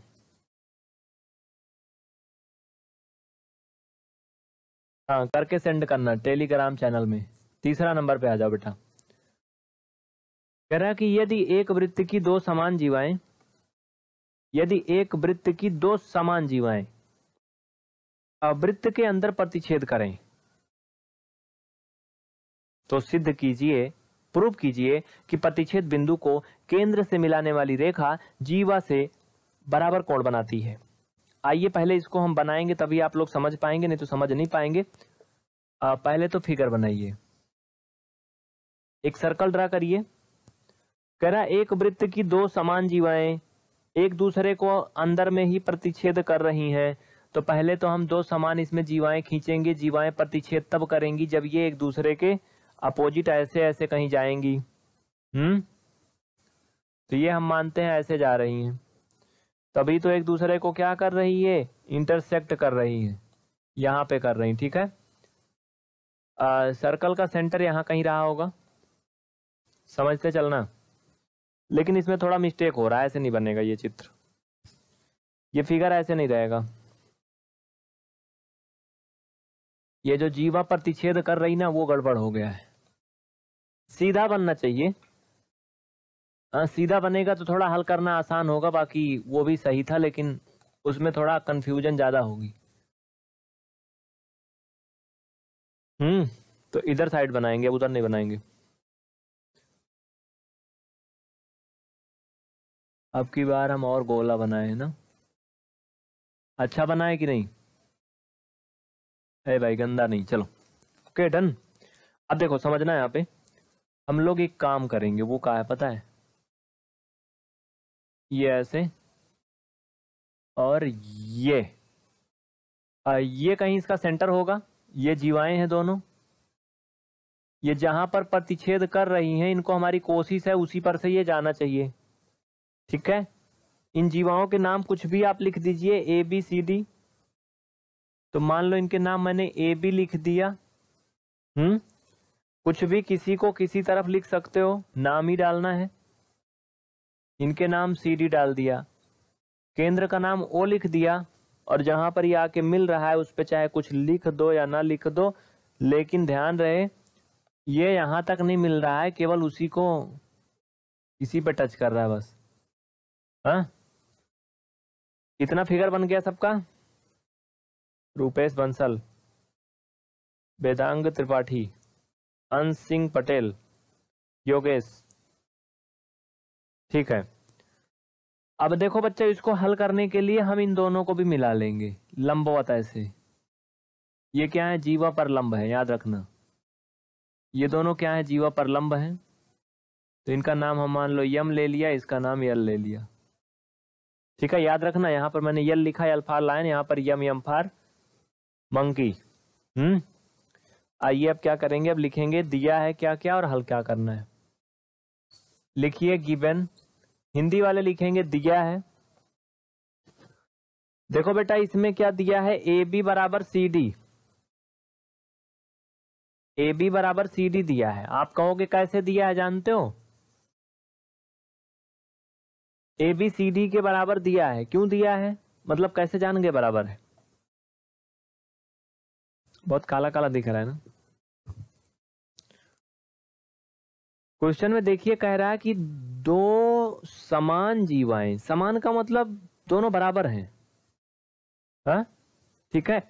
तो दोनों कॉर्ड क्या इक्वल हैं? इसलिए हमने क्या लिखा, ये बराबर दी गई है। ओके? कोई दिक्कत नहीं? ठीक है। चलो। ये हो गया इतना। कॉर्ड्स इंटरसेक्ट एट एक्स लिख लो। Chords intersect at X Hindi में लिख लीजिए, दो बराबर जीवाएँ ए बी और सी डी एक दूसरे को बिंदु एक्स पर प्रतिच्छेदित करती हैं। दो समान जीवाएँ ए बी और सी डी एक दूसरे को बिंदु यक्स पर प्रतिच्छेदित करती हैं। ये दिया है। हिंदी, इंग्लिश दोनों में बता रहा हूँ, जो लोग समझदार हैं वो समझ जाएँगे, जो नहीं समझदार हैं उनके भगवान मालिक। इसमें लिख लो प्रूफ दैट प्रूफ दैट मतलब सिद्ध करना है। प्रूफ दैट मतलब सिद्ध करना है। हिंदी वाले लिख लें, सिद्ध करना है। क्या क्या करना है? O X L equal O X M कहने का ये मतलब है, यहाँ देखो। ओ एक्स एल हा? यानी जो ये एक्स डिग्री नब कोण है ना ये, और दूसरा वाला, नीचे वाला ओ एक्स एम ये दोनों बराबर हैं, ठीक है? अभी हम इसको करके दिखाएँगे। कहने का इनका मतलब ये है कि ये लंबवत इस पे पड़ रही है, अगर तो वो कोण नब्बे के होंगे, हमें यही प्रूव करना है। क्वेश्चन देखो, नीचे क्या दिखा रहा है? कह रहा है कि सिद्ध कीजिए कि प्रतिच्छेद बिंदु को जो केंद्र से मिलाने वाली रेखा है, वो जीवा से बराबर का कोण बना रही है। यानी ये एंगल दोनों साइड का हमें बराबर सिद्ध करना है। ठीक है? तो लिखो angle O X L equal angle O X L equal angle O X M O X M ये नीचे वाला। ठीक है? Okay done O X M यानी ये एक्स ये दोनों कोण बराबर सिद्ध करने को ये बोल रहा है क्योंकि जो आ, केंद्र से मिलाने वाली जो रेखा है जो जीवा पर आके इंटरसेक्ट कर रही है परपेंडिकुलर वो बराबर बराबर का इक्वल मनी इक्वल एंगल बना रही बराबर कोण बना रही ये प्रूव करना है ठीक है? अब लिखिए इसमें कंस्ट्रक्शन हिंदी वाले लिख लीजिए रचना। रचना में लिखिए O L perpendicular A B O L perpendicular A B ये को मैंने पहले ही कर लिया है। ये देखो। O L perpendicular A B मैंने पहले ही खींच लिया है। ये रचना में आता है, क्योंकि ये रचना मैंने किया खुद से। ओ से एक रेखा एल पे खींचा है, ठीक है? और O M C D O M perpendicular C D यानी ओ एम ये सी डी पर, ये मैंने खुद से खींचा, ये रचना में आता है, ठीक है? इसलिए मैंने रचना अलग से लिखवा दिया। लिख लो फटाफट। अब लिखिए प्रूफ क्वेश्चन में हटा देता हूँ। देखिए, अब हम क्या करेंगे? ओ एल एक्स और ओ एम एक्स में चलेंगे। आओ चलो। इधर साइड में लिखो। प्रूफ हिंदी में लिखेंगे उपपत्ति कौन कौन से त्रिभुज में लेंगे? ध्यान देना। ये छोटे वाले त्रिभुज में एक बार एक बार, बगल वाले में। कुछ तो देख रहे हैं, ये पढ़ नहीं रहे भाई। हम्म? आयुष कुमार आयुष कुमार आयुष कुमार लिखे पड़े भाई पढ़ लो बेटा, पढ़ लो पढ़ लो, नहीं तो ऐसे मज़ा नहीं आने वाली हाँ? पढ़ लो। लिखिए, फटाफट लिखिए। त्रिभुज ओ एल एक्स और ओ एम एक्स में। ओ एल एक्स और ओ एम एक्स में। कैपिटल में ही एक्स लिखो अच्छा रहेगा। आइए देखिए। ओ एल एक्स और ओ एम एक्स यानी ये त्रिभुज ये। अरे भाई, जहाँ मैंने नब्बे वाला ये साइन बनाया था, नब्बे का है, यही दोनों त्रिभुज में, या यहाँ पे, जहाँ मैंने ए बी लिख दिया, मान लो। ए और बी वाला इस दोनों त्रिभुज में। क्या करना है? इसमें दिया क्या है? आप देखो तो ओ एल बराबर ओ एम होगा। ओ एल ओ एम के बराबर है। इसको भी हम लिखेंगे, लेकिन अभी लिख लो क्या करना है। बराबर जीवा केंद्र से बराबर दूरी पर होती है। लिखो O L equal O M क्यों बराबर है? मालूम है? क्योंकि जो ओ एल है और ओ एम है, वो दोनों बराबर जीवाओं पर लंब है हाँ? और बराबर जीवाएँ हमेशा केंद्र से बराबर दूरी पर होती हैं। लिख लीजिए। बराबर जीवाएँ केंद्र से बराबर दूरी पर होती हैं। बराबर जीवाएँ केंद्र से बराबर दूरी पर होती हैं। ठीक है? ये कारण है। इसमें और भी बराबर मिलेगा आपको। कौन कौन ओ एक्स दोनों में कॉमन है। ओ एक्स दोनों में कॉमन है। कैसे? देखो ओ एल एक्स और ओ एम एक्स में ओ एक्स दोनों में है बेटा, ठीक है? तो O X equal O X bracket में लिखो कॉमन ये दोनों ट्राइंगल में क्या है? कॉमन है। इसके अलावा इसमें O L X O M X ये दोनों नब्बे के हैं। ओ एल एक्स और ओ एम एक्स भैया, ये एंगल यल जो है और एंगल यम एंगल यल और यम दोनों पहले से नब्बे के हैं। नब्बे के क्यों हैं? नब्बे के क्यों है? पहले लिखो, फिर बताऊँ। लिखो angle O L X equal angle O M X equal नब्बे। इक्वल नहीं लिखना सॉरी ब्रेकर में लिख लो, नब्बे डिग्री के हैं। समझने के लिए सुन लो, चाहे तो लिख लो, नब्बे डिग्री के क्यों हैं? क्योंकि ये जो ओयल है ना, वो ए एम पर लंबवत है परपेंडिकुलर है। और अगर कोई भी रेखा, किसी भी रेखा पर परपेंडिकुलर होती तो वहाँ नब्बे बनता है। आपको मालूम है ना, अगर परपेंडिकुलर है तो नब्बे बनता है। तो लिख लीजिए ब्रैकेट में। केंद्र से मिलाने वाली रेखा लंबवत है। अतः ये दोनों कौन नब्बे अंश के होंगे। केंद्र से केंद्र से जीवा पर लंब वाली रेखा यानी ओ एल लंबवत है, इसलिए दोनों नब्बे के हैं, ठीक है? अब देखो, दो साइड मिल गया, एक कोण मिल गया। अब नीचे आप लिखिए इसलिए ओ एल एक्स नीचे दिख रहा ना, लिखिए इसलिए त्रिभुज ओ यल एक्स, यहाँ लिखिए perpendicular, O sorry congruent O, M, X. ये दोनों क्या हो गए? कैंग्रुएंट हो गए, सर्वांगसम हो गए। ठीक है? और अगर ये दोनों सर्वांगसम हैं तो क्यों हैं? क्या रूल लगा इसमें, बताइए। कोई बताएगा निमन सर्वांग समता नियम का कौन सा रूल लगा है? मतलब कांग्रुएंट ट्रायंगल का कौन सा रूल लगा है? A A S S A S S S S A A A क्या ऐसे कुछ रूल सुने हो कि नहीं? मैं सब सही है, नहीं बता रहा हूँ इसमें, लेकिन इसमें से एक आध सही भी है। बताओ। कौन सा लगा है? आशीष गेमर, बेटा ब्लॉक करें क्या तुम्हें, हा? सूरज सोनकर ए एस ए बता रहे हैं। सबसे पहले दिव्यांशी जी ने बताया, दिव्यांशी, जाग रही हो, सो रही हो हाँ?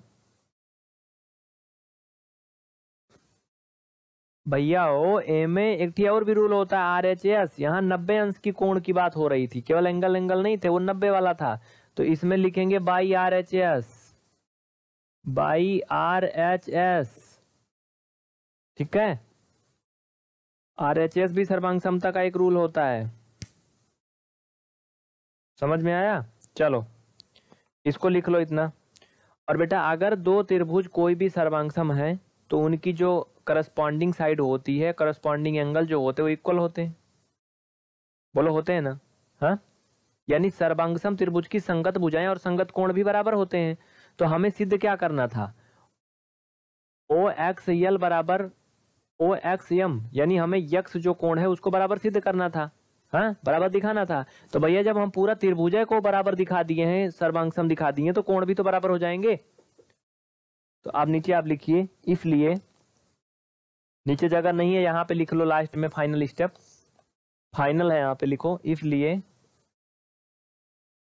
angle O X L equal O X M bracket में लिख लो by C P C T C P C T मतलब corresponding part of congruent triangle corresponding part of congruent triangle इसको मैं एक अलग क्लास में पढ़ाया था सीपीसीटी सिर्फ़ अकेले यही पढ़ाया था।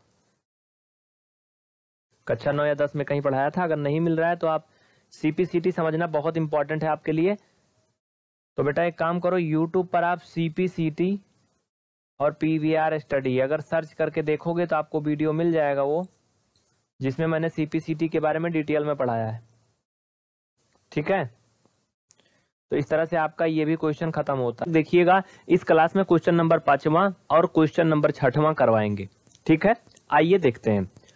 स्क्रीन पर नीचे देखिए, अगर तो आपको क्वेश्चन दिख रहा है, नहीं दिख रहा है तो आप अपनी किताब में एनसीईआरटी खोल लीजिए 10.4 उसमें फाइव नंबर क्वेश्चन नज़र गड़ाइए।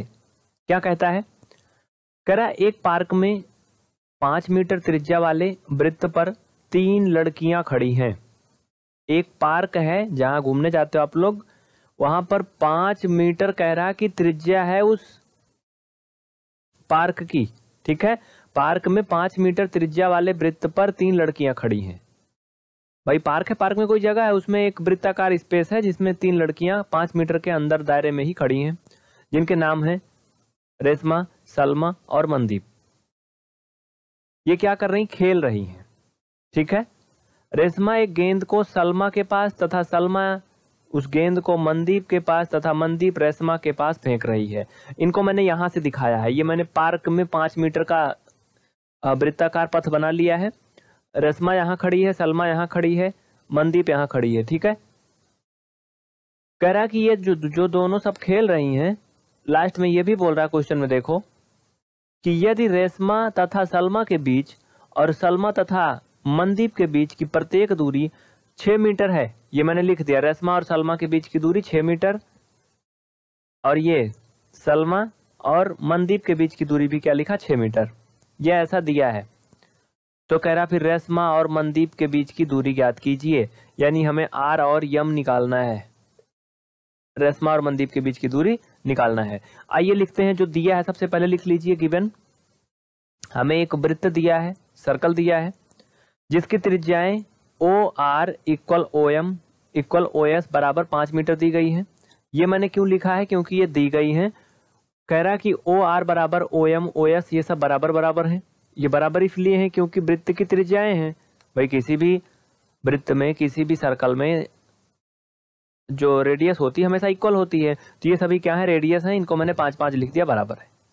इसमें जीवाएँ भी बराबर हैं। आर एस बराबर एस एम, ये दोनों छः छः से छः छः मीटर हैं। क्वेश्चन में नीचे कह रहा, देखो। ज्ञात करना है आर एम। आप सबको पता है। इतना आप कर लिए। अब मैं क्वेश्चन हटा करके इसको हल कर सकता हूँ ना? अब आप लिखेंगे प्रूफ ठीक है? क्या लिखेंगे बच्चा? प्रूफ लिखिए। क्वेश्चन हटा देता हूँ, ऊपर कर देता हूँ, चलो। यहाँ दिख रहा है ना क्लियर ठीक है? तो इधर साइड में आ जाओ, यहाँ पे मैंने इसको लिख दिया। अब हम यहाँ पे लिखेंगे प्रूफ या हिंदी में लिखेंगे उपपत्ति उपपत्ति में ही सारी कहानी करते हैं, जो भी करना होता है, ठीक है? अब इसमें एक हम रचना करेंगे छोटी सी। प्रूफ के पहले आप रचना भी लिख सकते हैं। लिखिए, ओ से लेकर के, ओ से लेकर के आर एस पर एक लंबौत रेखा खींचेंगे। ये आर एस पर। यहाँ कहीं आएगी। इसका नाम मान लेते हैं हमने यल लिख दिया। ठीक है? तो आप प्रूफ के पहले यहाँ रचना लिख लीजिए, फिर प्रूफ बाद में लिखिएगा। रचना। इंग्लिश में अगर आप हैं तो आप लिखिए कंस्ट्रक्शन। ठीक है कंस्ट्रक्शन लिखिए। इसमें लिखिए, ओ से आर एस पर एक लंबवत रेखा ओ एल खींचा। ओ से आर एस पर, आर एस पर एक लंबवत रेखा लंबवत रेखा ओ एल खींचा। ठीक है इसको लिखने के बाद में आप इन रेखाओं को लंबवत दिखा देंगे। O L perpendicular R S O L S A perpendicular R S ठीक है? ये यस है यस फार सपेरा। ठीक है? ये है जो मैंने अभी खींचा है।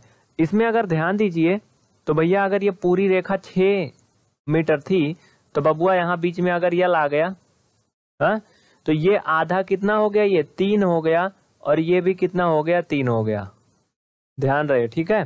तो यहाँ पे हम लिख सकते हैं इफ़ लिए आर एल बराबर तीन मीटर, छोटा सा यहाँ लिख लीजिए आर एल बराबर तीन मीटर और एल एस बराबर तीन मीटर।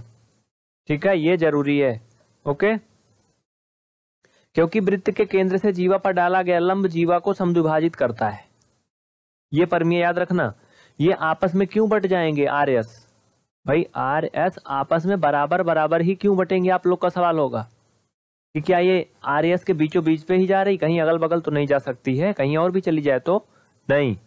क्योंकि वृत्त के केंद्र से जीवा पर डाला गया जो लंब है, वो हमेशा जीवा को, यानी कॉर्ड को, बीसेक्ट करता है। बीसेक्ट का मतलब समद्विभाजित करता है, बराबर बराबर दो पार्ट में तोड़ देता है। इतना हो गया? अभी तो ये मान लीजिए कि रचना का भाग था। पहले हमने हल लिखा, जो गिवन में था, उसको लिखा। फिर ज्ञात करना है प्रूव दैट ये क्या इंग्लिश में? Prove that R M. फिर कंस्ट्रक्शन किया। अब हम प्रूफ पे चलेंगे, यानी उपत्ति पर। लिखिए, त्रिभुज ओ एल आर में। यहाँ देखो ओ एल आर में। इसमें अगर देखो तो भैया यल जो है वो नब्बे का बन रहा है। यल नब्बे का क्यों बन रहा है? ध्यान दो यहाँ पे। यल नब्बे का इसलिए बन रहा है क्योंकि ये लंबवत आ रही है आर एस पर। हाँ परपेंडिकुलर है ना? तो लिखो। त्रिभुज ओ एल आर में। एंगल एल लिख लीजिए ऐसे। इक्वल नब्बे डिग्री। एंगल एल इक्वल नब्बे डिग्री। अगर ये नब्बे है तो इसमें पाइथागोरस परमीय लग सकती है। हम कह सकते हैं ओ आर का होल स्क्वायर और इसके बाद क्या करेंगे? बराबर कर सकते हैं इसको हम। ओ एल का होल स्क्वायर और एल आर का होल स्क्वायर ठीक है? एल आर और ओ एल एल आर का whole square plus O L का होल स्क्वायर इसमें किसी को कोई दिक्कत नहीं होना चाहिए। ओ आर अगर हम देखें तो एक त्रिज्या है, एक रेडियस है बाबू ना? तो इसका जो रेडियस है फाइव दिया था पहले से ही, अगर फाइव दिया था तो हम फाइव रख देंगे। और एल आर एल आर अभी अभी मैंने यहाँ लिखा था तीन है। तो ये पाँच है तो ये हो जाएगा पाँच का स्क्वायर ये तीन है तो तीन का स्क्वायर ओ एल जो कि अभी अभी हमें मिला है, हमने इसको खींचा है, ये पता नहीं है। तो ओ एल हम यहाँ से निकालेंगे, इसका होल स्क्वायर इसमें कोई दिक्कत किसी को? कोई परेशानी? नहीं ना। आओ फिर। ठीक है बेटा, पूरा इंड तक क्लास देखना मैं बार बार बोल रहा हूँ। बीच में छोड़ के ना जाना। नहीं, समझ में नहीं आएगा। इतना समझ में आया? पच का स्क्वायर पच्चीस, तीन का स्क्वायर नौ। इसको इधर ले आएँगे, घट के सोलह हो जाएगा। फाइनल में आओ, यहाँ पे हल कर देते हैं। तो ये हो जाएगा पच्चीस माइनस नौ इक्वल ओ एल का होल स्क्वायर। सोलह इक्वल ओ एल का होल स्क्वायर। तो अंडर रूट सोलह इक्वल ओ एल यानी plus minus four equal O L O L जो ये नई नई लंबीली रेखा मैंने खींचा था, इसकी लेंथ क्या है? फोर मीटर क्योंकि सभी मीटर में है। तो ओ एल कितना हो गया बबुआ फोर मीटर याद रखना, ठीक है? इतना लिख लीजिए, इसको फिर हम इरेज करेंगे और फिर हम आगे बढ़ेंगे नए पन्ने से। जल्दी करिए नोट करिए। फटाफट वीडियो को रोक करके लिख लीजिए। चलें, आगे बढ़ें। हो गए, आपने लिख लिया, उम्मीद है। चलिए आगे देखते हैं, ध्यान दीजिएगा। पूरा क्लास को एंड तक देखना, मैं बार बार बोल रहा हूँ, जिससे कि आपको हर एक बात समझ में आए। अभी हो सकता है थोड़ा कम समझ में आ रहा हो, लेकिन अगर आप पूरा देखेंगे तो क्लास खत्म होने पे आपको सब समझ में आ जाएगा। ठीक है? आइए। तो बच्चों, अभी तक हमने ये ट्राइंगल लिया था ओ एल एस आप सबको पता है ना? ओ एल एस या फिर ओ आर एल भी इसको बोल सकते हैं। यानी हमने ये पार्ट छोटा वाला ट्राइंगल लिया था। अब हम त्रिभुज ओ आर एस लेंगे, पूरा बड़ा वाला। क्यों लेंगे? क्योंकि हमें आर एम निकालना है। तो अगर हम इसको त्रिभुज, इसको लेकर के क्षेत्रफल निकाल दें, एक बार इधर साइड को आधार मान लें, और एक बार इधर साइड को आधार मान लें तो हमारा जो आर एम है, वो आ जाएगा। आर एम कैसे आ जाएगा? क्योंकि हमें ये बीच वाली जो आधी लाइन है ना, वो मिल जाएगी, और उसके माध्यम से हम पूरा निकाल लेंगे। ठीक है? आइए चलिए, अब इसमें हम आपको दिखाते हैं क्या कहानी है। त्रिभुज ओ आर एस में ओ आर एस में, जो बच्चे समझदार हैं वही देखेंगे।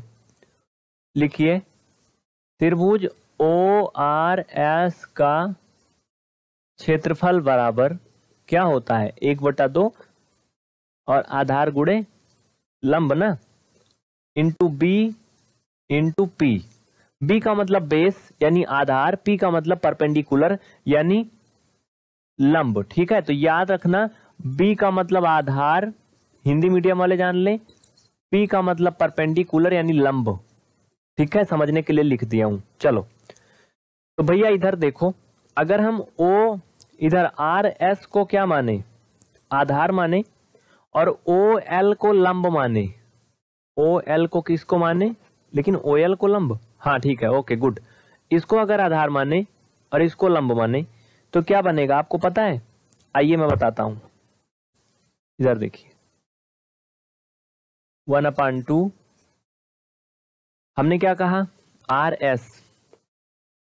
भाई, आर एस छ है ना पूरा टोटल? क्योंकि तीन ये था, तीन ये था। स्टार्टिंग मैंने बताया था ये छह है। तो आप क्या करोगे? इसका मान छह रख दोगे? ठीक है?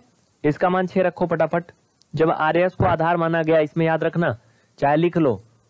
आर एस को आधार मानने पर, यहाँ ब्रेकेट में लिख लेना। ठीक है? इसको ऐसे छोटा सा लिख लेना समझने के लिए। तो इसका मान छह है और परपेंडिकुलर लंब जो है ओ एल कितना आया? चार आया है। सबको पता है कितना आया? चार आया है। इस तरह से इसको हम मान लेंगे इक्वेशन नंबर फ़र्स्ट इसको यहीं छोड़ देंगे, कुछ नहीं करेंगे। इक्वेशन नंबर फ़र्स्ट मान लेंगे। अब नीचे लिखिए। ओ एस ओ एस को आधार मानने पर। त्रिभुज ओ आर एस में लिखिए। त्रिभुज ओ आर एस में। ओ एस को आधार मानने पर। अब ध्यान देना, हम इसको ओ एस को अगर बेस मान लेंगे तो क्या होगा? यहाँ पे लिख लो त्रिभुज ओ आर एस का क्षेत्रफल। सब कुछ वही रहेगा, सिर्फ़ थोड़ा सा बदल जाएगा। वो देखो क्या बदलेगा। ये बेस इंटू परपेंडिकुलर तो भैया यहाँ से समझना बेस का वैल्यू रख दोगे बाबू और परपेंडिकुलर का रख दोगे। देखो, इसको बेस माना था। अगर ये त्रिज्या पाँच है तो ये भी पाँच है तो ये भी पाँच होगी। सीधी सी बात है, वो बेस क्या है? फाइव है, हा? और आर्यन आर्यन कौन सा है? ये आर है। यन कहाँ गया भाई? यन कहीं लिखा है कि नहीं? आइए मैं दिखाता हूँ। रुको। ये बीच में है नहीं। मैंने लिखा नहीं शायद ना इसमें भूल गया लिखने को। ये देखो। आ, ये आर और ये यन है नहीं? ये यहाँ पे यन था। ये जो बीच में इसको पार्ट काट रहा था ठीक है? तभी तो ये ट्रायंगल हम लेके यूज़ करेंगे। तो कहाँ पहुँचे थे हम इसमें? ठीक है? आ, हाफ़ बेस बेस मैंने ओ एस को माना है जो कि पाँच है। और ये आर एन क्या है आपका? परपेंडिकुलर है। ठीक है? देखो, समझ में बहुत कम आ रहा होगा, मुझे पता है। हा? देखो बेटा, ये आर्यन ऊपर वाला क्या है ये? ये लंब है, ये आधार है, और ये कर्ण है, कर्ण छह है। हाँ इससे हमें कोई मतलब है नहीं, क्योंकि इसमें हम निकाल रहे हैं इसका क्षेत्रफल। तो ये हो जाएगा आपका equation number second equation number second दोनों इक्वेशन को आप बराबर कर दीजिए और आर्यन का मान निकाल लीजिए। जितना आर्यन होगा, उतना ही यन यम भी होगा।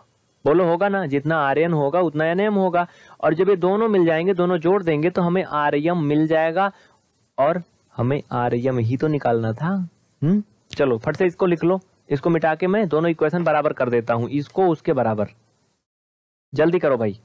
हो गया डन नीचे ही कर दू मैं? चलो, यहाँ पे लिख लो पहले एक लाइन समीकरण एक बराबर समीकरण दो करने पर, या फिर ऐसे भी लिख सकते हैं, समीकरण एक की दो से तुलना करने पर। आंसर निकालने के लिए हम लोग दोनों को इक्वल कर देंगे, जो भी आया है।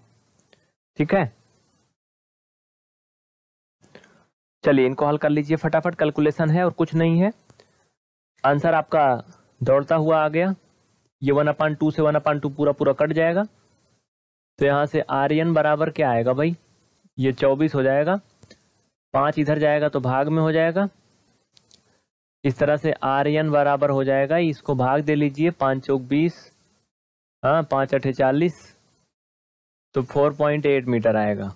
यानी ये त्रिज्या पाँच मीटर थी, ये जीवा है, थोड़ा कम है। देखो ये ब्यास के बगल में ही है, लेकिन थोड़ा दूर है, इसलिए थोड़ी कम हो गई, दो पॉइंट दो मतलब पॉइंट टू सेंटीमीटर, है ना? तो अगर ये इतना है तो यमयन भी क्या होगा? फोर पॉइंट एट मीटर होगा। होगा? क्यों होगा? चूँकि हम सबको पता है कि आर्यन बराबर यमयन है। भाई, बराबर है ही क्योंकि आधा आधा कट रहा बीच बीच से। तो अगर भैया दोनों हमें मिल गया तो हम यहाँ लिख सकते हैं, अतः यम यन यम यन बराबर, लिख लो आर यन धन यम यन नहीं नहीं नहीं सॉरी आर यम बराबर यहाँ लिखो भाई। हमें निकालना जो है फाइनल में वो लिखेंगे ना। यहाँ पे लिखो आर यम बराबर। आर एम तो ये आर एन और एन एम जोड़ देंगे। आर एन धन एन एम, ये जोड़ देंगे। तो ये दोनों 4.8 हैं, दोनों इक्वल हैं, फाइनल में 9.6 मीटर आ जाएगा। किसी को कोई डाउट है तो बता दीजिए। नहीं ना? जल्दी लिख लीजिए, आपका पांचवा नंबर क्वेश्चन कंप्लीट हो गया। क्वेश्चन नंबर छठवा। देखिए, ध्यान दीजिए, बहुत ही प्यार से देखिएगा बेटा। और इंड तक देखना, मैं फिर से बोल रहा हूँ, सिर्फ़ दस मिनट देखना बस। कह रहा कि 20 मीटर त्रिज्या का एक गोल पार्क वृत्ताकार है जो कि। 20 मीटर त्रिज्या है मतलब काफ़ी बड़ा पार्क है। एक कॉलोनी में स्थित है। कॉलोनी मतलब एक एरिया में जहाँ लोग रहते हैं अगल बगल घर है। ठीक है? कह रहा कि तीन लड़के, पिछले क्वेश्चन में लड़कियाँ थी, इसमें लड़के हैं बराबर बराबर अधिकार मिला है, ठीक है? उन लड़कों के नाम है अंकुर, सैयद और डेविड। ये हो गए अंकुर, सैयद और डेविड। कह रहा कि इसकी परिसीमा पर बराबर बराबर दूरी पर बैठे हैं। उस पार्क में ये सब बराबर बराबर दूरी पर बैठे हैं, यानी ए एस से जितनी दूरी है, इस बीच की, उतनी दूरी एस डी के बीच की भी है। और उतना ही दूरी ए डी के बीच की भी है। तो हम कह सकते हैं कि ए एस एस डी और ए डी आपस में बराबर हैं, जो कि मैंने इस दिए वाले में लिख दिया है। ठीक है? इसमें किसी को कोई डाउट कोई परेशानी, कुछ भी दिक्कत तो बता देना, बिल्कुल टेंशन मत लेना।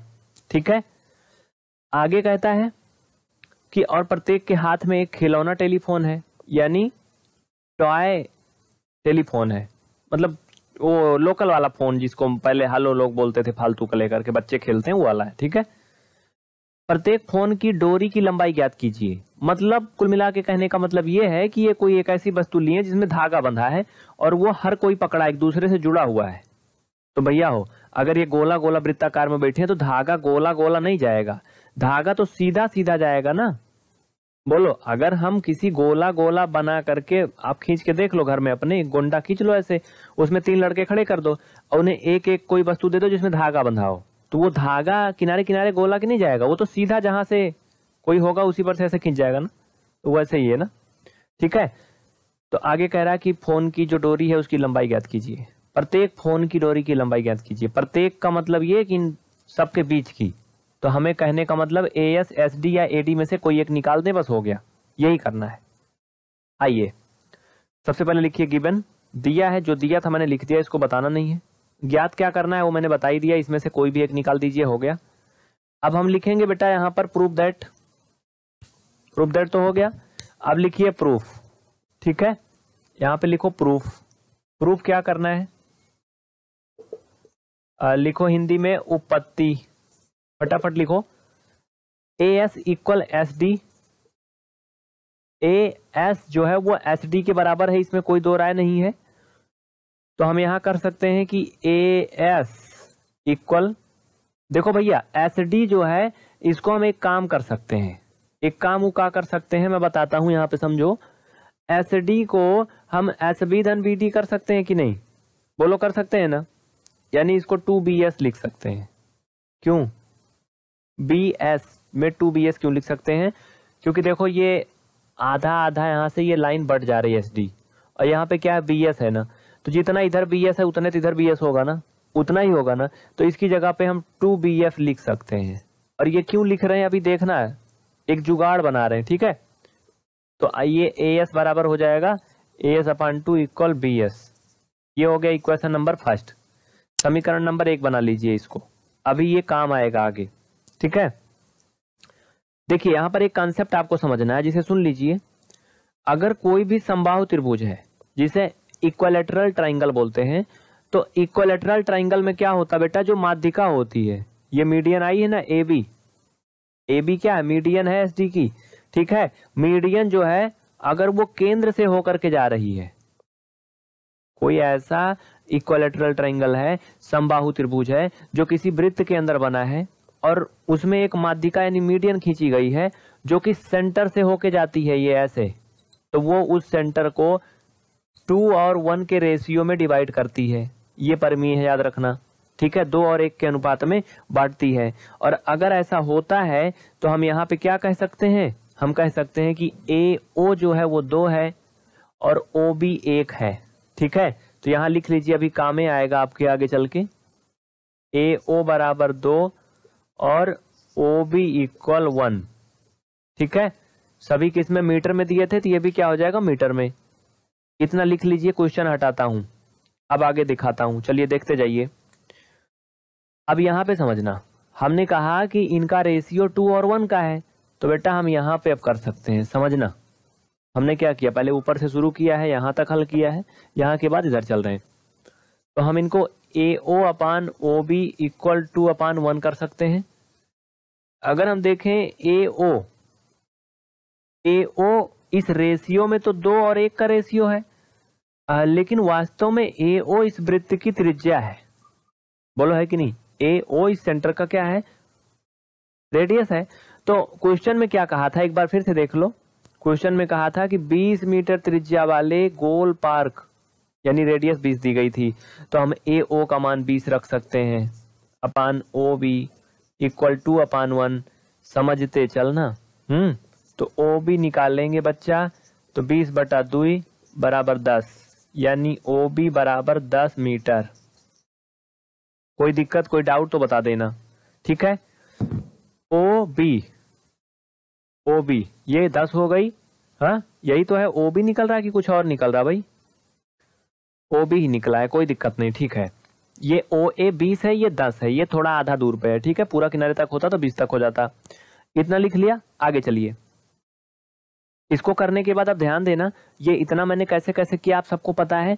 अब मैं इसमें से कुछ चीज़ें मिटाऊं या फिर ना मिटाऊं, पहले इधर साइड हल कर सकता हूँ फिर से, ठीक है? पहले यहाँ से शुरू किया बेटा, यहाँ तक किया, फिर यहाँ किया। अब ये तीसरा स्टेप इधर साइड में कर रहा हूँ। याद रखना मैंने कैसे कैसे हल किया, वैसे वैसे लिखना एक तरफ़ से, ठीक है सीरियल से।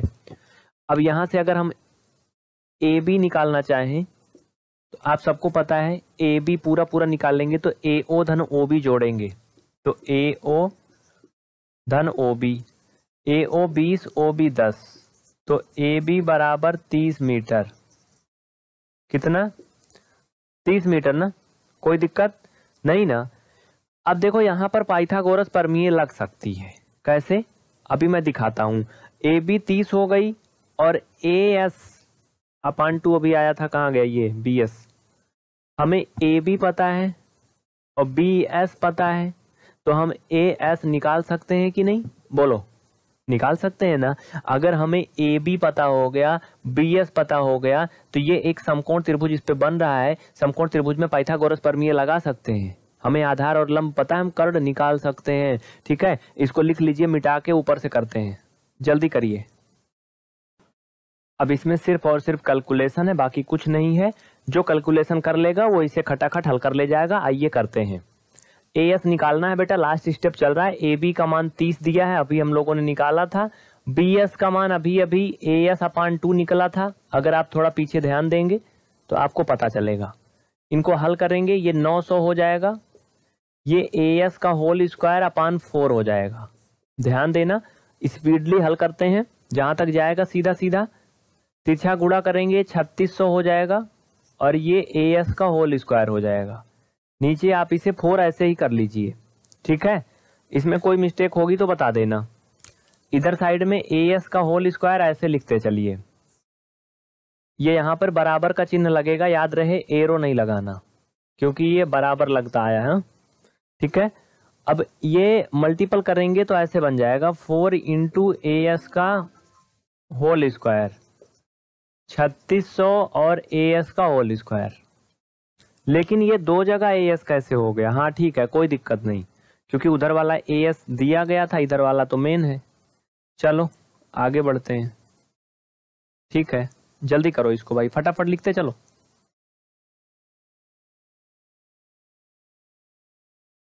देखो, यहाँ पर आपको थोड़ा सा समझना है, बिल्कुल इंड तक देखना, बीच में बोल रहा हूँ, छोड़ के मत जाना। देखो, ये छत्तीस सौ है ना? थर्टी सिक्स डबल ज़ीरो देखो बेटा, ये फोर ए एस का स्क्वायर है, ये सिंगल ए एस का स्क्वायर है। इधर आएगा, घट जाएगा। तो यहाँ पर हम हल कर सकते हैं, दिख रहा है ना? यहाँ पे हम लिख सकते हैं फोर और ये ए एस का whole square minus A S का होल स्क्वायर इसमें कोई दिक्कत नहीं। बराबर का इसको हम छत्तीस सौ लिख सकते हैं। ठीक है? ये फोर इंटू भले है, लेकिन गुड़ा में ही तो है। तो ये घटेगा तो ये हो जाएगा थ्री ए एस का होल स्क्वायर इक्वल छत्तीस सौ। तो यहाँ से ए एस का होल स्क्वायर आएगा छत्तीस सौ अपान थ्री क्योंकि ये तीन इधर जाएगा, भाग में हो जाएगा। भाई, उतना तो तुम जानते हो यार, तीन इधर जाएगा, भाग में हो जाएगा, ये बारह सौ आ जाएगा। थोड़ा एक लाइन शार्ट कर लेने दो, हा? तो यहाँ से बेटा ए एस बराबर आएगा अंडर रूट बारह सौ। इतना आप लोग समझदार हो। इतना नहीं आता तो बताना बेसिक मैथ तो आपको आती ही है। तो इसका जब वर्गमूल निकालेंगे बेटा स्क्वायर रूट आप 1200 का कर सकते हो, इसमें कोई दिक्कत नहीं है। वर्गमूल सभी निकालना जानते हो। तो ये टू इंटू अंडर रूट तीन आंसर आएगा। समझ में आया? अब जिनको 1200 का वर्गमूल नहीं आता, वो बताना कमेंट करके। वर्गमूल करना हर किसी को आना चाहिए। हाँ? तो इस तरह से आपका पूरा एक्सरसाइज 10.4 खत्म हुआ। अगर आपके मन में कोई जहमत है, कोई सवाल है तो आप हमें कमेंट करके बताइए। हम आपके हर एक डाउट का जवाब देंगे। कमेंट करिए नीचे, फटाफट। वीडियो को अपने दोस्तों में शेयर करिए और लाइक करना नहीं भूलना।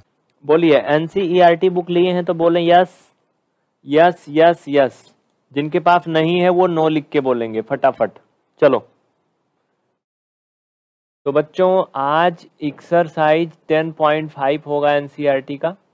एक बात ध्यान रहे, अगर आपके पास एनसीईआरटी नहीं है ना तो भी आप केवल कॉन्सेप्ट सीखिए। ये सबके लिए है, जिनका मनोहर प्रकाशन की किताब है या नगीन प्रकाशन, बालाजी वगैरह, या फिर बहुत सारी प्रकाशन आती है, लेखक आती चित्रा वगैरह क्या क्या तो सबके लिए है ये। कॉन्सेप्ट वही है। आप किताबों में देखो, लिखा होता है ना एनसीईआरटी पाठ्यक्रम पर आधारित। तो एनसीईआरटी दादा होता सबका। चलिए, क्वेश्चन पहला देखिए। कह रहा है कि आकृति 10.36 में केंद्र ओ वाले एक वृत्त पर तीन बिंदु ए बी सी है ना? तीन बिंदु ए बी सी इस प्रकार हैं कि कोण बी ओ सी जो है वो तीस अंश का दिया है। क्या दिया भैया? Angle B O C thirty degree का दिया है और एंगल ए ओ बी बराबर साठ दिया है। यदि चाप ए बी सी के अतिरिक्त वृत्त पर डी एक बिंदु हो तो कोण ए डी सी ज्ञात कीजिए। पहले इसका फिगर बनाएँगे, तब होगा। इसके लिए आपको परमीय टेन पॉइंट एट आनी चाहिए। ठीक है? क्वेश्चन नंबर पहला। आ, बहुत छोटा सा प्रश्न है ये बहुत हल करने में मज़ा आएगा इसको। ये इसका सेंटर है ठीक है भैया? इसे बना लीजिए कुछ ऐसे ही ये बनने को बोल रहा है। वही परमीय लगेगी कि केंद्र पर जो कोण बनता है वो परिधि पर बने कोण का क्या होता है? दोगुना होता है ना ऐसे कुछ है? फटाफट बना लो। पहले चित्र बना लो फिर हम बात करेंगे। हाँ? ऐसे बना लो। बना लो मेरे भाई बना लो बना लो। आ, आप लोगों में से जिन लोगों ने परमीय नहीं पढ़ा है तो परमीय देख लेना उसका वीडियो में बना दूँगा। वैसे पढ़ाने को क्लास में फालतू टाइम वेस्ट होता है। ठीक है? तो आप लोग एनसीईआरटी जो लिया है या जो नहीं भी लिया है उसके में परमीय नंबर कुछ अलग होगा, खोलिए किताब में। किताब में खोलो बेटा। आप लोग, थ्योरम 10.8 10.8 थ्योरम ओपन करिए। जो एनसीईआरटी लिया है, पेज नंबर 216 है। पेज नंबर 216 खोलिए। पेज नंबर 216 पर है 10.8 परमीय लिखा है। एक चाप द्वारा केंद्र पर आंतरिक कोण वृत्त के शेष भाग के एक चाप द्वारा, चाप मतलब आर्क होता है। केंद्र पर आंतरिक कोण, जो सेंटर पर एंगल बनता है, वो वृत्त के शेष भाग पर बने आंतरिक कोण का दोगुना होता है। शेष भाग का मतलब जो परिधि पे बनता है। ठीक है? समझ रहे हो ना आप लोग? आगे बात करें। चलिए, आप लोग देख लिए। तो ये परमीय का इसमें यूज़ होगा, याद रखना, कि किसी भी वृत्त में उसके जो केंद्र पर बनता है कोण ये ये केंद्र पर, वो परिधि पर बने कोण का दो गुना होता है। ठीक है, ये बात आप याद रखना। तो केंद्र पर यहाँ पर नब्बे अंश का कोण बन रहा है, ये साठ बन रहा है, एक एक, तीस बन रहा है। ठीक है, नब्बे बन रहा है। तो जो परिधि पर बन रहा है ये ये पैतालीस अंश का होना चाहिए, और हमें यही निकालना है। ठीक है? Neelam Singh, good evening. Good evening very very good evening आइए, हम लोग एंगल डी निकालते हैं। सबसे पहले तो लिखेंगे बेटा दिया है। इंग्लिश मीडियम वाले लिखें। गिबन, हिंदी वाले लिखेंगे, दिया है। हिंदी वाले लिखेंगे, दिया है। अपना लिख लो फटाफट। Angle, A O, B. ये साठ डिग्री दिया है। भैया, और भी कुछ दिया है। क्वेश्चन में देखो, दिया है बी, ओ, सी। ये तीस अंश दिया है। बोलो, दिया है कि नहीं? दीपक सर, अगर देख रहे हैं तो आप पीवीआर स्टडी ऐप का लिंक दीजिए इन लोग को। पीवीआर स्टडी चैनल में जो नाइन्थ का ग्रुप है, उसका लिंक दीजिए और पिन कर दीजिए मैसेज ठीक है, ये इतना दिया और क्या दिया भाई? मेन में नहीं दिया है। नीचे लिखिए प्रूफ दैट हिंदी मीडियम वाले लिखेंगे, सिद्ध करना है। फिर ये मत कहना कि इंग्लिश में पढ़ा रहे हैं। सिद्ध करना है मतलब प्रूफ दैट मैथ की कोई लैंग्वेज नहीं होती है। ये लैंग्वेज सबके लिए होती है। ठीक है? केवल छोटी छोटी तो लैंग्वेज का काम लगता है, बाकी कहानी तो गणित में होती है। ठीक है? आओ देखो इधर समझो। सिद्ध करना है। क्या सिद्ध करना बेटा? एंगल। भाई सिद्ध क्या करना है? इसमें सिद्ध तो नहीं करना, फ़िलहाल हमें ज्ञात करना है। हा? तो इसमें प्रूफ दैट नहीं लिया प्रूफ दैट वगैरह नहीं लिखेंगे, यहाँ पे लिखेंगे ज्ञात करना है। ज्ञात करना है, लिखेंगे तो अच्छा रहेगा। क्योंकि हमें इसमें प्रूफ करके तो दिखाना नहीं है। लिख ला भैया। ज्ञात करना है। हाँ क्या ज्ञात करना है? Angle A D C A D C हमें क्या करना है? निकालना है। अब नीचे लिखिए कहानी। ठीक है, ये दिया है, ये ज्ञात करना है। अब क्वेश्चन हम इधर साइड में हल करेंगे। ध्यान रहे यहाँ पर, देखना। पहले दिया है, फिर ज्ञात करना है, फिर हल करेंगे देखो बच्चा, इसमें अगर आप ध्यान दो तो एंगल ए ओ बी और एंगल बी ओ सी दोनों अगर जोड़ेंगे हम तो क्या बन जाएगा आपको पता है? इसको हटा देता हूँ अब। अब इसके हल पे आ जाओ, देखो। क्या बनेगा वो देखो। देखो मगर प्यार से, देखो मगर प्यार से। क्या देखना है? ए ओ बी साठ दिया था बेटा। बी ओ सी तीस दिया था। दोनों जुड़ेगा, नब्बे हो जाएगा। बोलो, हो जाएगा कि नहीं? यानी जो पूरा एंगल बनेगा ए ओ सी ए ओ सी कितना हो जाएगा? इसे हम कह सकते हैं कि ए ओ सी कितने का हो गया? नब्बे का हो गया।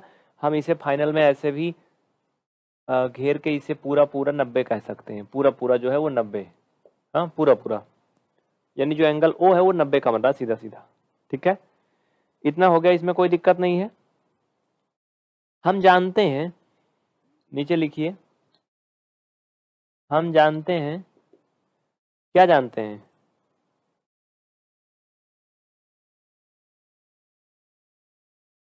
कि वृत्त पर बना कोण, केंद्र पर बन सॉरी परिधि पर बने कोण का दो गुना होता है। लिख लीजिए। हम जानते हैं, नीचे लिखिए, वृत्त के केंद्र पर बना कोण, परिधि पर बने कोण का दोगुना होता है, और उसको लिखने के बाद कोष्ठक में लिख लेना पर में 10.8 से।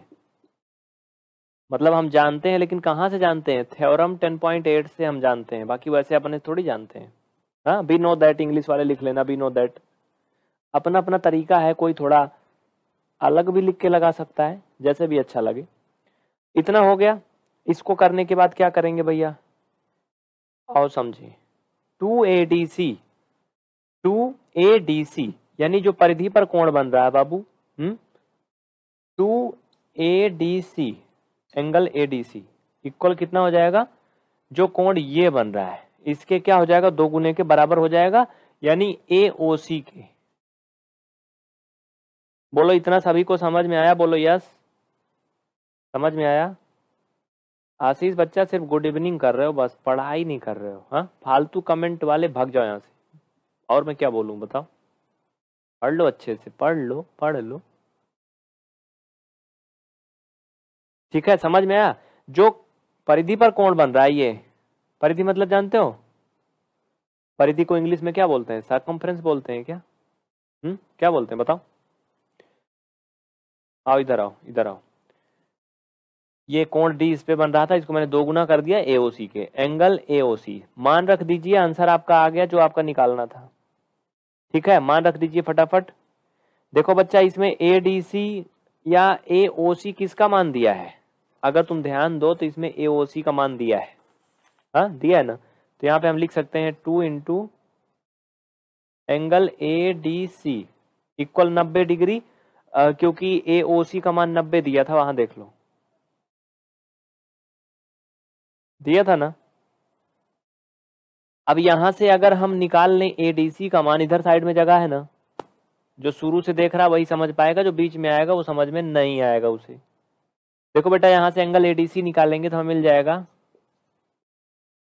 नब्बे बटा दो। यानी हम कह सकते हैं angle A D C equal forty five degree हो गया आंसर आ गया। और सिद्ध भी हो गया जो हमें निकालना था वास्तव में। देखिए जो कोण केंद्र पे बन रहा है सेंटर पे, वो नब्बे बन रहा है। ए ओ सी कितने का बन रहा है? नाइन ज़ीरो नाइनटी का। जबकि जो परिधि पे बन रहा है, परिधि वाला कितने का बन रहा है? पैंतालीस का बन रहा है, उसका आधा बन रहा है। है हम्म। टाइम नॉलेज यूपीजी कनको वाला पता नहीं कहा कहा लिखे जा रहा है, इतना बड़ा बड़ा नहीं पढ़ना है तो मैं क्या बताऊँगा मत पढ़ो जाओ। चलो, आगे बढ़े। ठीक है, ये हो गया आपका पहला क्वेश्चन हो गया मिटा रहा हूँ। जल्दी से स्क्रीन शॉट ले लो बेटा, हो गया? कह रहा कि किसी वृत्त की एक जीवा जीवा मतलब कॉर्ड हम्म वृत्त की त्रिज्या के बराबर है। यानी जो जीवा है, वो वृत्त की रेडियस के इक्वल है। कह रहा कि जीवा द्वारा लघु चाप के किसी बिंदु पर अंतरित कोण ज्ञात कीजिए, तथा दीर्घ चाप के किसी बिंदु पर भी अंतरित कोण ज्ञात कीजिए। कहने का मतलब ये कोण का मतलब एंगल और चाप का मतलब आर्क ए आर सी ठीक है? ये इनका इंग्लिश मीनिंग हुआ। आइए समझते हैं सबसे पहले हम आ, ये समझते हैं। ये लघु चाप क्या होता भैया? जानते हो? पहले इसको डिटेल में बता दें थोड़ा सा तब फिर हम आगे बढ़ेंगे। जिसे माइनर आर्क बोलते हैं। क्या बोलते हैं? माइनर आर्क पहले तो ये समझ लीजिए। और ये दीर्घ चाप। दीर्घ चाप क्या है? जैसे क्वेश्चन में चर्चा हुई है, जिसे मेजर आर्क बोलते हैं। ठीक है? तो ये आपका क्या है? ये जो फिगर आपका दिख रहा है, ये दीर्घ चाप है मेजर आर्क का है। ये आपका लघु चाप का है। ये माइनर आर्क का फिगर है जो मैंने बनाया है। ठीक है? और ये आपका फुल है। इसमें लघु और दीर्घ, यानी माइनर और मेजर आर्क दोनों है। देखिए, ये जो बीच में लाइन गई है पी क्यू ना पी क्यू के ऊपर जितना भी बना है, वो क्या है? वो मेजर आर्क है आपका। इस पे जो एंगल है, वो ए है। समझ रहे हो? ये देखो पी क्यू है ना ये? ये एक जीवा थी, कॉर्ड थी। तो इस जीवा यानी कॉर्ड के ऊपर जो ये, जो भी चीज़ें बनी हैं, वो क्या है? वो आपके मेजर आर्क में है, ठीक है? और ये नीचे, ये क्या है? माइनर आर्क में है। यानी इस चित्र में अगर आप देखो तो पी क्यू के नीचे जो एंगल बन रहा है, ये क्या है? माइनर आर्क में है। समझ रहे हो? हाँ? इसलिए मैंने मेजर आर्क और माइनर आर्क को अलग अलग दिखाने की कोशिश किया, है ना? उम्मीद है कि आप समझ गए होंगे। तो इनको हम मिटा करके अब मुख्य क्वेश्चन के जो टॉपिक हैं, उन पे चलते हैं। ठीक है? सभी बच्चे लिख लीजिए। कुछ बच्चे कमेंट के पीछे बहुत परेशान है। देखो बेटा, पढ़ लो। ठीक है? नाम नहीं बोलूँगा आज मैं किसी का इस क्लास में। जिनको पढ़ना ईमानदारी से पढ़ेंगे कमेंट में सबका देख रहा हूँ। जैसे मैं रोज आपका नाम बोलता हूँ, उसी तरह से मैं देख रहा हूँ। लेकिन आज नहीं। आज सिर्फ़ पढ़ाई होगी बस। कोई डाउट है कमेंट करो सर बताएँगे आज। आइए। अब इसमें हम इसको सोल्यूशन पे चलते हैं। आ, नीचे दिख रहा होगा उम्मीद है आप लोग बताओ कमेंट करके। यहाँ तक दिख रहा है ना बेटा? दिख रहा है ना?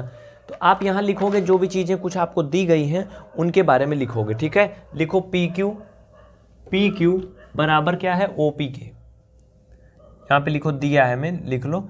पी क्यू बराबर ओ पी ये क्यों बराबर है? क्योंकि ओ पी इस वृत्त की त्रिज्या है रेडियस है और पी क्यू क्या है? जीवा है। और बेटा इसमें यह भी कह रहा है कि जो जीवा है, वो त्रिज्या के बराबर है, ऐसा क्वेश्चन में कहा गया है। ठीक है? इसको लिख लिया। इसमें और लिखो। अब ज्ञात क्या करना है? ये तो दिया था। ठीक है? यहाँ पे गिवन अब लिखिए नीचे, ज्ञात करना है। ज्ञात करना है। इंग्लिश वाले लिख लीजिए। Angle on major arc angle on major arc is angle A equal question mark ठीक है? और अगला इसमें नीचे और भी लिख लीजिए।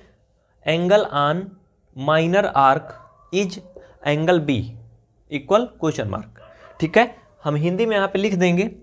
लिखिए। दीर्घ चाप पर बना कोण ए ये ज्ञात करना है। ये मैं हिंदी में लिख दिया, उसी को मैं इंग्लिश में बताया था, ठीक है? लघु चाप पर बना कोण एंगल बी इक्वल, ये हमें दोनों फाइंड करने हैं, ठीक है? डन, इसमें किसी को कोई दिक्कत, कोई परेशानी नहीं। आइए देखते हैं, अब क्या करेंगे? और बाकी चीज़ें आप समझ गए? अब लिखिए इसमें, चूँकि पी क्यू बराबर ओ पी बराबर ओ क्यू है, भैया हो, ये ओ पी और ओ क्यू सब क्या है, त्रिज्याएँ ही हैं हाँ इतना ठीक है? अब यहाँ पे हम कर लेते हैं, इधर साइड में आ जाओ। यहाँ पे दिख रहा है ना, लिखो, चूँकि पी क्यू बराबर ओ पी बराबर ओ क्यू ये दिया है क्योंकि त्रिज्या जो है जीवा के बराबर दी गई है। इसमें पी ओ की साठ दिया है। पी ओ क्यू आइए बताएँ क्यों? पी ओ क्यू यानी ये जो है कितना दिया है? साठ दिया है। साठ क्यों दिया है? आप देखिए, इनकी भुजाएँ आपस में बराबर है। बराबर क्यों है? ये दिख नहीं रहा है। कह रहा था, जो त्रिज्याएँ हैं, वो जीवा के बराबर है। तो अगर ये जीवा इन दोनों त्रिज्याओं के बराबर हो गई तो ये तीनों बराबर हो गई। अगर ये तीनों बराबर हो गई तो इक्वालेटरल ट्राइंगल बनाना संबाहु त्रिभुज बनाना, और संबाहु त्रिभुज की जब तीनों भुजाएँ बराबर होती हैं तो उनके प्रत्येक कोण भी साठ साठ अंश के होते हैं। होते हैं ना? तो आप यहाँ पे लिख सकते हो इसलिए angle P O Q equal साठ डिग्री। सारे कोण साठ साठ के हैं। आप पी ओ क्यू को साठ लिख सकते हो, या फिर ओ पी क्यू को साठ लिख सकते हो, या फिर ओ क्यू पी को साठ लिख सकते हो, तीनों साठ साठ के हैं, लेकिन हमें ज़रूरत सिर्फ़ इसी की है, इसलिए मैंने सिर्फ़ इसी को लिखा है, ठीक है? ब्रैकेट में लिख लो, संभाव त्रिभुज के, ओ सॉरी संबाहु हाँ लिख लो कोष्टक में, संभाव त्रिभुज का कोण, संभाव त्रिभुज का कोण, ठीक है? संभाव त्रिभुज का कोण साठ साठ का ही होता है। और परमीय टेन पॉइंट टू में आपने पढ़ा था, परमीय टेन पॉइंट टू में पढ़ा था कि किसी भी वृत्त में जो केंद्र पर कोण बनता है, वो वृत्त के परिधि पर बने कोण का दोगुना होता है। ये पढ़ा था आपने। तो हम इसे ऐसा भी कर सकते हैं, कैसा? भाई, इस कोण को इस कोण के दोगुना दिखा सकते हैं। आइए मैं दिखाता हूँ इसको नीचे मिटा के। इसको लिख लो स्क्रीन ले लो, फिर मैं दिखाता हूँ। जल्दी करो, हो गया? चलो। क्वेश्चन हटा के इसको हम क्लियर कर देते हैं, ठीक है? अब कोई दिक्कत नहीं किसी को। आइए, जो मैंने बताया उसको मैंने लिख दिया। जो इसके केंद्र पर कोण बन रहा है, ओ बन रहा है ना पी ओ क्यू जिसे लिखा गया है। वो क्या है? परिधि पर बनने कोण ए के दो गुना के बराबर है। ये परमिट टेन पॉइंट एट में आपने पढ़ा था, ठीक है? तो बेटा पी ओ क्यू इसका मान साठ अंश दिया है। कैसे दिया? अभी अभी लिखा था। Equal to angle P A Q यहाँ से अगर हम निकालें तो ये तीस अंश आ जाएगा। Equal angle P A Q बोलो, आ जाएगा कि नहीं? भैया, दो से इधर जाएगा तो भाग हो जाएगा। इतना तो हल कर ही लेते हो आप। नाइन्थ में पहुँचे हो, छोटे बच्चे तो हो नहीं। हाँ? यानी हमें पी ए क्यू कितना आ गया? साठ अंश का आ गया। जिनको ना समझ में आया, बेटा, इसको थोड़ा यहाँ से देख लो। देखो, ये साठ इक्वल टू और पी ए क्यू था ना तो भैया हो, जब ये ये पी था ना, ये टू इधर आएगा जब तो साठ बटा दो और ये पी ए क्यू हो जाएगा। ये कट जाएगा। तो इस तरह से तीस बराबर एंगल पी ए क्यू आता है। समझ में आया ना? हाँ इसको लिख लीजिए। अब ये हमारा जो दीर्घ चाप पर कोण बन रहा था, वो आ गया। अब हम ये कोण बी निकालेंगे, जो माइनर आर्क पर बन रहा है, ठीक है? नज़रें गड़ा के रखिएगा, जाइएगा नहीं, आइए। देखिए, अब हम दूसरे वाले पे चलेंगे, जो हमें एंगल बी निकालना है, यहाँ पे थोड़ा समझने की ज़रूरत है। माइनर आर्क मैंने बताया था। तो बेटा लघु चाप पर जो बना कोण है, यानी माइनर आर्क वाला पी बी क्यू के लिए हम पहले पी ओ क्यू का रिफ्लेक्स एंगल निकालेंगे। रिफ्लेक्स एंगल मतलब होता है बृहत कोण, ठीक है? यहाँ थोड़ा समझना। अब हमें ये फाइंड करना है, ये ये, ठीक है? ये जहाँ हमारा जा रहा था, ये। यानी जो पी ओ क्यू का बाहरी कोण, एक प्रकार से बृहद कोण जिसे बोलते हैं, उसे निकालेंगे। ऐसे समझ लो कि ये क्या है पूरा पूरा 360 होता है। कहीं पूरा पूरा अगर घूम जाओ तो 360 हो जाता है। तो भैया हो, ये इतना तो हमने कर लिया है। इतना कर लिया या इसमें देखो ये। नीचे वाला, थोड़ा सा कर लिया ना। तो ऊपर का पूरा पूरा अभी बचा है, ये इतना बचा, इतना इतना बचा है। तो क्या करेंगे? इसको निकालने के लिए 360 में से इसको घटा देंगे, क्योंकि 360 से ही तो कम हुआ ना ये। तो आइए, यहाँ पे लिखिए, reflex angle of P O Q Hindi में लिखिए, हिंदी में लिखिए पी ओ क्यू का बृहद कोण बृहद कोण। या फिर इंग्लिश में लिख लीजिए, reflex angle of P O Q तो 360 हो जाएगा माइनस साठ, ठीक है? 360 से क्या करेंगे? 60 को घटा लेंगे। किसका है ये? पी ओ क्यू का है ना? पी ओ क्यू का तो यहाँ पे आप लिख दोगे पी ओ क्यू इक्वल तीन सौ। भाई घटाओगे तो तीन सौ आ जाएगा। हाँ यानी पी ओ क्यू का मान कितना आ गया बेटा? तीन सौ आ गया। ये आप सबको पता है। अब इसको भी वैसे कर लेंगे। रिफ्लेक्स एंगल आप P O Q equal to into P B Q जैसे अभी तक करते आए हो आ, क्योंकि जो वृत्त के केंद्र पर बना कोण होता है परिधि पर बने कोण का दो गुना के बराबर होता है।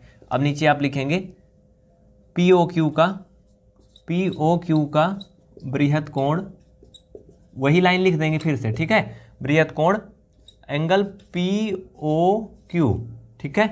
Done equal to angle P B Q ये आप सबको पता है?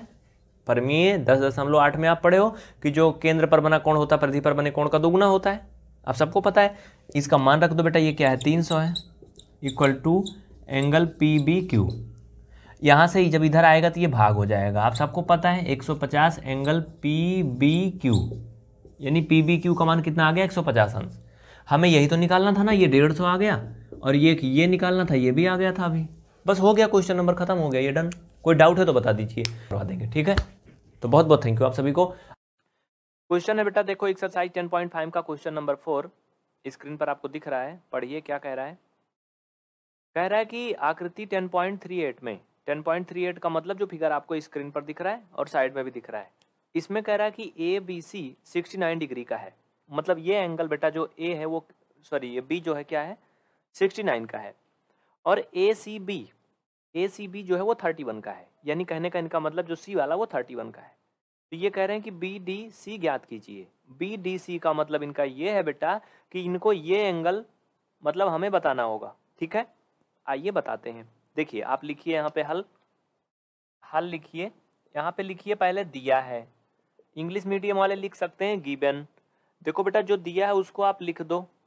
Angle A, B, C equal sixty nine. Angle A, C, B दिया है या डी दिया है? ए, सी, बी दिया है। ठीक है। तो यहाँ पे हम डी नहीं, बी लिखेंगे। ये थर्टी वन दिया है। जो आपके क्वेश्चन में दिया मैंने वो लिख दिया। अब नीचे आप लिखिए फाइंड आउट क्या करना है भाई ज्ञात करना है। लिखिए हिंदी में ज्ञात करना है इंग्लिश में लिख दीजिए टू फाइंड मतलब हमें जो फाइंड करना है। आ, उसको भी लिख दीजिए इसमें कौन सी शर्माने की बात है लिखिए। Angle B D C B D C ये क्या करना बेटा हमें फाइंड करना है। अब हम क्या करेंगे यहाँ पर सोल्यूशन करना शुरू करेंगे ठीक है? यहाँ पर इसका सोल्यूशन शुरू करेंगे। हल यहाँ पर आप चाहे लिखिए, ठीक है? यहाँ पर हल डालिए या ना डालिए, यहाँ से हम लोग शुरू करें हल, ठीक है? ये सोल्यूशन यहाँ से स्टार्ट है ओके क्या करना है? देखिए, त्रिभुज के तीनों कोणों का योग 180 अंश होता है। होता है तो हम लिख सकते हैं कि एंगल ए बी सी लिखिए। Angle A B C plus इसमें मैंने क्या क्या मिलाया? ए बी सी मतलब बी ले लिया। अब लिखो सी ए बी ठीक है? सी ए बी या फिर आप इसे बी ए सी भी बोल सकते हो। बी ए सी धन। देखो, इसमें बी एंगल आ गया, इसमें ए आ गया। अब हमें सी भी लेना है तो हम इसे ए सी बी बोल सकते हैं। ए सी बी या बी सी ए भी बोल सकते हैं। ठीक है? इक्वल एक सौ अस्सी ऐसा इसलिए है। ब्रैकेट में रीजन लिख दीजिए। कोष्ठक में लिख दीजिए, मैं नहीं लिखूँगा। अब लिख दीजिए। त्रिभुज के तीनों कोणों का योगफल एक सौ अस्सी अंश होता है। इसलिए मैंने क्या किया? एंगल ए, बी और सी तीनों को जोड़कर एक सौ अस्सी किया। ठीक है? कोई डाउट? नहीं। देखो बेटा, ए, बी, सी का मान पहले ही दिया था, sixty nine. B, A, C का मान हमें नहीं दिया है, ए, सी, बी का मान हमें दिया है। अब हम क्या करेंगे? बड़ा अफसोस में है। बी, सी, ए का मान दिया है ना? जो बी, सी, ए का मान आपको दिया है, या फिर ए, सी, बी बोले, वो मतलब एक है। ठीक है?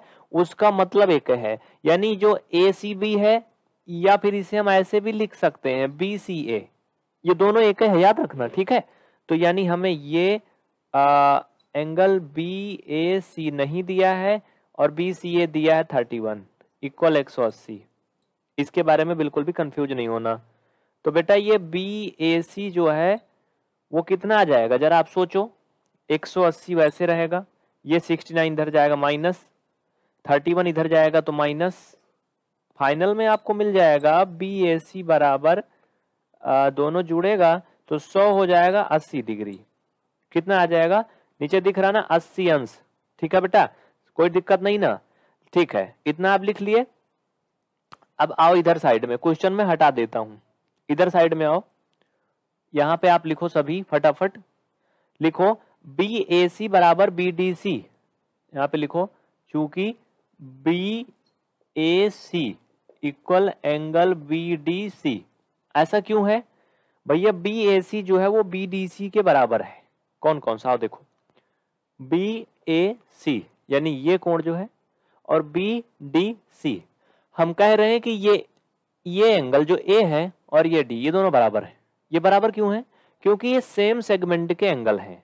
वृत्त दो सेगमेंट में डिवाइड है, दो पार्ट में डिवाइड है। जिसको डिवाइड करने वाली रेखा बीसी है तो एक वृत्त का भाग नीचे वाला है, एक ऊपर वाला है। अगर एक कोई ऐसा वृत्त है जो दो पार्ट में बटा है तो एक पार्ट में जितने कोण बनते हैं, वो आपस में बराबर होते हैं। आप लिख सकते हैं रीजन, एक ही वृत्त खंड के कोण। हिंदी में लिख लीजिए, एक ही वृत्त खंड के कोण। इंग्लिश वाले लिख लीजिए एंगल ऑफ़ सेम सेगमेंट लिख लो एंगल ऑफ़ सेम सेगमेंट ठीक है? बेटा कमेंट्स आपका आ रहा है। जीबीएस पांडे परेशान ना रहो, ठीक है? रैनी जी, तुम्हारा भी कमेंट आ रहा है। हरीश पांडे टीएम खान और तनुज, शिल्पा, ठीक है? अंकुर विश्वकर्मा, सबका आ रहा है। सबर रखो। इतना हो गया? अगर चर्चा ये दोनों बराबर हैं तो एम से हमने बी निकाल लिया था अस्सी डिग्री तो फिर क्या प्रॉब्लम है? बीडीसी बीडीसी तो निकालना था। क्वेश्चन दिखाओ। ये तो निकालना था? एक मिनट। बी डी सी ही तो निकालना था ना। लिख दो आंसर, हो गया? हो गया, लिख दो। ये क्या है आंसर? यहाँ पे चाहे एक जगह हो, लिख दो। इसलिए बी डी सी बराबर अंश। ठीक है? ये हो गया फाइनल आंसर कोई किसी को डाउट है तो बताइए। नहीं है ना? चलिए नेक्स्ट क्वेश्चन पे पढ़ते हैं। बहुत जल्दी करिए नोट करिए। फास्ट करिए। अगला क्वेश्चन आपके सामने आ चुका है। उसके पहले बेटा, अगर आपको मैथ में कुछ भी नहीं आता बहुत कमज़ोर है ना तो आप पीवीआर स्टडी ऐप में जाकर के आज ही इस कोर्स को ज्वाइन कर सकते हैं जो स्क्रीन पे दिख रहा है। नीचे नंबर भी चल रहे हैं, इन पे भी कांटेक्ट कर सकते हैं।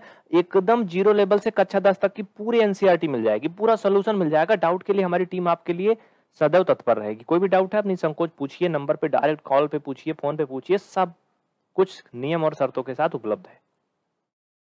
छठा क्वेश्चन आपके सामने, देखिए क्या कहता है। कह रहा कि एबीसीडी एक चक्रीय चतुर्भुज है।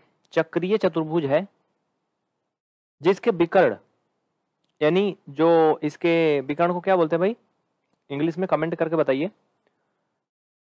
एक बिंदु ई पर प्रतिच्छेद करते हैं मतलब इंटरसेक्ट कर रहे हैं। यदि B D C sorry D B C सत्तर है, यहाँ पे देखो दिया है डी बी सी यहाँ है, ठीक है? क्या कह रहा है? डी बी सी सत्तर है यानी बी जो है सत्तर है। और एंगल बी ए सी तीस डिग्री है। स्क्रीन पे देखिए दिख रहा है। तो कह रहा बी सी डी ज्ञात कीजिए। पुनः यदि ए बी बी सी के बराबर हो, ये मैंने कर दिया है। ए बी ये बी सी के बराबर हो तो इसमें ई सी डी भी ज्ञात कीजिए। आइए, हल करते हैं यहाँ से, ठीक है? यहाँ पे लिखो फटाफट, सभी दिया है। यहाँ पे लिखिए दिया है। क्या क्या दिया है भैया? लिख लो बाबू। Angle D B C angle D B C equal सत्तर, यहाँ पे और भी कुछ दिया है। B A C angle B A C equal तीस डिग्री। अब नीचे लिखिए, ज्ञात करना है। टू फाइंड इंग्लिश वाले लिख लें। टू फाइंड क्या करना है भैया? लिखो B C D angle B C D ये ज्ञात करना है। और angle E C D angle E C D ये भी ज्ञात करना है। ये दोनों क्या करने हैं? हमें फाइंड करने हैं। ठीक है? कोई डाउट नहीं। आइए यहाँ पे हल करते हैं अब। ठीक है? सोल्यूशन यहाँ से स्टार्ट होता है, इनकी जो प्रक्रिया है। लिखिए angle B D C equal तीस अंश। आप कहोगे कि भैया ये बीडीसी कैसे तीस हो गया? तो कहीं दिया नहीं था। आओ बताता हूँ। कोष्टक में लिख लो, एक ही वृत्त खंड के कोण। एंगल ऑफ़ सेम सेगमेंट लिख लीजिए, एक ही वृत्त खंड के कोण, लिख लो, मैं लिखूँगा नहीं। इसमें लिखो, एक ही वृत्त खंड के कोण, ठीक है? ओके? चलो, अब आगे क्या है? आइए बात करते हैं B D C B D C भाई, ये तीस अंश क्यों हो गया, पता है? क्यों हो गया? क्योंकि इसमें अगर आप एक एंगल देखो यहाँ पे मैंने पूरा शायद नहीं लिखा, आप थोड़ा कंफ्यूज हो रहे होगे तो लिख लो बी डी सी बराबर बी ए सी यहाँ पे लिखो एक minute. Angle B A C B A C बराबर तीस। अब लिख लो, एक ही वृत्त खंड के कोण। ठीक है? एक ही वृत्त खंड के कोण। थोड़ा शॉर्टकट करने के चक्कर में मैं थोड़ा छोड़ दे रहा था। चलो, कोई दिक्कत नहीं। ठीक है? हो गया डन ओके एक ही वृत्त खंड के कोण, इसलिए ये बराबर है। समझ रहे हो ना? कोई दिक्कत नहीं। देखो बेटा बी ए सी यहाँ पर दिया था। बी ए सी ये ए दिया था ना तीस डिग्री। इसलिए जो एंगल डी है, वो भी क्या हो गया? तीस हो गया क्योंकि एक ही वृत्तखंड का कोण है। और ये वृत्तखंड कौन कौन से हैं? ये ए बी क्या कर रहा है? वृत्त को दो भाग में बांट रहा है, एक नीचे, एक ऊपर। तो जो सेम सेगमेंट में बन रहे हैं, वो आपस में इक्वल होते हैं। ठीक है? नीचे लिखिए त्रिभुज। यहाँ पे लिखिए त्रिभुज। बी सी डी में।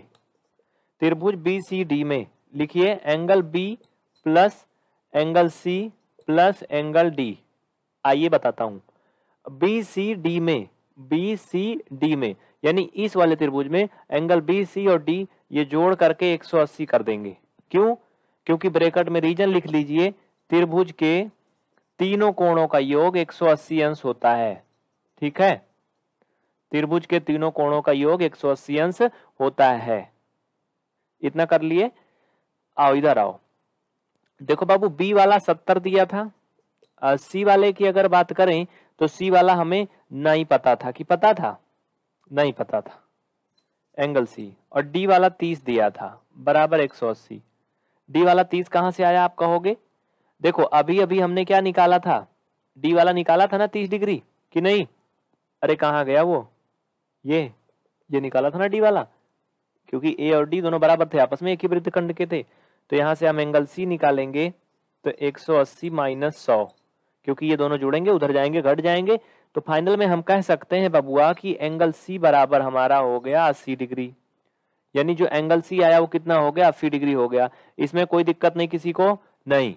यानी ये जो पूरा पूरा एंगल है वो कितना हो गया? अस्सी डिग्री। इसको नोट कर लीजिए, फिर आगे बढ़ते हैं। जल्दी करिए। लिख लीजिए, आगे बढ़ते हैं। बहुत जल्दी करिए। बस एक हो गया, एक और करना है।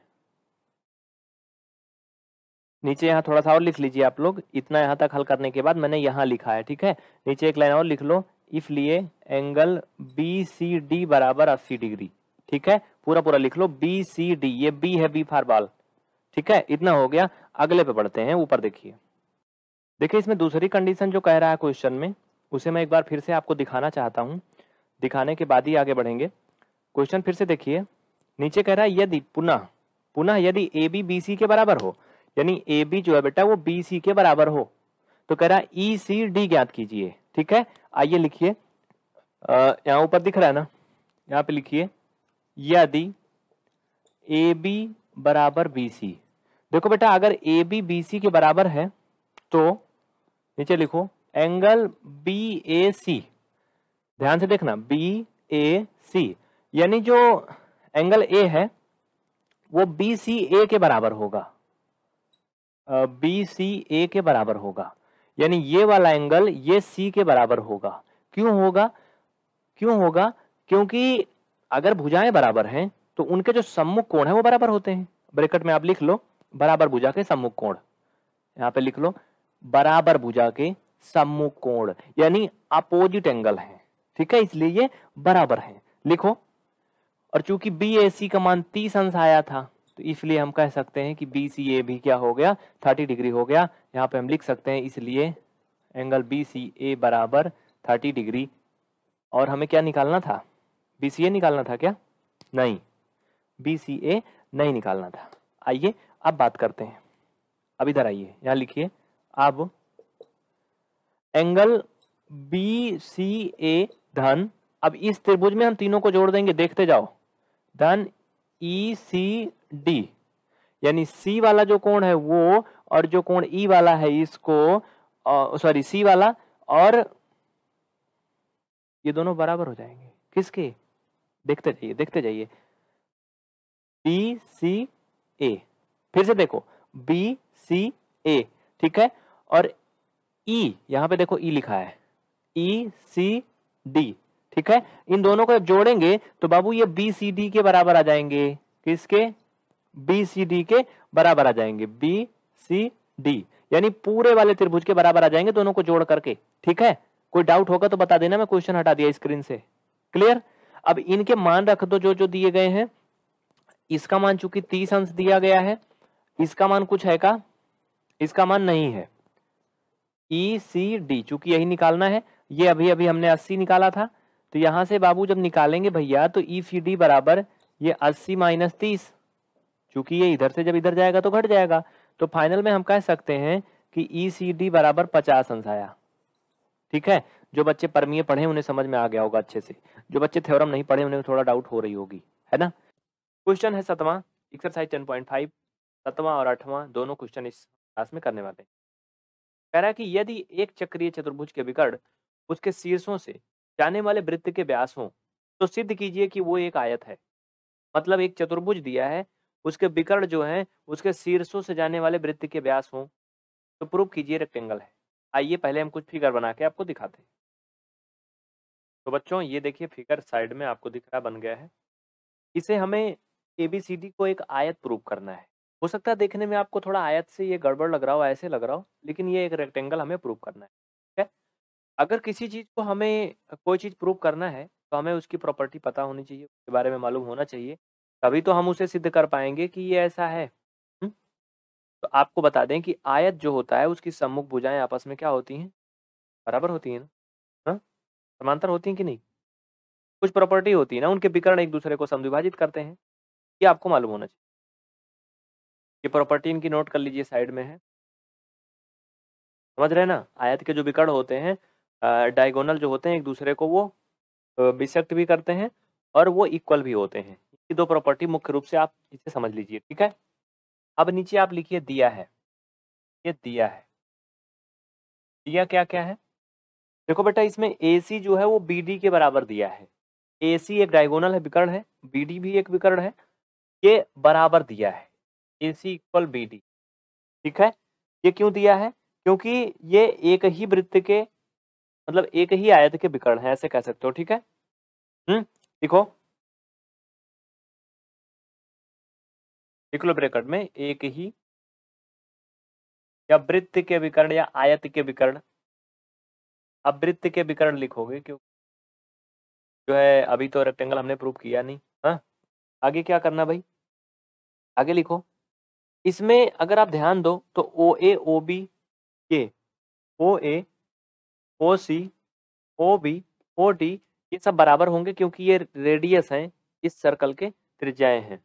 है ना? तो आप लिख सकते हो ओ ए बराबर ओ सी बराबर ओ बी बराबर ओ डी तो एक ही वृत्त की त्रिज्याएँ। इसमें किसी को कोई डाउट नहीं होना चाहिए क्योंकि एक ही सर्कल की जो रेडियस है आपस में इक्वल होती है हमेशा। ठीक है? इतना लिख लीजिए डन कोई दिक्कत नहीं। देखिए इसमें एक चीज़ आपको और भी समझना है इतना तो दिया ही है। आ, आप इसे क्वेश्चन नंबर फ़र्स्ट बना सकते हो। क्वेश्चन नंबर फ़र्स्ट अभी आगे इसका यूज़ होगा। ठीक है? देखो बाबू, इसमें जो ओ ए है ओ ए आप समझ रहे हो? ये सेंटर से लेकर के यहाँ तक की जो ये त्रिज्या है ओ ए और ओ सी ये ए सी की आधी है कि नहीं? भाई ए सी की आधी है ना तो इसको मैं ऐसा लिख सकता हूँ। ओ सी इक्वल हाफ़ ए सी बोलो, लिख सकता हूँ कि नहीं? लिख सकता हूँ ना। इसी तरह से इसको हम O B equal O D equal half B D लिख सकते हैं। इसमें किसी को कोई डाउट नहीं, क्योंकि बी डी जो है वो पूरा पूरा विकर्ण है और ओ डी और ओ बी त्रिज्या है क्योंकि ये आधी है, ये भी आधी है, दोनों जोड़ करके तो ये बन रही है। या फिर हम ऐसे कहें, अगर बी डी को आधी कर दें तो इसके बराबर या इसके बराबर हो जाएगा। ये इक्वेशन नंबर दो हो गया दोनों। ठीक है? अब इतना आप लिख लिए हो तो आगे लिखिए। इधर साइड में जगह है, यहाँ पे आप लिख सकते हो। ध्यान देना बेटा। पहले यहाँ मैंने हल किया है, उसके बाद उधर साइड में चलेंगे। आप क्या लिखोगे? Equation number first and second से। विकर्ण बराबर हैं और एक दूसरे को समद्विभाजित कर है। समीकरण एक और दो से। विकर्ण जो है वो क्या है? बराबर है और एक दूसरे को विशक्त भी कर रहे हैं। नीचे लिखिए, इसलिए ए बी सी डी एक आयत होगा। क्या लिखिए, इसलिए ए बी सी डी एक आयत होगा। आयत होगा। ठीक है? ये आपका क्वेश्चन नंबर सेवन कंप्लीट हो गया। किसी को कोई डाउट है, आप निसंकोच कमेंट करिए। चलिए, जल्दी करिए। 10.5 का क्वेश्चन नंबर सेवन कंप्लीट हो गया। पहले हमने यहाँ से लेकर यहाँ तक हल किया है। लास्ट स्टेप में यहाँ किया है। किसी को कोई डाउट है, बताइए। नेक्स्ट क्वेश्चन पे आगे बढ़ते हैं। देखो बेटा, जो कमेंट कर रहे हैं, वो परेशान न रहे। दीपक वर्मा, जी आपका कमेंट आ रहा है। प्रशांत यादव जी, आपका भी कमेंट आ रहा। है म्यूज़िक एंड वीडियो जोन, आपका भी कमेंट आ रहा है बाबू। और ब्रजेश जी का भी कमेंट आ रहा है। परेशान न रहिए, पढ़िए, ध्यान से पढ़िए कमेंट के पीछे मत पढ़िए। डेली जुड़ेंगे, आपका नाम भी हम बोलेंगे। आप डेली जुड़िए शाम सात बजे। अगला क्वेश्चन देखिए, आठवां नंबर आपके सामने है। आठवां नंबर क्वेश्चन क्या कह रहा है? कह रहा है कि यदि एक समलंब की असमांतर भुजाएँ बराबर हों, एक समलंब की, यानी ट्रेपेजियम की, जो भुजाएँ समांतर नहीं है, वो अगर बराबर हों तो सिद्ध कीजिए कि एक चक्रीय है। चक्रीय मतलब जानते हो? हुँ? बताना जानते हो अगर तो। चक्रीय मतलब होता है साइक्लिक क्या करना है हमें? हमें इसे साइक्लिक प्रूव करना है बेटा ठीक है? आइए फिगर बना लेते हैं। आ, सबसे पहले हम क्या करेंगे? इधर साइड में एक फिगर बनाएँगे। यहाँ पर आपको दिख रहा है पहले ऐसे एक सर्कल बनाएँगे। सर्कल बनाने के बाद आप यहाँ पर ऐसे देंगे ट्रेपेजियम है सब समलम्ब है समझ रहे हो ना? इसमें ये दोनों साइडें आपस में पैरेलल दिख रही हैं आपको लेकिन इधर साइड वाली जो लाइन है वो पैरेलल नहीं है। के नाम भी लिख दीजिए आप अपने अकॉर्डिंग कुछ भी नामकरण कर सकते हैं। आ, हम ए बी सी डी लिख देते हैं। इधर नीचे ए बी उधर सी डी ठीक है? चलो ये ए बी हो गया ये सी डी हो गया। इसमें हम एक रचना भी करेंगे इसको ऐसे मिला देंगे सीधा सीधा इसको ऐसे मिला देंगे। आ, अभी इसकी रचना के बारे में हम डिटेल में आपको बताएँगे ठीक है? अभी तो हमने थोड़ा ज़्यादा खींच दिया मुझे ऐसा लग रहा है। थोड़ा रुकना इसको थोड़ा मैं सुधार देता हूँ। फिगर बिल्कुल अच्छे से बन चुका है और इसमें अब हम लिखेंगे दिया है। क्या दिया है? देखिए, इसमें जो ए बी है नीचे वाली रेखा हम थोड़ा नज़दीक में लिख देते हैं। ए बी ये बाबू सी डी के पैरल है। ठीक है, आप यहाँ पे लिखो गिबन। गिबन लिखो। सी में लिखो दिया है। क्या दिया है? A B parallel C D ठीक है? और क्योंकि ये दोनों पैरल हैं। कह रहा है कि जो दोनों रेखाएँ पैरल नहीं है, वो क्या है? आपस में इक्वल हैं। यानी जो ए डी है, वो बी सी के इक्वल है। ये भी ये कह रहा है। देखिए A D equal B C ये दिया गया है सब। ठीक है? सिद्ध क्या करना है? अब लिखिए टू प्रूव टू प्रूव लिखिए। टू प्रूव का मतलब सिद्ध करना है। कह रहा कि सिद्ध कीजिए, ये साइक्लिक है, यानी चक्रीय है। तो लिखिए ए बी सी डी एक चक्रीय है। ए बी सी डी एक चक्रीय है। कुल मिला के इसे हमें एक क्वाड्रेटरल प्रूव करना है। यानी चतुर्भुज सिद्ध करना है कि ए बी सी डी एक चतुर्भुज ठीक है। आइए नीचे यहाँ पे हम लिखेंगे, इसमें थोड़ा सा कंस्ट्रक्शन भी करना है। कुछ डिस्क्रिप्शन यहाँ पे लिख देते हैं, आप इसे ध्यान से देखिए, सुन लीजिए। देखिए, अगर ए बी सी डी एक चक्रीय होगा, यानी साइक्लिक होगा तो का ये मतलब है कि एक चतुर्भुज है है ना? और अगर ये चतुर्भुज है तो इनके जो सम्मुख कोण है वो 180 अंश के हो मतलब उनका योग 180 अंश होगा। आपको मालूम है ना? चतुर्भुज में जो अपोजिट एंगल होते हैं, उनका जो सम होता है, वो नेटिव होता है। यानी एंगल ए और एंगल सी अगर जोड़ें तो 180 होगा। एंगल बी और एंगल डी अगर योग करें तो वो भी 180 होना चाहिए, अगर ये साइक्लिक होगा। लिख लीजिए यहाँ पे। ये डिस्क्रिप्शन अगर आप लिख लिए हैं आगे चलिए मैं आपको कहानी बताता हूँ इसमें और आगे क्या करना है। ये हो गया। देखिए साथियों इतना तो आप सभी जान लिए इसमें कुछ किया नहीं मैंने। अब इसमें कंस्ट्रक्शन में हम लिखेंगे रचना में। रचना में करते समय पहले ही बता दिया था कि जो ए बी सी डी है उसको ड्रा करना था। बाकी जो मैंने डी को ई e से मिलाया था और सी को एफ़ से मिलाया था वो रचना का ही पार्ट था। तो आप यहाँ लिखेंगे आ, क्या लिखेंगे? कि डी ई e लंबवत है ए बी पर ऐसे D E perpendicular A B ये मैंने खींचा है, रचना किया है, ठीक है? डी ई जो है वो परपेंडिकुलर है ए बी पर और सी एफ़ ये भी परपेंडिकुलर है ए बी पर, ये रचना का ही पार्ट है, ठीक है? यहाँ पे आप लिखेंगे ये और ये खींचा। इंग्लिश मीडियम वाले लिख देंगे, draw D E perpendicular A B comma C F perpendicular A B okay अब लिखिए उपपत्ति उपपत्ति लिखिए इंग्लिश वाले लिखेंगे प्रूफ प्रूफ लिखेंगे या हिंदी में उपपत्ति देखिए बेटा, यहाँ पर जो एंगल ई e है एंगल ई e वो एंगल एफ़ के बराबर है। क्यों बराबर है? आइए। अगर कोई भी रेखा किसी भी रेखा पर परपेंडिकुलर होती है तो वहाँ पे नब्बे का कोण बनता है, आप सबको पता है। नाइन्टी का बनता है। इसी तरह से ई e और एफ़ दोनों पर क्या है? नब्बे का बन रहा है। आप यहाँ पे लिखेंगे, प्रत्येक नब्बे डिग्री। इसलिए ये बराबर है। पी सी ए डी के बराबर है। ये क्यों बराबर है? क्योंकि ये क्वेश्चन में ही दिया है, कहा गया था। डी सी एफ़ के बराबर है। डी ये सी एफ़ के बराबर है। डी ई एफ़ के बराबर है। क्यों बराबर है? क्योंकि सी डी और ए बी पैरल है। पहले ही कहा गया है कि ए बी और सी डी पैरल है। और अगर किन्हीं दो पैरल रेखाओं के बीच में ऐसे लाइन खींचा जाए तो हमेशा बराबर होती है, क्योंकि पैरेलल रेखाएँ हर जगह पर बराबर दूरी पर होती, है ना?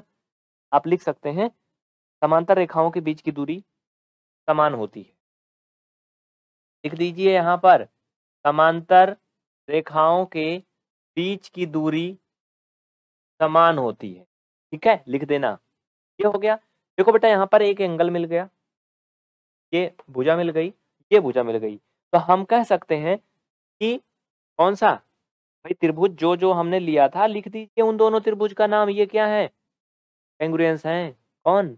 ए डी ई और सी एफ़ बी यहाँ पर छात्रों थोड़ा चीज़ हम लोग छोड़ दे रहे हैं उसको भी लिख लीजिए आप। आ, ये लिखने के पहले आपको यहाँ लिखना था कि ये आप कर कहाँ रहे हो ठीक है? यहाँ पे थोड़ा लिख लेना। त्रिभुज सी ई ए और त्रिभुज सी एफ़ बी में ठीक है, ये ज़रूर लिख लेना ऊपर। उपत्ति लिखने के बाद इसको ज़रूर लिख लेना, तब इसको लिखना, नहीं तो ये हवा में नहीं चलेगा, ठीक है? थोड़ा यहाँ भूल हुई है तो ये आप पहले लिख लेना। डी ई ए और सी एफ़ बी में, ये जो हो रहा है, इन्हीं दोनों में हो रहा था, ठीक है? तो इसलिए अब हम यहाँ लिख सकते हैं नेक्स्ट लाइन में, अगले स्टेप में इतना करने के बाद, अगर ये दिया है तो हम यहाँ लिखेंगे इसलिए, त्रिभुज D A perpend, oh, sorry congruence C F B यानी ये दोनों क्या हैं? सर्वंक्षम है, कैंग्रियंस है, कौन सा रूल से? पाई आर एच एस, क्योंकि एक कोण नब्बे का है और भुजाएँ आपस में बराबर हैं। कोष्टक में लिखोगे, by R H S congruent rule. ठीक है? और अगर भैया बाबू, ये दोनों त्रिभुज आपस में कैंग्रियंट हो गए, ये और ये छोटा वाला, दोनों अगर कैंग्रियंट हो गए तो इनके जो करस्पॉन्डिंग साइड है करस्पॉन्डिंग एंगल है, वो बराबर होंगे। हाँ सिंपल सी बात है, बराबर होंगे। तो आप लिख सकते हो, आगे लिखो angle A equal angle B नीचे जगह है, इधर मैं इरेज करूँगा। जल्दी इसको लिख लो। इसको लिख लो, वहाँ जगह कम है, मैं इसको इरेज कर दूँ। थोड़ी चीज़ें यहाँ लिख देता हूँ, लिखो। Angle A equal angle B bracket में लिखिए। अभी यहाँ पर एक एंगल भी मैं डिसाइड कर दूँ तो ज़्यादा बेहतर रहेगा। आप इसे एक एंगल फ़र्स्ट मान लो। इसे एंगल सेकेंड मान लो। ठीक है? तो यहाँ पर बेटा एंगल वन एंगल टू के बराबर होगा। क्यों होगा? लिख लो by C P C P C T bracket में लिख लो सब में बाई सी पी मतलब करस्पॉन्डिंग पार्ट आप कैंगुलेंट ट्रेंगल जो लोग सर्वांग क्षमता पढ़े हैं त्रिभुज का, सिर्फ़ वही समझ पाएँगे। त्रिभुज की संगत भुजाएँ और संगत कोण आपस में बराबर होते हैं। ठीक है? लिखो फटाफट, जल्दी लिखो। देखो सामने जगह कम है, इसलिए मुझे हटना पड़ जाता है। अब इसको मैं इरेज कर रहा हूँ। मैं पूरा इरेज करके इसको आगे बढ़ाऊँगा। बहुत जल्दी लिखो, फट से। चलिए, आगे बढ़ते हैं। अब एंगल फ़र्स्ट और एंगल सेकंड को लेकर के, ये जो हमने एंगल फ़र्स्ट और सेकंड माना, इनको लेकर के कुछ आगे करेंगे, जिससे आगे बढ़े। देखो बेटा कमेंट के चक्कर में ना पड़ो। रंजीत कुमार कमेंट आपका आ रहा है मोटिवेशनल क्लिप हमारा भी कमेंट आ रहा है। जयनाथ पाल। सभी जो डेली जुड़ते हैं, उनका नाम हम ज़रूर बोलते हैं। चलो। देखिए, इसमें एक काम करेंगे। इन दोनों एंगल में हम 90 डिग्री जोड़ लेंगे। कैसे? आइए बताते हैं। ये जो एंगल फ़र्स्ट है ना, और एंगल सेकंड हमने कहा कि 90 डिग्री का जो हिस्सा है इधर साइड में है, इधर है ना तो हम क्या करेंगे, इसको जोड़ लेंगे। क्या करेंगे? ये नब्बे वाला इसमें जोड़ लेंगे। ये पूरा पूरा, आप समझ रहे हो? ये पूरा पूरा एक प्रकार से प्राप्त कर लेंगे। कि अगर इतना हमने माना था तो। ठीक है? तो क्या करेंगे यहाँ पर? लिखेंगे, दोनों पक्षों में नब्बे जोड़ने पर। दोनों पक्षों में नब्बे जोड़ने पर। अगर कोई भी दो एंगल या भुजाएँ कुछ भी अगर बराबर हैं तो उनमें बराबर चीज़ जोड़ी या घटाई जा सकती है, कोई दिक्कत नहीं है। तो ये हो जाएगा angle first plus nine zero ninety, angle second plus ninety, ठीक है? अब देखिए, जो नब्बे का कोण बन रहा है, इस जगह पे हम ये लिख सकते हैं, डी ई और सी। ई डी सी भी लिख सकते हो, लिखेंगे angle one plus angle E ठीक है? लिख सकते हैं? इक्वल एंगल सेकेंड प्लस जो यहाँ पर मैंने नब्बे लिखा है, इसकी जगह पर एफ़ सी डी लिख सकते हैं। कौन कौन? एफ़ सी डी यानी ये। ये मैं खींचा ना? एफ़ सी डी इस नब्बे की जगह पे हम लिख सकते हैं एफ़ सी कितना क्लियर इसमें किसी को कोई डाउट नहीं। अब देखो भैया ए डी सी बराबर है बी सी डी के। क्यों बराबर है अभी बता रहा हूँ, देखो। Angle A, D equal angle B आओ इधर आओ। ए, डी, सी। ए, डी और सी। ए, डी और सी। और इधर कौन कौन था? B, C, D. ये दोनों आपस में बराबर हैं? ये बराबर क्यों है? क्यों बराबर है? भाई सोचो क्यों बराबर है आखिर? बी और सी क्यों बराबर हैं? बताइए। ये बराबर तो हम लोग खुद ही सिद्ध कर चुके हैं, बताना क्या है यार? यही तो करते आए हैं। ये इतने पूरे की जगह पे एडीसी लिख दिया और इतने पूरे की जगह पे बीसीडी लिख दिया। एक्चुअली क्या है? ये एंगल वन और ये वाला जगह, ये टोटल जब जोड़ा गया तो यही तो बना एडीसी बना ना? हाँ? यानी हम इसकी जगह पर ये लिख दिए। ठीक है? अब देखो भैया, इसको मैं ऐसे डायरेक्ट भी लिख सकता हूँ। Angle D equal angle C इसमें कोई दिक्कत नहीं है। क्योंकि हम सभी जानते हैं कि चतुर्भुज के जो चारों कोण होते हैं का योगफल 180 अंश होता है। सॉरी 360 होता है। 360 होता है ना, ये लिख लीजिए। कितना फट से लिखिए। इसमें जो जो दिया है उसका मान रख दीजिए, आपका आंसर आ गया है। बस अब ज़्यादा कुछ करना ही नहीं है। तो देखो भैया, इसमें एक काम कर सकते हैं हम। ये सबको पता है नॉर्मली, चतुर्भुज के चारों कोणों का योग 180 होता है। तो एंगल ए धन, एंगल बी को भी हम एंगल ए लिख सकते हैं। अभी अभी पीछे हमने कोण ए और कोण बी को बराबर प्रूव किया था। किया था पीछे ना, अगर देखो थोड़ा पीछे, जहाँ इक्वेशन नंबर फ़र्स्ट बना था। ये हो जाएगा। धन ये ध्यान से यहाँ पे देखो एंगल सी और एंगल डी भाई, यहाँ बराबर सिद्ध किया है। तो अगर बराबर सिद्ध किया है तो हम यहाँ पर एंगल सी दोनों जगह पर एंगल सी ही लिखेंगे।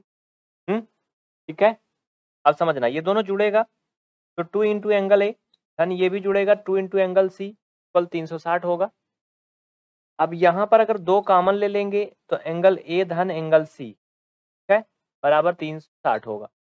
इसमें कोई दिक्कत नहीं किसी को। बेटा देखो, यहाँ अब आगे बढ़ेंगे हम लोग। यहाँ पे आ जाओ फटाफट। तो ये एंगल ए धन एंगल सी इक्वल तीन सौ साठ बटा दो होगा, क्योंकि जो दो इधर गुड़ा में था, इधर भाग में हो गया। तो ये एंगल ए धन एंगल सी इक्वल एक सौ अस्सी होगा। कितना होगा? 180 होगा। और चूँकि सम्मुख जो कोण होते हैं, क्या? आयत के, यानी चतुर्भुज के, जो सम्मुख कोण होते हैं उनका योगफल 180 होता है। यहाँ पे सी लिखना भूल ही गया है। क्या होता है? 180 होता है ना? ये प्रूव हो गया ना कि चक्रीय है। ये प्रूव हो गया ना कि एक क्वाड्रेटरल है। है ना? लिख लीजिए नीचे डिस्क्रिप्शन हो गया क्लियर तो इसको लिख लीजिए।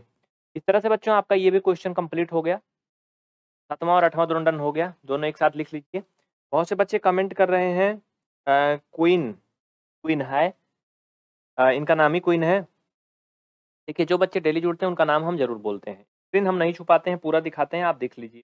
नीतीश कुशवाहा, शीला देवी, वेदांग जी, आपका भी कमेंट आ रहा है। ठीक है? एक्सरसाइज 10.5 का आज ही आपका वृत्त वाले चैप्टर का भी लास्ट क्लास है। क्योंकि आज से चैप्टर दसवां खत्म हो जाएगा चैप्टर ग्यारह शुरू हो जाएगा। Question number ten eleven twelve दो ही, तीन क्वेश्चन है। ये तीनों इसमें करवाए जाएँगे। क्लास को एंड तक देखना और बड़े ही प्यार से देखना चलिए क्वेश्चन देखिए स्क्रीन पे क्या लिखा है? कह रहा कि यदि किसी त्रिभुज की दो भुजाओं को व्यास मान करके, यानी डायमीटर को मान लिया जाए, दो साइड को कि ये इनकी डायमीटर है, और सर्कल ड्रा करें, वृत्त को खींचा जाए तो सिद्ध कीजिए कि इन वृत्तों का जो प्रतिच्छेदन बिंदु है, वो तीसरी भुजा पर स्थित है। यानी जो इसका इंटरसेक्ट क्या बोलते हैं उसे बिसेक्ट इंटरसेक्ट है ना? जो इंटरसेक्ट वाला पॉइंट है, वो तीसरी साइड पर है। प्रूव करना है। आइए, पहले हम दो सर्कल उस तरह से ड्रा करते हैं, जैसे बोल रहा है। त्रिभुज मैंने बनाया, इस त्रिभुज को हम मान लेते हैं ए बी सी ठीक है? पहले फिगर बनाएँगे, जैसे बोल रहा है ध्यान देखना।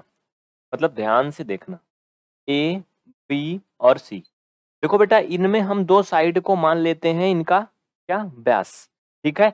ए बी को मान लेते हैं और इधर ए सी को। और मान करके एक सर्कल खींचना है। जरा ध्यान से देखना सर्कल कैसे खींचेगा। हो सकता है शुरू में थोड़ा टेढ़ा मेढ़ा हो जाए, लेकिन उम्मीद है कि अच्छी जाएगी। ये ऐसे इन दोनों से होते हुए जाएगी। देखो मैं एक तरीका बता देता हूँ अभी हमारा तो बहुत अच्छा नहीं बन रहा है। बता दूँगा अभी थोड़ा सा ऐसे रुके रहो। आपका बहुत ही बेहतर बनेगा और ये इस साइड को टच करता हुआ जाएगा। मैं बता दूँगा अभी प्रकार से आप कैसे खींचोगे? हाथ से नहीं बनता उतना अच्छा ये। आ, थोड़ा सा रुके रहो मैं बताऊँगा अभी। ये इस पे से होके जाना चाहिए। टेढ़ा बना है गोला नहीं बना ना? मैं बता रहा हूँ गोला बनेगा। इस पे टच होना चाहिए इस पे भी टच होना चाहिए इस पे भी कोने पे ही टच होना चाहिए। ठीक है, ये बाहर से नहीं जाना चाहिए। अब मैं बताता हूँ कि आप इसे अपनी कॉपी में कैसे ड्रा करोगे। जरा सुन लो थोड़ा सा। इसके लिए पहले आपको रेखा का समद्विभाजक करना आना चाहिए, ठीक है? रेखा का समद्विभाजक कैसे करते हैं, जरा देखना। इधर पहले समझ लो। देखो बेटा, जैसे अगर ये मैंने रेखा खींचा तो इसका समद्विभाजक कैसे करते हैं, जानते हो? ये प्रकार देखो ना? इसको ऐसे पकड़ते हैं, आधे से अधिक की त्रिज्या लेते हैं। आधे से ज़्यादा इसको फैला लेंगे इस रेखा की लंबाई के ऐसे। और उसके बाद रख के इस पर ऐसे एक चाप इधर मारेंगे और एक चाप इधर मारेंगे, याद रहे, ठीक है? और फिर इधर भी ऐसे करेंगे, इस पर रख करके एक चाप इधर मारेंगे, एक इधर मारेंगे। देखो मैं बताता हूँ कैसे, ये ऐसे कुछ, ऐसे ऐसे, देखो ऐसे, ये एक ऐसे मार देंगे, फिर ऐसे, एक इधर को मार देंगे, समझना? फिर इधर ऐसे रखेंगे, इधर साइड में रखेंगे, एक चाप ऐसे मारेंगे, आधा से अधिक त्रिज्या रहना चाहिए, एक इधर ऐसे मारेंगे, फिर इनको ऐसे मिलाएँगे। ये जो बिंदु होगा क्या होगा? इसका समदुभाजक पॉइंट होगा। यानी अगर भैया, बाबू अगर ये छह सेंटीमीटर की है तो जो ये पॉइंट होगा वो तीन सेंटीमीटर पर होगा। कितने पर होगा? तीन सेंटीमीटर पर होगा। और जब वो पॉइंट आपको मिल जाएगा, तब इस पर प्रकार रख करके किस पर? जब एक सर्कल ड्रा करोगे तो वो सर्कल ऐसे दोनों तरफ़ टच करते हुए जाएगी ऐसे। ये देखो मेरा खेचा मेचा हो गया ना हाथ से। समझ रहे हो ना? हम्म? अगर रेखा का समदुभाजक करके उस तरह से खींचोगे तो ऐसे जाएगा। इसका फिगर मैंने बनाया था, अभी मैं दिखाता। तो ऐसे यहाँ भी आप लोग इस फिगर को बना लोगे। ठीक है, समझ गए ना? इसका समदुभाजक करके ऐसे खींच लोगे। चले आगे बढ़े। चलिए, ये हो गई चित्र की बात। जो जो दिया है अब उसको कर लेते हैं। चलिए सोल्यूशन पे आगे बढ़ते हैं। सबसे पहले आप लिखेंगे, दिया है इंग्लिश वाले लिखेंगे गिबन क्या क्या दिया है? जो क्वेश्चन में कह रहा था, वही आपको लिख देना। ज़्यादा इसमें कुछ नया नहीं करना है। दिया क्या है, देखिए। कह रहा था कि दो वृत्त दिए हैं, लेकिन वो वृत्त कैसे बने थे? पहले एक त्रिभुज खींचा गया था, त्रिभुज की भुजा ए बी और ए सी को ब्यास मान करके वो वृत्त खींचे गए हैं, ठीक है? जिनके केंद्र क्रमशः ओ और ओ डैश है, ये याद रखना, ठीक है? ओके? तो यही चीज़ें हमने इसमें लिखा है, बाकी और कुछ नहीं लिखा है। नीचे लिखेंगे to prove to prove, Hindi वाले लिखेंगे सिद्ध करना है। सिद्ध करना क्या है भैया? कि दोनों वृत्तों का जो प्रतिच्छेदन बिंदु है वो डी है। यहाँ पर हम डी मानेंगे। ये भी ध्यान रहे, जब आप प्रकार से करोगे, जैसे मैंने बताया है तो ये दोनों सर्कल इसी पर इंटरसेक्ट एक दूसरे को करेंगे। ठीक है? ये बाहर नहीं निकलेगा। जैसे बताया, वैसे करोगे। तब हाथ से नहीं बनेगा ये। ठीक है? ओके? चलिए। दोनों वृत्तों का प्रतिच्छेदन बिंदु डी है। लिख लीजिए। दोनों वृत्तों का प्रतिच्छेदन बिंदु डी है। ठीक है, ये हमें क्या करना है? प्रूव करना है ओके अब क्या करेंगे? रचना। इसमें कंस्ट्रक्शन करना है थोड़ा सा देखिए भुजा एडी को मिलाया। भुजा नहीं, यहाँ पे बिंदु लिखोगे। बिंदु एडी को मिलाया। ये क्या हो गया? कंस्ट्रक्शन हो गया। देखिए, अगर हम सब कुछ आपके सामने ही लिखेंगे तो ये क्लास थोड़ा लंबा हो जाएगा। इस बात को याद रखना। हम्म। लेकिन लाइव में ऐसा नहीं हो पाता कि इसको एडिट कर दिया जाए। बहुत से बच्चे कमेंट के पीछे परेशान हैं। थोड़ा सबर रखो, देख रहा हूँ। एडी को मिलाया, अभी मिलाया हूँ नहीं, मिला देता हूँ ये लो। एडी को मिलाया। याद रखना जब एडी मिलाएँगे बेटा तो ये नब्बे हो जाएगा इस पे। इस पर ये एंगल इधर का भी नब्बे हो जाएगा, इधर का भी नब्बे हो जाएगा, क्योंकि ये समकोण बनाएगा ना उस पर ठीक है? ओके? चलो। लिख लो लिख लो।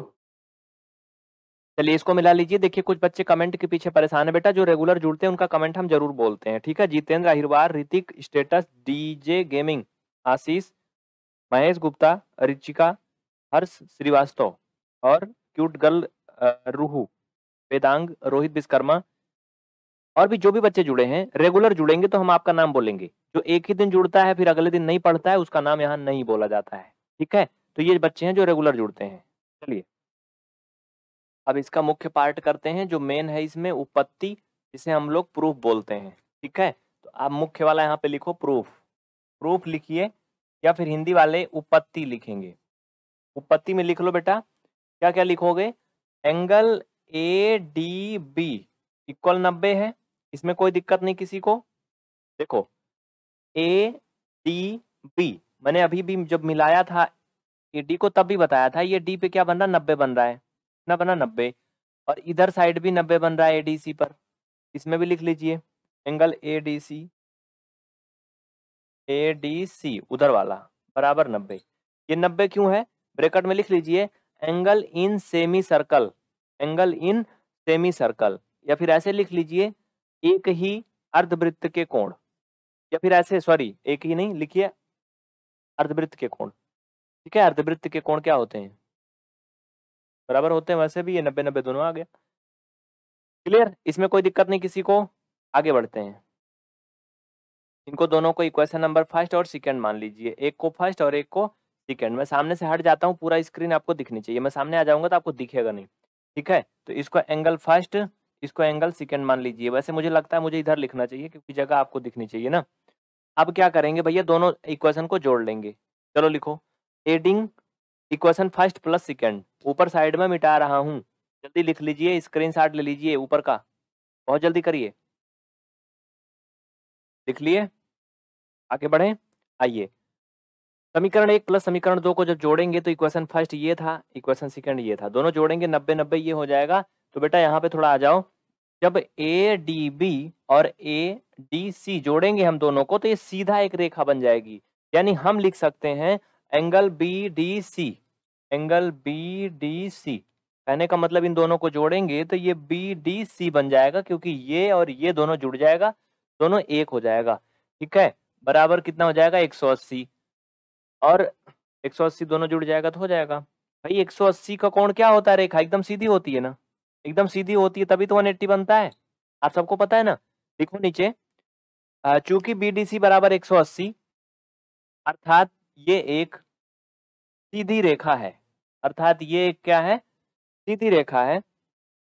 इसलिए दोनों वृत्तों के, इसलिए दोनों वृत्तों के प्रतिच्छेदन बिंदु, इसलिए दोनों वृत्तों के प्रतिच्छेदन बिंदु भुजा सी के, भुजा सी के बिंदु डी पर होंगे। बिंदु डी पर होंगे। ओके? नीचे लिख दो। इंग्लिश वाले जो लिखना चाहते हैं C is straight line C is straight line इसलिए D lie on B C Hindi वाले सिर्फ़ वहीं तक लिखेंगे बस, प्रतिच्छेद बिंदु डी पर होंगे, उसके बाद खत्म उनका। ये आपका हो गया प्रूफ इसमें कोई दिक्कत नहीं किसी को। चलो। जो बातें मैंने बोला वो ये है। आप इन्हें लिख लीजिए, जो लिखना चाहें लिख लीजिए। ठीक है? कोई डाउट नहीं। चलिए नेक्स्ट क्वेश्चन पे आगे बढ़ते हैं। देखो बेटा, थोड़ा डिटेल में बताएँगे। थोड़ा टाइम लग जाता है। अगला क्वेश्चन। अगला क्वेश्चन शुरू होता है आपका क्वेश्चन नंबर ग्यारह। ध्यान से देखिएगा, क्वेश्चन क्या कहता है? नीचे पढ़िए। कह रहा उभयनिष्ठ कर्ण एसी वाले दो समकोण त्रिभुज ए बी सी और ए डी सी हैं। तो सिद्ध कीजिए कि कोण सी ए डी बराबर सी बी डी है। ये हमें क्या करना, प्रूव करना। देखो बेटा, कमेंट के चक्कर में ना पढ़ो। जितेंद्र यादव जी बहुत परेशान ना रहो ठीक है? जो बच्चे कल जुड़े थे उन सब का मैं नाम बोलूँगा। गेमिंग नंबर बेटा तुम भी जुड़े हो परेशान ना रहो। और लाइव इंसान ब्लॉग वर्दी मेरी जान ये इनका नाम है। और ठीक है? आ, पाल जी आप भी जुड़े हैं। चलिए आगे बढ़ते हैं कोई दिक्कत नहीं। आइए पहले इसका फिगर बनाते हैं। पहले एक ऐसा हम लोग फिगर बनाएँगे कि क्या हो? समकोण त्रिभुज रहेंगे जिसके कर्ण कॉमन हो। आइए बनाते हैं। पहले एक सिंपल सा सर्कल बना लेंगे। देखिए, आपके सामने चित्र बनाएँगे तो बहुत लंबा हो जाता है, थोड़ा हमें टाइम बचाना पड़ता है। सर्कल बनाया, सर्कल बनाने के बाद क्या करेंगे, ये ऐसे खींच देंगे, ठीक है? जो कि सेंटर के लगभग पास में से ही होते हुए जाएगी, सेंटर से ज़्यादा दूर नहीं जाएगी। और क्या करेंगे? यहाँ पर भी हम ऐसे दो लाइनें खींच देंगे छोटी छोटी सी इनको ऐसे मिला देंगे, ठीक है? ये विकर्ण हैं जिनको हम ऐसे एक दूसरे पे कनेक्ट कर देंगे। क्लियर इनके नाम लिख दीजिए। ए बी सी डी कुछ भी आप इनके नाम अपने अनुसार से लिख सकते हो। ठीक है? तो यहाँ पर मान लेते हैं कि हमारा इसका कर्ण जो वो सॉरी जो आ, सेंटर था वो डी था वहीं बगल में ही था पास में कहीं। ठीक है? अब क्या करना है? यहाँ पर अगर आप ध्यान दीजिए तो बी सी जो है वो कर्ण दोनों के लिए कॉमन है। चाहे आप ए बी सी लेंगे या फिर बी डी सी लेंगे दोनों में कॉमन है। ओके? आइए आगे बढ़ते हैं। देखिए, पहले दिया है गिबन ये बहुत ही आसान क्वेश्चन है। आज का सबसे आसान क्वेश्चन है बेटा। देखो, इसमें जो दिया मैंने लिख दिया, दो समकोण त्रिभुज ए, बी, सी व ए, डी, सी दिए हैं। आपको इनको ऐसे गिनना है, ए, बी, सी और ए, डी, सी, जिसमें ए, सी क्या है, दोनों में कॉमन है। एक बार फिर से देख लो, अगर हम ए, बी, सी लेंगे, ये, तब भी कर्ड इसमें आएगा ए, सी, और अगर हम ए, डी, सी लेंगे, तब भी इसमें कर्ड आएगा। तो ये जो दिया था, लिख दिया सिद्ध जो करना था उसको लिख दिया। उपत्ति में आप लिखेंगे ए बी सी बराबर A D C angle A B C equal angle A D C ये दोनों बराबर क्यों हैं? क्योंकि दोनों नब्बे हैं। है ना? दोनों इक्वल इसलिए हैं बोथ आर नाइन्टी डिग्री इसमें कोई दिक्कत नहीं। देखिए, यहाँ पर ध्यान दीजिए, जब ए सी क्या है, दोनों में कॉमन है। दिख रहा है ना इतना? लिखो पट से। जब ए सी कॉमन है ए सी को अगर वृत्त का एक क्या माना जाए? व्यास माना जाए हाँ? एक व्यास माना जाए और मान करके एक वृत्त खींचा जाए। वृत्त का एक व्यास मान करके क्या किया जाए? वृत्त खींचा जाए। तो क्या बनेगा? वृत्त बन रहा है ना, जो कि बी डी से होते हुए जाएगा कि नहीं?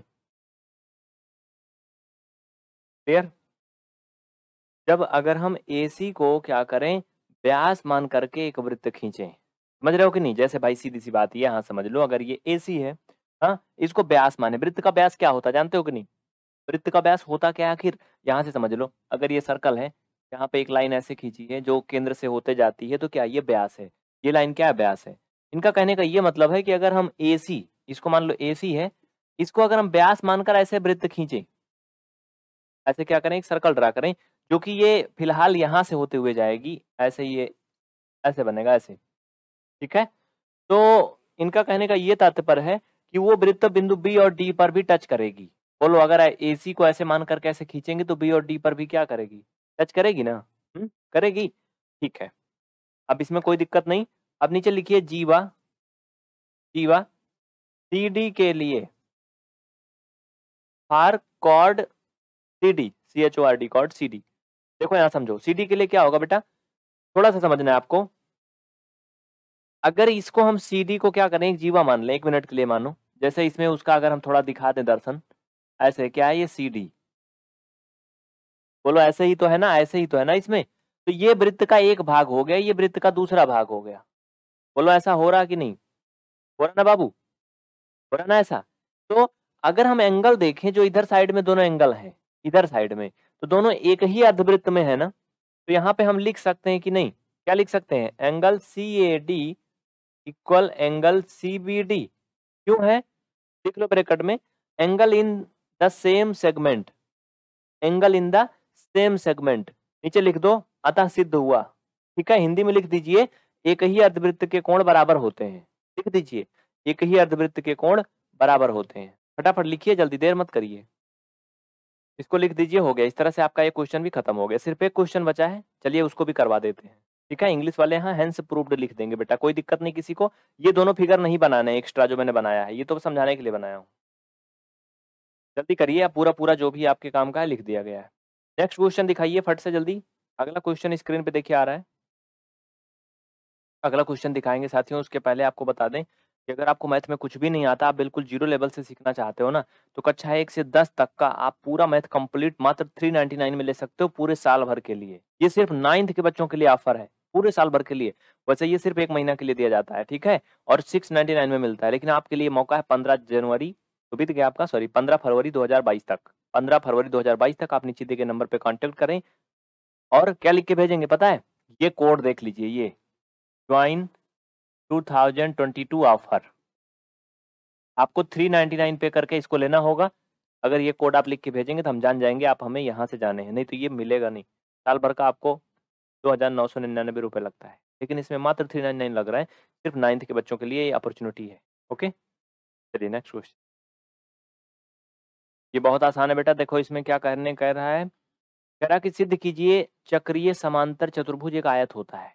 यानी साइक्लिक जो क्वाड्रेटरल है, वो एक रेक्टेंगल है, ये हमें प्रूव करना है। सबसे पहले हम क्या करेंगे? एक सर्कल बना लेंगे इधर साइड में और सर्कल के अंदर हम लोग एक आयत बनाएँगे। जो इसके पहले बनाया था, मैं वहाँ पे इसलिए नहीं बना था क्योंकि वृत्त के बाद में वृत्त बनाना संभव नहीं है। एक बार में बनाना बन जाता है। इनके नाम आप कुछ भी लिख दीजिए ए बी सी डी ठीक है? नामकरण कर दीजिए ए बी सी डी अब क्या करेंगे? लिखेंगे दिया है। जो दिया है, उसको लिख देंगे चलिए जो भी दिया है उनको लिख लेते हैं। देखिए गिबन, इंग्लिश वाले लिखेंगे गिबन एबीसीडी क्या है? एक साइक्लिक क्वाड्रेटरल है, ये दिया गया है। आप लिख लीजिए सिद्ध करना है कि एबीसीडी एक आयत है, लिख लीजिए prove that ABCD is a rectangle यहाँ पे प्रूफ लिखिए, जिसे उत्पत्ति बोलते हैं। इसमें लिखिए बेटा बिकॉज़ एबीसीडी ऐसे लिखेंगे हिंदी वाले ए बी सी डी एक चक्रीय चतुर्भुज है। चक्रीय चतुर्भुज है तो क्या होगा जानते हो? तो एंगल ए धन एंगल सी इक्वल एक सौ अस्सी होगा। आप कहोगे ऐसा क्यों? क्योंकि चक्रीय चतुर्भुज के जो सम्मुख कोण होते हैं, उनका योगफल एक सौ अस्सी अंश होता है। वैसे भी आप देख लीजिए, कोई भी रेक्टेंगल है अगर तो रेक्टेंगल के जो सम्मुख कोण होते हैं, क्या होते हैं? नब्बे नब्बे होते हैं। वैसे अगर ये छोड़ दें, वैसे भी हम देखें तो आयत के सभी कोण नब्बे नब्बे के होते हैं। ठीक है? तो इसे हम सम्मुख कोण को ऐसा लिख सकते हैं। अब ब्रैकेट में लिख दीजिए, चक्रीय चतुर्भुज के सम्मुख कोणों का योग 180 होता है। तो इसी तर्ज पर हम इसको एंगल ए को एंगल सी के बराबर भी कर सकते हैं। जैसा कि मैंने अभी बताया कि जो चतुर्भुज होते हैं क्वाड्रेटरल होते हैं, उनके अपोजिट एंगल या करस्पॉन्डिंग एंगल सब इक्वल होते हैं, क्योंकि चारों नब्बे नब्बे के ही होते हैं। चाहे आयत हो, चाहे वर्ग हो, सब में नब्बे नब्बे का ही बनता है। तो इनको हम बराबर भी कर सकते हैं। ब्रेकेट में लिख दीजिए opposite angle of parallelogram opposite angle of parallelogram या फिर समांतर चतुर्भुज के सम्मुख कोण ठीक है? तो बेटा इस तरह से हम यहाँ पे ऐसा भी लिख सकता हूँ। एंगल ए और उसके बाद में बराबर एंगल सी बराबर एंगल सी बराबर 180 बटा दो, बराबर नब्बे। इसमें कोई दिक्कत नहीं है। फाइनल में हम एंगल ए बराबर नब्बे लिखेंगे तो एंगल सी बराबर भी नब्बे आएगा, क्योंकि यहाँ से आपको दिख रहा होगा सब बराबर हैं। अब अगले लिखेंगे इसी प्रकार उतना करने के बाद में अलग जगह लिखेंगे अगली लाइन में। इसी प्रकार इंग्लिश मीडियम वाले लिखेंगे सिमिलरली सिमिलरली ठीक है, पूरी कहानी ऐसे ही करेंगे।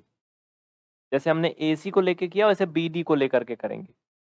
लिखेंगे angle B equal angle D equal कितना है? 180 इनको जोड़ करके लिख दो, ज़्यादा अच्छा रहेगा। पहले। ठीक है, अगली लाइन में लिखो। जैसे यहाँ पे किया था। Angle B equal angle D okay? ये दोनों क्या है? बराबर है। बराबर क्यों है? लिख दीजिए opposite angle of parallelogram bracket में लिख दीजिए opposite angle of parallelogram opposite angle of parallelogram समांतर चतुर्भुज के सम्मुख कोण ठीक है? अगली लाइन में लिखेंगे बबुआ angle B equal angle D equal one eighty upon two comment के पीछे जो पढ़े शांत रहो शांत रहो पढ़ लो। बराबर नब्बे। बातचीत ना करो, नहीं, पटक नहीं उठा। कितना आया? एंगल बी एंगल डी दोनों। नब्बे नब्बे के हो गए, ठीक है? अब समझो, अगर हमने ए को नब्बे सिद्ध कर दिया सी को नब्बे सिद्ध कर दिया बी को कर दिया डी को कर दिया, यहाँ पर इनको अलग अलग लिख लो। एंगल डी इक्वल नब्बे। भैया, अगर सभी कोण नब्बे नब्बे के हैं तो ये प्रूफ हो नहीं गया कि एक आयत है? बोलो। हो गया ना प्रूफ? कोई दिक्कत? देखो, चूँकि चारों कोण एबीसीडी के नब्बे नब्बे हैं, इसलिए सिद्ध होता है कि एबीसीडी एक आयत है। नीचे लिख दीजिए, चूँकि चारों कोण एबीसीडी नब्बे के हैं, अतः सिद्ध होता है कि एबीसीडी एक आयत है। ओके? कोई दिक्कत नहीं, लिख लो बेटा जल्दी से। देखो, कमेंट के पीछे ना पढ़ो। Gaming number one, Anil Kumar Yadav, Poonam Singh, comment आ रहा है आपका। अमन पाल, आपका भी कमेंट आ रहा है, और एजी आर्मी सबका कमेंट आ रहा बेटा, जो डेली जुड़ता है उसका नाम हम ज़रूर बोलते हैं। और जो डेली क्लास में नहीं आता, उसका नाम नहीं बोला जाता है। इसलिए आप लोग रोज क्लास में आओ daily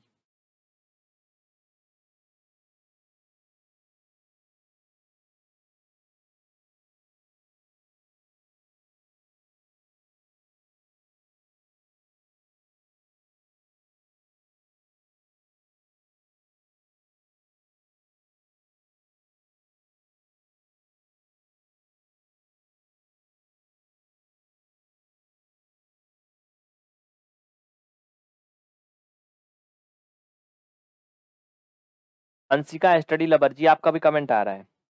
ठीक है, सालू कमेंट आ रहा है, प्रशांत मलिक आपका भी कमेंट आ रहा है, और क्यूट गर्ल रूहू, सबका कमेंट आ रहा है बेटा, कोई परेशान नहीं रहेगा। ठीक है ठीक है, कोई दिक्कत नहीं, सबका कमेंट आ रहा है, जो कमेंट करेगा, रोज जुड़ेगा, उसका नाम बोलेंगे।